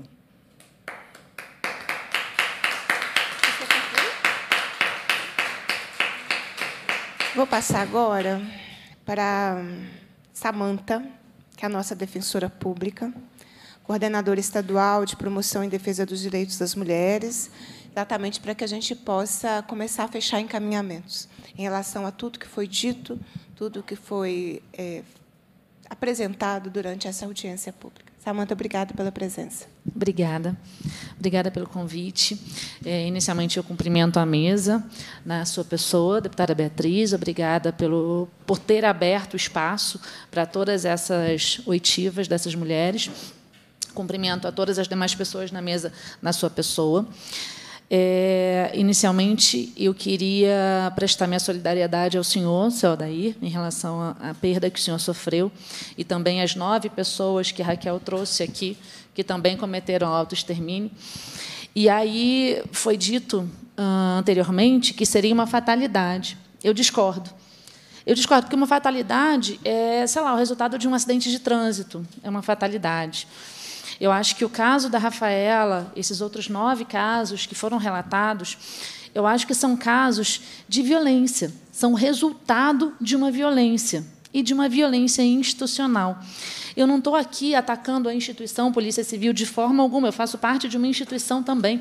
E eu sei que instituições têm falhas, e isso acontece. Então, a gente está aqui para achar resultados, para pensar é, é, é, em questões propositivas e, e, não de penalidade. Né? Eu não falo como Ministério Público para punir, eu, eu falo para pensar alternativas, para pensar no futuro, para evitar novas violências daqui por diante. E então essas é, essas nove pessoas, a Rafaela, o que eu queria deixar bem claro é, são mortes evitáveis. E por que, que essas mortes aconteceram? Porque essas mulheres, ah, o assédio ele não acontece só contra mulheres, é verdade, homens e mulheres e pessoas não binárias podem sofrer assédio, mas ele predominantemente escolhe mulheres por conta de todos os estereótipos de gênero que a gente tem, de toda a desigualdade de gênero que a gente tem no Brasil e no mundo. A gente vive numa sociedade machista, a gente vive numa sociedade patriarcalista. Então, isso vai chegar com maior força nas mulheres. Por que, que eu estou aqui hoje? Né? Eu estou aqui hoje. É, a Defensoria Pública ela é uma instituição que garante o acesso à justiça para todas as pessoas que dele, dela necessitam, seja porque elas sejam hipossuficientes econômicas, seja porque elas estejam passando por uma situação de vulnerabilidade jurídica. Eu sou titular do NUDEM de Belo Horizonte, que é a Defensoria Especializada de Defesa dos Direitos das Mulheres em Situação de Violência de Gênero, e lá a gente atua para todas as mulheres, independentemente de classe econômica, de condição social, porque as mulheres, quando elas pedem uma medida protetiva de urgência, elas estão vivendo uma situação de vulnerabilidade jurídica. E eu estou afastada dessa minha titularidade nos últimos quase três anos para exercer a coordenação estadual de promoção e defesa dos direitos das mulheres no âmbito da defensoria. E esse é um órgão novo, relativamente novo, né? não tem nem dois anos ainda e ele foi criado justamente para que, é, para que a Defensoria começasse a atuar em termos de políticas públicas, de construções estratégicas, estaduais e coletivas. E aí, nessa qualidade, a, a CEDEM recebeu uma denúncia do, da ouvidoria do Ministério das Mulheres sobre um caso específico de uma mulher, servidora da Polícia Civil, que estava passando por diversas formas de assédio moral a maioria deles de segunda ordem, mas também passou por um caso de importunação sexual e precisava de acompanhamento no processo. Ela não tinha advogado e advogada. Então, eu falo por uma pessoa que nos procurou e, a partir disso, é, eu venho a essa, a essa audiência pública. Eu não sei se as demais mulheres aqui presentes que prestaram depoimentos, que tiveram coragem, aí também eu, eu, eu, eu queria é, é, agradecer a vocês pela coragem e dizer que vocês estão vindo na frente de muitas que não tiveram esse espaço que vocês estão tendo e que vocês vão abrir campos, né? Vocês vão abrir margem para outras mulheres também é, não sofrerem o que vocês estão passando, né? Vocês estão abrindo o caminho para outras mulheres que virão. E então eu gostaria de agradecer o depoimento de cada uma de vocês. Eu não sei se vocês estão acompanhadas por advogado ou advogada particular. É, eu Claro. Perfeito. Eu peço desculpas, Samanta, mas eu preciso prorrogar a reunião, senão eu não vou conseguir continuar com ela. Uhum. Eu tinha dois minutinhos para fazê-lo. Então, a presidência prorroga os trabalhos dessa reunião. Pronto, agora a gente pode continuar. Eu, me perdoa. Sem problema, a formalidade ela é, é, importante em alguns casos. É, então, não sei se vocês estão acompanhadas, mas eu, eu, coloco a Defensoria, a Coordenadoria Estadual de Promoção e Defesa dos Direitos das Mulheres à disposição para conversar com vocês, se necessário for, com quem eu não conheço ainda. É, e a ideia, como eu, como eu falei antes, né, é a gente pensar no macro, é a gente pensar numa estratégia é, coletiva, para que casos como os de vocês não aconteçam mais. Claro, não estou esquecendo dos casos de vocês. Os casos de vocês, se vocês estiverem sendo processadas, vocês vão ser defendidas. Se vocês quiserem uma ação de indenização por danos morais, por danos materiais, vocês têm esse direito. A gente vai analisar caso a caso. Né?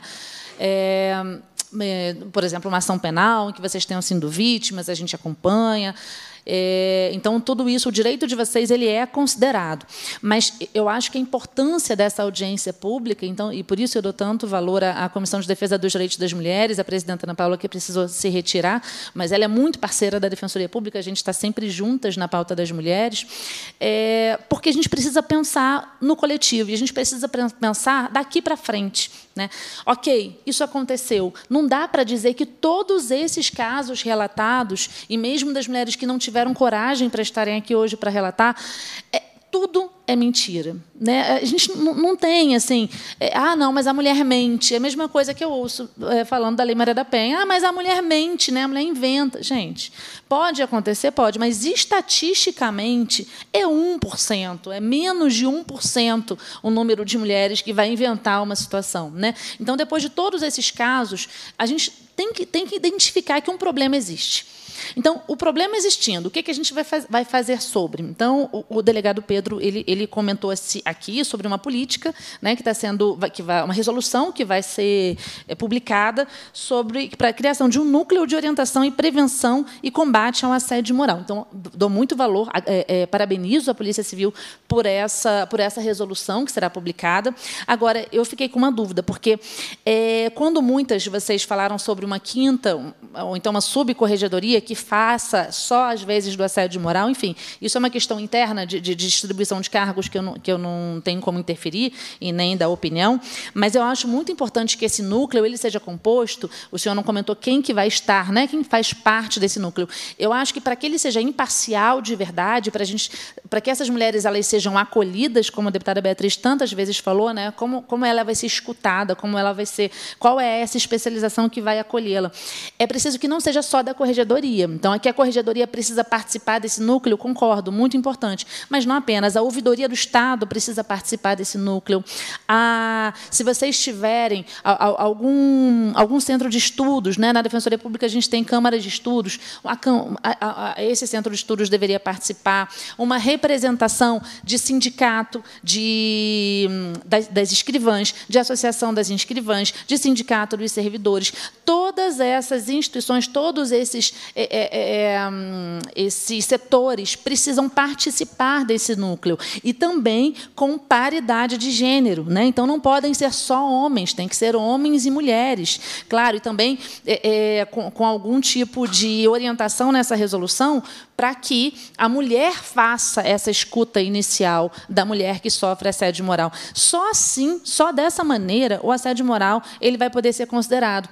Porque eu estou vendo isso, né, no caso que eu estou atuando, esse caso que chegou para mim da ouvidoria do Ministério das Mulheres. Eu, te, eu pedi o acesso aos procedimentos administrativos da Corregedoria. Eu não recebi todos ainda, mas eu já recebi vários deles. E, são diversos, assim, são 12 diligências preliminares e sindicâncias administrativas. São muitos procedimentos e procedimentos em que vítimas se tornam agressoras, se tornam acusadas e investigadas. Então, isso é algo que a gente tem que entender. Né? É, eu acho que o assédio de segundo grau ele tem que ficar muito nítido. Né? A caracterização é muito difícil caracterizar, mas a gente tem que ver em todos esses casos é, individuais que foram tratados qual que é aquele elemento que é igual, que é aquele elemento que se parece que é semelhante e que a gente pode perceber os problemas. Né? Então, por exemplo, a questão da da intimação. É, não tem é, é, legislação, eu, eu, fui procurar se não tem legislação. Como assim não tem legislação num procedimento administrativo para determinar que as pessoas sejam intimadas sobre a resposta daquele procedimento administrativo? Tem. E aí eu achei aqui, de fato eu não conhecia, mas eu achei a Lei 14.184, de 31 de janeiro de 2002. É uma lei estadual de Minas Gerais. Lá no artigo 37 fala da comunicação dos atos. Então, essa lei ela dispõe sobre o processo administrativo no âmbito da administração pública estadual. Lá no artigo 37 está escrito que o interessado será intimado pelo órgão em que tramitar o processo para ciência da decisão ou da efetivação de diligência. Então é muito importante que uma pessoa que pede providências, ela tenha a resposta de qual tenha sido a providência, a resposta à providência que ela solicitou. Né? isso é um procedimento administrativo da, da administração pública estadual. Então, é, Hum, eu deixei aqui para falar também, basicamente, sobre. Muito já foi dito sobre o que é o assédio moral, o que é a caracterização do assédio moral, mas algo que não foi falado ainda é sobre a modalidade de assédio moral organizacional.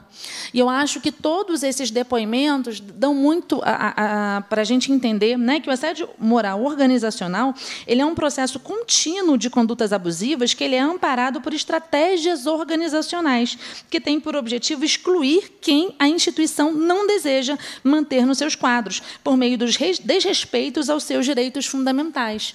Então, o que a gente viu aqui de paralelo? Não estou dizendo que todas essas mulheres estão falando a verdade, eu não estou dizendo que isso não tenha que ser investigado, que essas pessoas é, é, que foram citadas por elas como agressoras de fato são, não estou fazendo pré-julgamento de forma alguma disso. Mas existe um elemento que ele é similar, que é a segregação dessas funcionárias e funcionários, né, dessas servidoras e servidores. São funcionárias, servidoras que foram transferidas sem a sua vontade, são servidoras que foram colocadas para aposentadoria por algum, alguma questão de saúde mental. Então, eu acho que a gente tem que entender que, do jeito que está sendo feito, não é o ideal. Né? Sem falar se é verdade, se é mentira, mas, mas não é o correto. Eu acho que o correto é a gente ter um espaço de escuta para essas mulheres, para que a gente consiga identificar de verdade aquilo que elas estão passando e juntar todos esses elementos. É, vocês falaram muito sobre a Lei Maria da Penha, né? E tem uma pauta que eu defendo já há muitos anos, é a competência híbrida da Lei Maria da Penha. Né? Por que, que a Lei Maria da Penha ela é a terceira melhor lei do mundo no enfrentamento à violência doméstica e familiar contra as mulheres, eleita pela ONU no ano de 2012? Por quê? Porque ela tem o artigo 14, que fala da competência híbrida. Todas as demandas que uma mulher em situação de violência doméstica e familiar sofra, sejam elas de natureza civil, indenização, possessória, sejam elas de natureza de família, divórcio, reconhecimento de solução de não estável, ah, guarda, alimentos, partilha de bens, é, ou então criminal, ou então de proteção, todas as demandas elas têm que ser processadas, julgadas e executadas num único juízo, que a Lei Maria da Penha chama de juizado de violência doméstica e familiar. Por isso a Lei Maria da Penha é tão boa, porque você vai reunir todas essas demandas que a mulher passa e você vai enxergar, vão ser os mesmos profissionais, mesmo juiz ou juíza, mesmo promotor ou promotora, mesmo defensor ou defensora. Os mesmos profissionais vão olhar para essa mulher como um todo e não fatiá-la. E aí cada etapa dela vai para uma vara diferente. Hoje, em Minas Gerais, a competência híbrida é implementada? Não. Minas Gerais e todos os outros estados brasileiros, à exceção do Mato Grosso, descumprem a Lei Maria da Penha, descumprem esse artigo. E aí ela não fica tão boa assim, né? porque a gente está fatiando a mulher. Então, a sensação que eu tive, conhecendo o caso que chegou para mim e vendo o número gigante de diligências preliminares e sindicâncias administrativas que foram instaurados, é que essa mulher está sendo fatiada. Ela teve uma violação de direitos, ela sofreu uma importunação sexual. A partir dali, o problema começou. É como se ela não pudesse ter contado isso para ninguém. Porque uma vez que ela conta que ela foi vítima de uma importunação sexual no trabalho, né, ela já era, porque aí são muitos procedimentos. Né? Então, isso é uma violência. Então, eu acho que todas as instituições, e nisso eu me incluo também, não estou falando só para a polícia, estou falando da própria defensoria também, a gente tem que tomar muito cuidado com violência institucional. Lá na, na defensoria, a gente escreveu um protocolo no ano de 2020, 2022, foi publicado, é um protocolo para acolhimento e atendimento a mulheres em situação de violência de gênero. Por quê? Porque, às vezes, a mulher ela entra na defensoria e ela pode ser violentada por todas, todos aqueles profissionais. Então, a estagiária, a servidora administrativa, a mulher tem que contar a história dela, depois ela passa pela estagiária, tem que contar de novo, depois ela passa pela defensora, é a terceira vez que ela vai ter que contar, na mesma instituição. Ela vai mudando de salinha em salinha e tem que contar tudo de novo. Retraumatização. Né? Segundo Alice Bianchini, a gente não pode fazer isso. Então, o que a gente fez? Um protocolo para impedir, para conversar com defensoras e defensores para impedir que essas coisas aconteçam. Então, estou dando o meu exemplo concreto para mostrar que não, não estamos apontando o dedo, a gente quer resolver. A gente está nessa audiência percebendo que um problema existe. Então, como que a gente resolve esse problema daqui por diante? Para que outras mulheres não, não passem por isso, para que casos como o da Rafaela nunca mais se repitam. Não dá para a gente dizer que isso é uma fatalidade. Isso não é. A gente sabe onde está o problema. A gente só tem que atacar o problema. Então, como sugestão de encaminhamento, que eu estava conversando com a deputada Beatriz um pouquinho antes, eu sugiro que, nesses casos que já foram relatados, que a Corregedoria, numa próxima audiência pública, trouxesse é, é, é, respostas trouxesse respostas, porque essa audiência ela está sendo gravada, né? Ela vai, vai ser feita uma ata ao vivo, né? E então, assim, eu acho que todos esses pontos, alguns pontos relatados aqui foram muito graves, foram crimes, foram coisas muito graves. Então, assim, é, é, até para mostrar que talvez tenha tido alguma providência, só elas não ficaram sabendo, pode ser, né, que vocês não tenham ficado sabendo, não foram intimadas, por exemplo. Então, eu acho que seria bacana a, a instituição trazer, olha, nesse fato, naquele caso, no dia tal, enfim, se for uma questão sigilosa, se vocês não puderem trazer numa audiência, mas que isso seja informado individualmente para cada uma dessas mulheres que relatou esses crimes que foram relatados, porque a gente não pode fingir que não escutou o que elas contaram para a gente. Né? É, então, no que eu estou acompanhando, eu vou fazer uma defesa em todos os procedimentos administrativos que já foram enviados, mas estou atuando na ação penal, mas é, é, é muito importante que a, a, instituição mostre, não, a gente não está inerte, a gente fez isso, isso, isso, mesmo que não seja em público em razão do sigilo. E é isso, muito obrigada.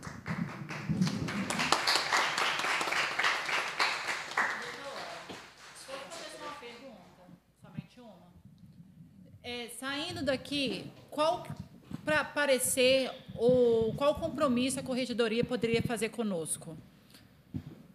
Nós vamos agora tentar fazer os encaminhamentos finais então da audiência. É... Eu passo a palavra, professor? Eu acho que é bom. Eu acho que a gente tem no mínimo dois encaminhamentos aqui. O encaminhamento é que, na verdade, essa audiência ela acabou fazendo um, um balanço de quase um ano depois, né, senhora Odaia? De que procedimentos foram adotados ou não, de que protocolos foram feitos ou não, é, de mudanças de cultura ou não. Acho que essa audiência ela, ela conseguiu, ela conseguiu ampliar para para trazer, inclusive, esse balanço. E não é um balanço bom. É isso que eu queria é, compartilhar. Não é um balanço bom, porque a gente não, não teve novos procedimentos. Ah, o governo do Estado ele permanece com os procedimentos anteriores.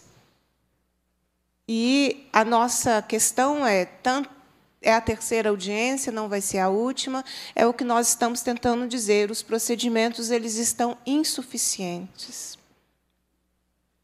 Não é um julgamento da instituição, não é? Mas os procedimentos estão insuficientes. Então, o que, que nós vamos. Pelo menos a avaliação é, da, da maioria daqueles que participam dessa audiência né, que nós é, fizemos aí é, a escuta. Eu peço desculpas porque eu tenho que ter essa função de pedir uma conclusão, de pedir uma síntese, de modo que nós pudéssemos escutar todas as pessoas e pudéssemos né, concluir a audiência. Então, eu acabo cumprindo essa parte de pedir o conclua. Né? Mas, é, e também acho que esse espaço as pessoas tinham que ter o direito de fala. Né? Porque estou achando que, tirando essas audiências, estão tendo poucos lugares de escuta das pessoas.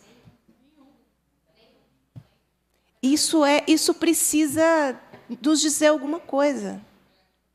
É? Então, acho que um primeiro encaminhamento, que é, é de nós aprofundarmos essa proposta é de uma estrutura especializada no enfrentamento ao assédio moral. Né? Então, a gente é, vamos ver se nós conseguimos uma agenda junto ao Ministério Público, Defensoria, é, inicialmente, é, e Polícia Civil, para nós aprofundarmos. Essa é uma proposta. É, nós precisamos apostar em alguma coisa que não foi feita ainda porque ela está insuficiente. Então, acho que esse é um primeiro encaminhamento. O segundo encaminhamento é que a nossa defensora é, propôs é, das respostas da corregedoria. Porque, de fato, eu conheço já algumas mulheres vítimas da, do assédio e as suas histórias. E, e, e, as, e a ausência de, de fechar esse ciclo, né? e da vítima que vai se transformando em responsável. Então, eu vou, eu vou sugerir esse segundo encaminhamento, que engloba a sua pergunta, né, do que, do, de respostas da corregedoria, que não vão ser dadas agora, até porque tem situações que é, precisariam de um aprofundamento né, daquilo que foi apresentado aqui.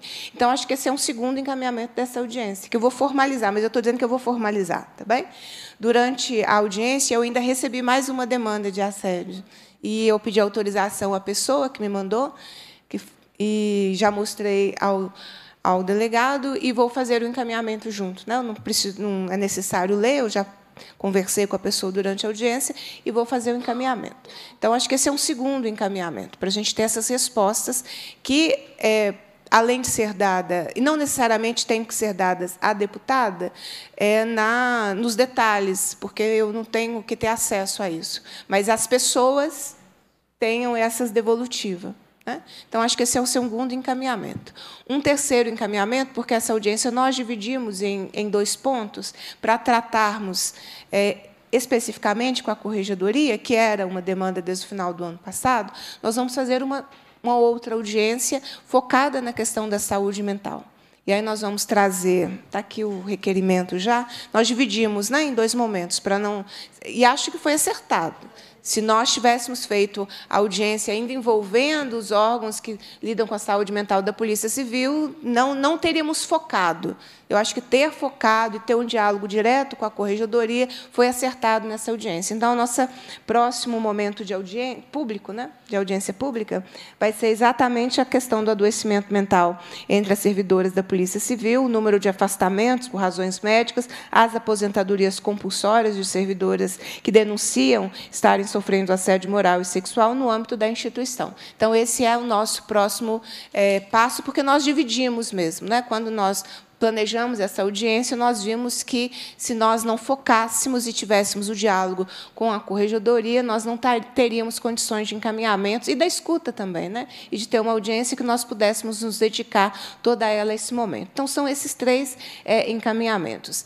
É, no caso daquilo que a Juliana nos relatou, eu ainda vou encaminhar com você, se você é, quiser, que também possam ser feitos encaminhamentos junto à Comissão de Direitos Humanos da Assembleia, porque eu fiquei atenta ao seu relato e várias questões dizem respeito a isso. E a Comissão de Direitos Humanos ela tem protocolos né, de acompanhamento específicos aqui na casa, que eu acho que, caso você queira, possa ser um lugar, é, e ao, ter, ao término dessa audiência, a gente faz o um encaminhamento com você e com a Milena, se você também é, julgar que possa ser adequado. E aí a gente faz os encaminhamentos quando a audiência terminar, aqui com vocês, tá bem? Eu posso finalizar? Se eu gostaria de dizer mais alguma coisa, eu posso finalizar? Por favor, pega o microfone, então. O senhor quer... Então, pessoal, que agora eu vou falar com o presidente do Instituto, Rafael Drummond, entendeu? O Instituto, eu anunciei ele quando teve aquela audiência, a última audiência. E o, o Instituto hoje é uma realidade, entendeu? E gostaria também de agradecer que no Instituto foi várias pessoas da Polícia Civil, prestigiou o Instituto. Entendeu? Teve a, a senhora Vânia, teve presente, a Tatiana teve presente, teve representante do delegado Cristiano, Cristiano Xavier, teve o representante da delegada federal Ayuane, teve, o, teve o, o, o perito, como que ele chama? Eric, Então, a Polícia Civil confiou no Instituto Rafael Drummond, então eu, eu gostaria de agradecer a presença de todos vocês lá. E também gostaria de agradecer também um grande apoio que a gente tem no grupo de consultoria de Brasília, o grupo Z9, G9. Na presença que eles estão ali presente, vê o Léo, o de Brasília, especialmente, vê a senhora Ana também. Então é isso aí, gostaria de agradecer também a deputada Beatriz, muito obrigado por, pelo apoio à minha filha, por tudo, pela luta. Ou seja, a minha filha deixou um legado, e o legado está aqui, é a luta para todas vocês, todas as mulheres do Brasil e do mundo. É isso que eu tinha a dizer. Obrigada. Jaqueline também pediu um minutinho, Jaqueline.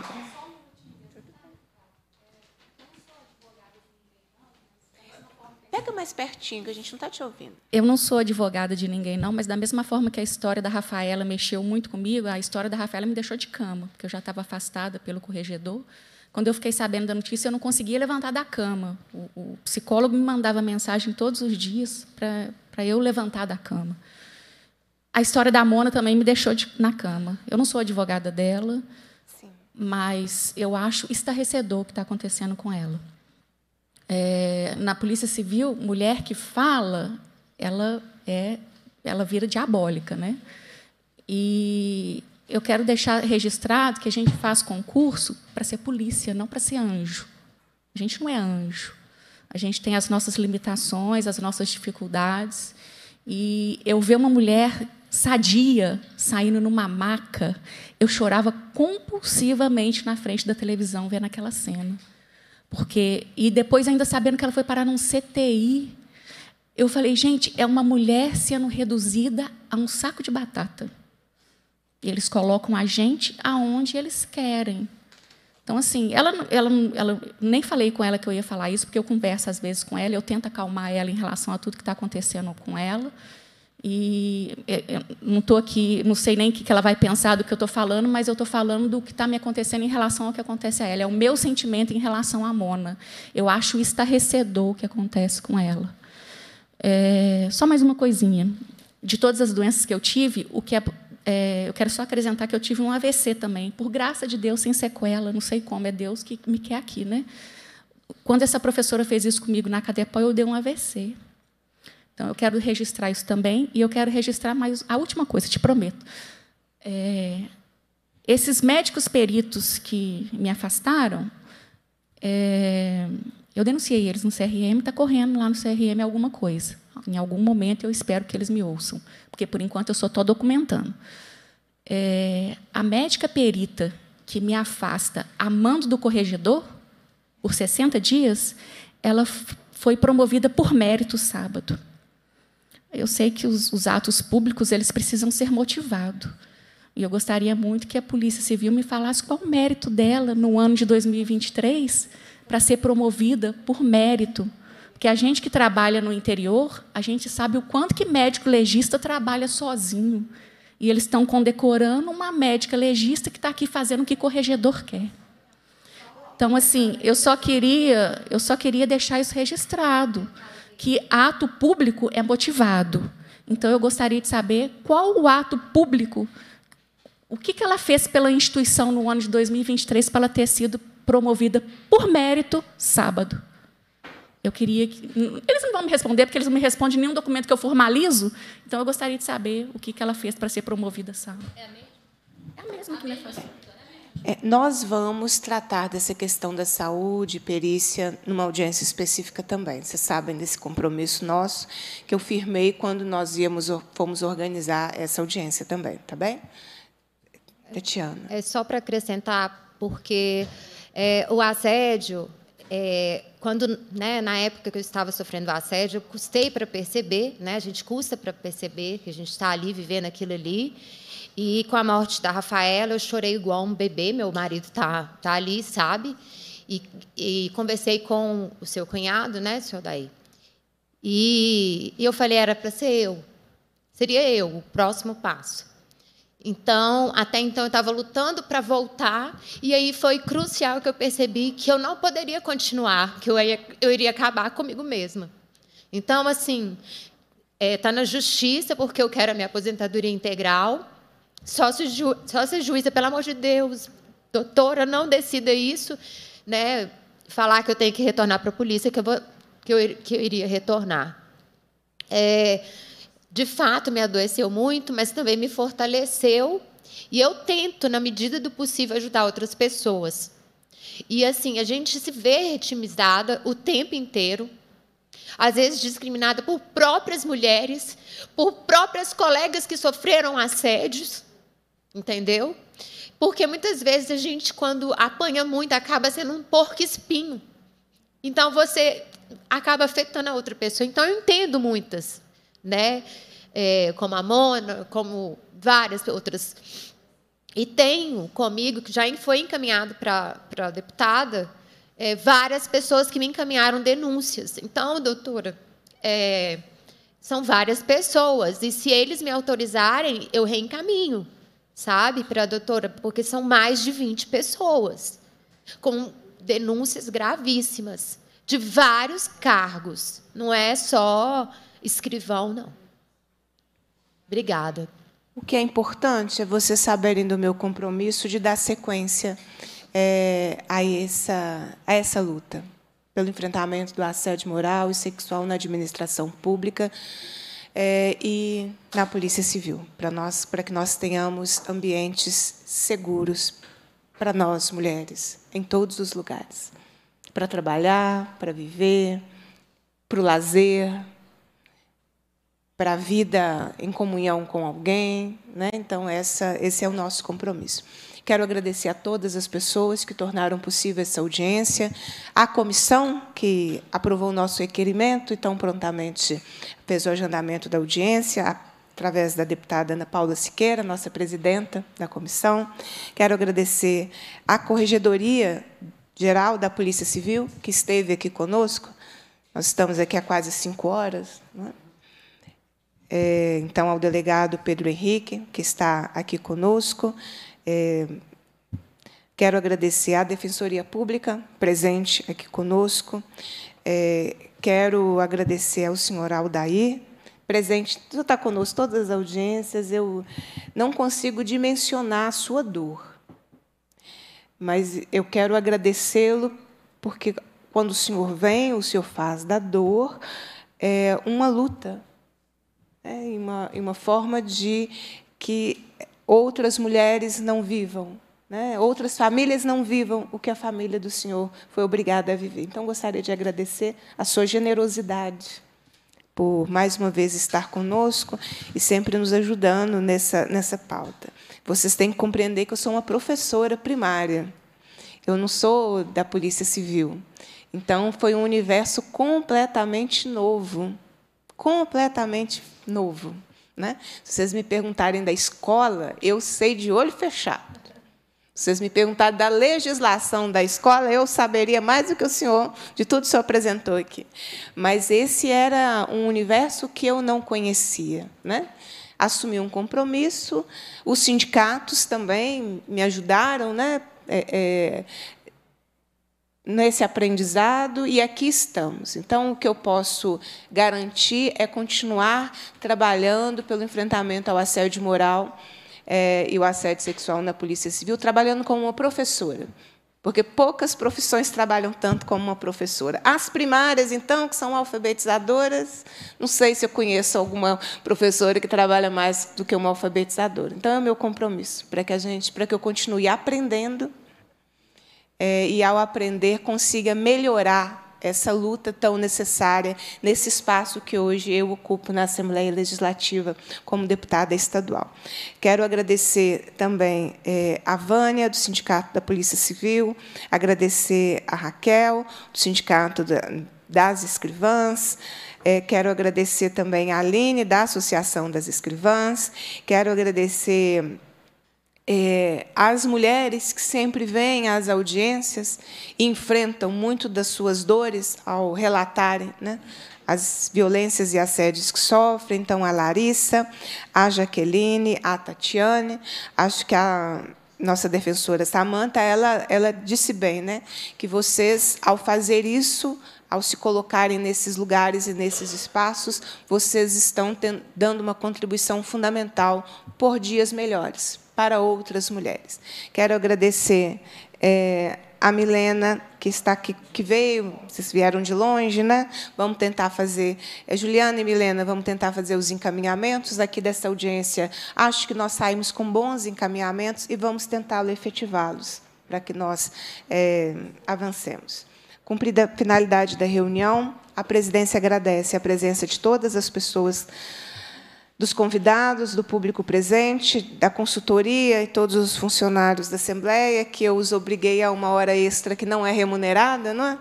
Mais uma vez, eu espero obter o perdão de vocês no, no momento final aí, é, né, por esse, esse excesso de trabalho. Convoco os membros para a próxima reunião ordinária, determino a lavratura da ata e encerro os trabalhos. Boa noite.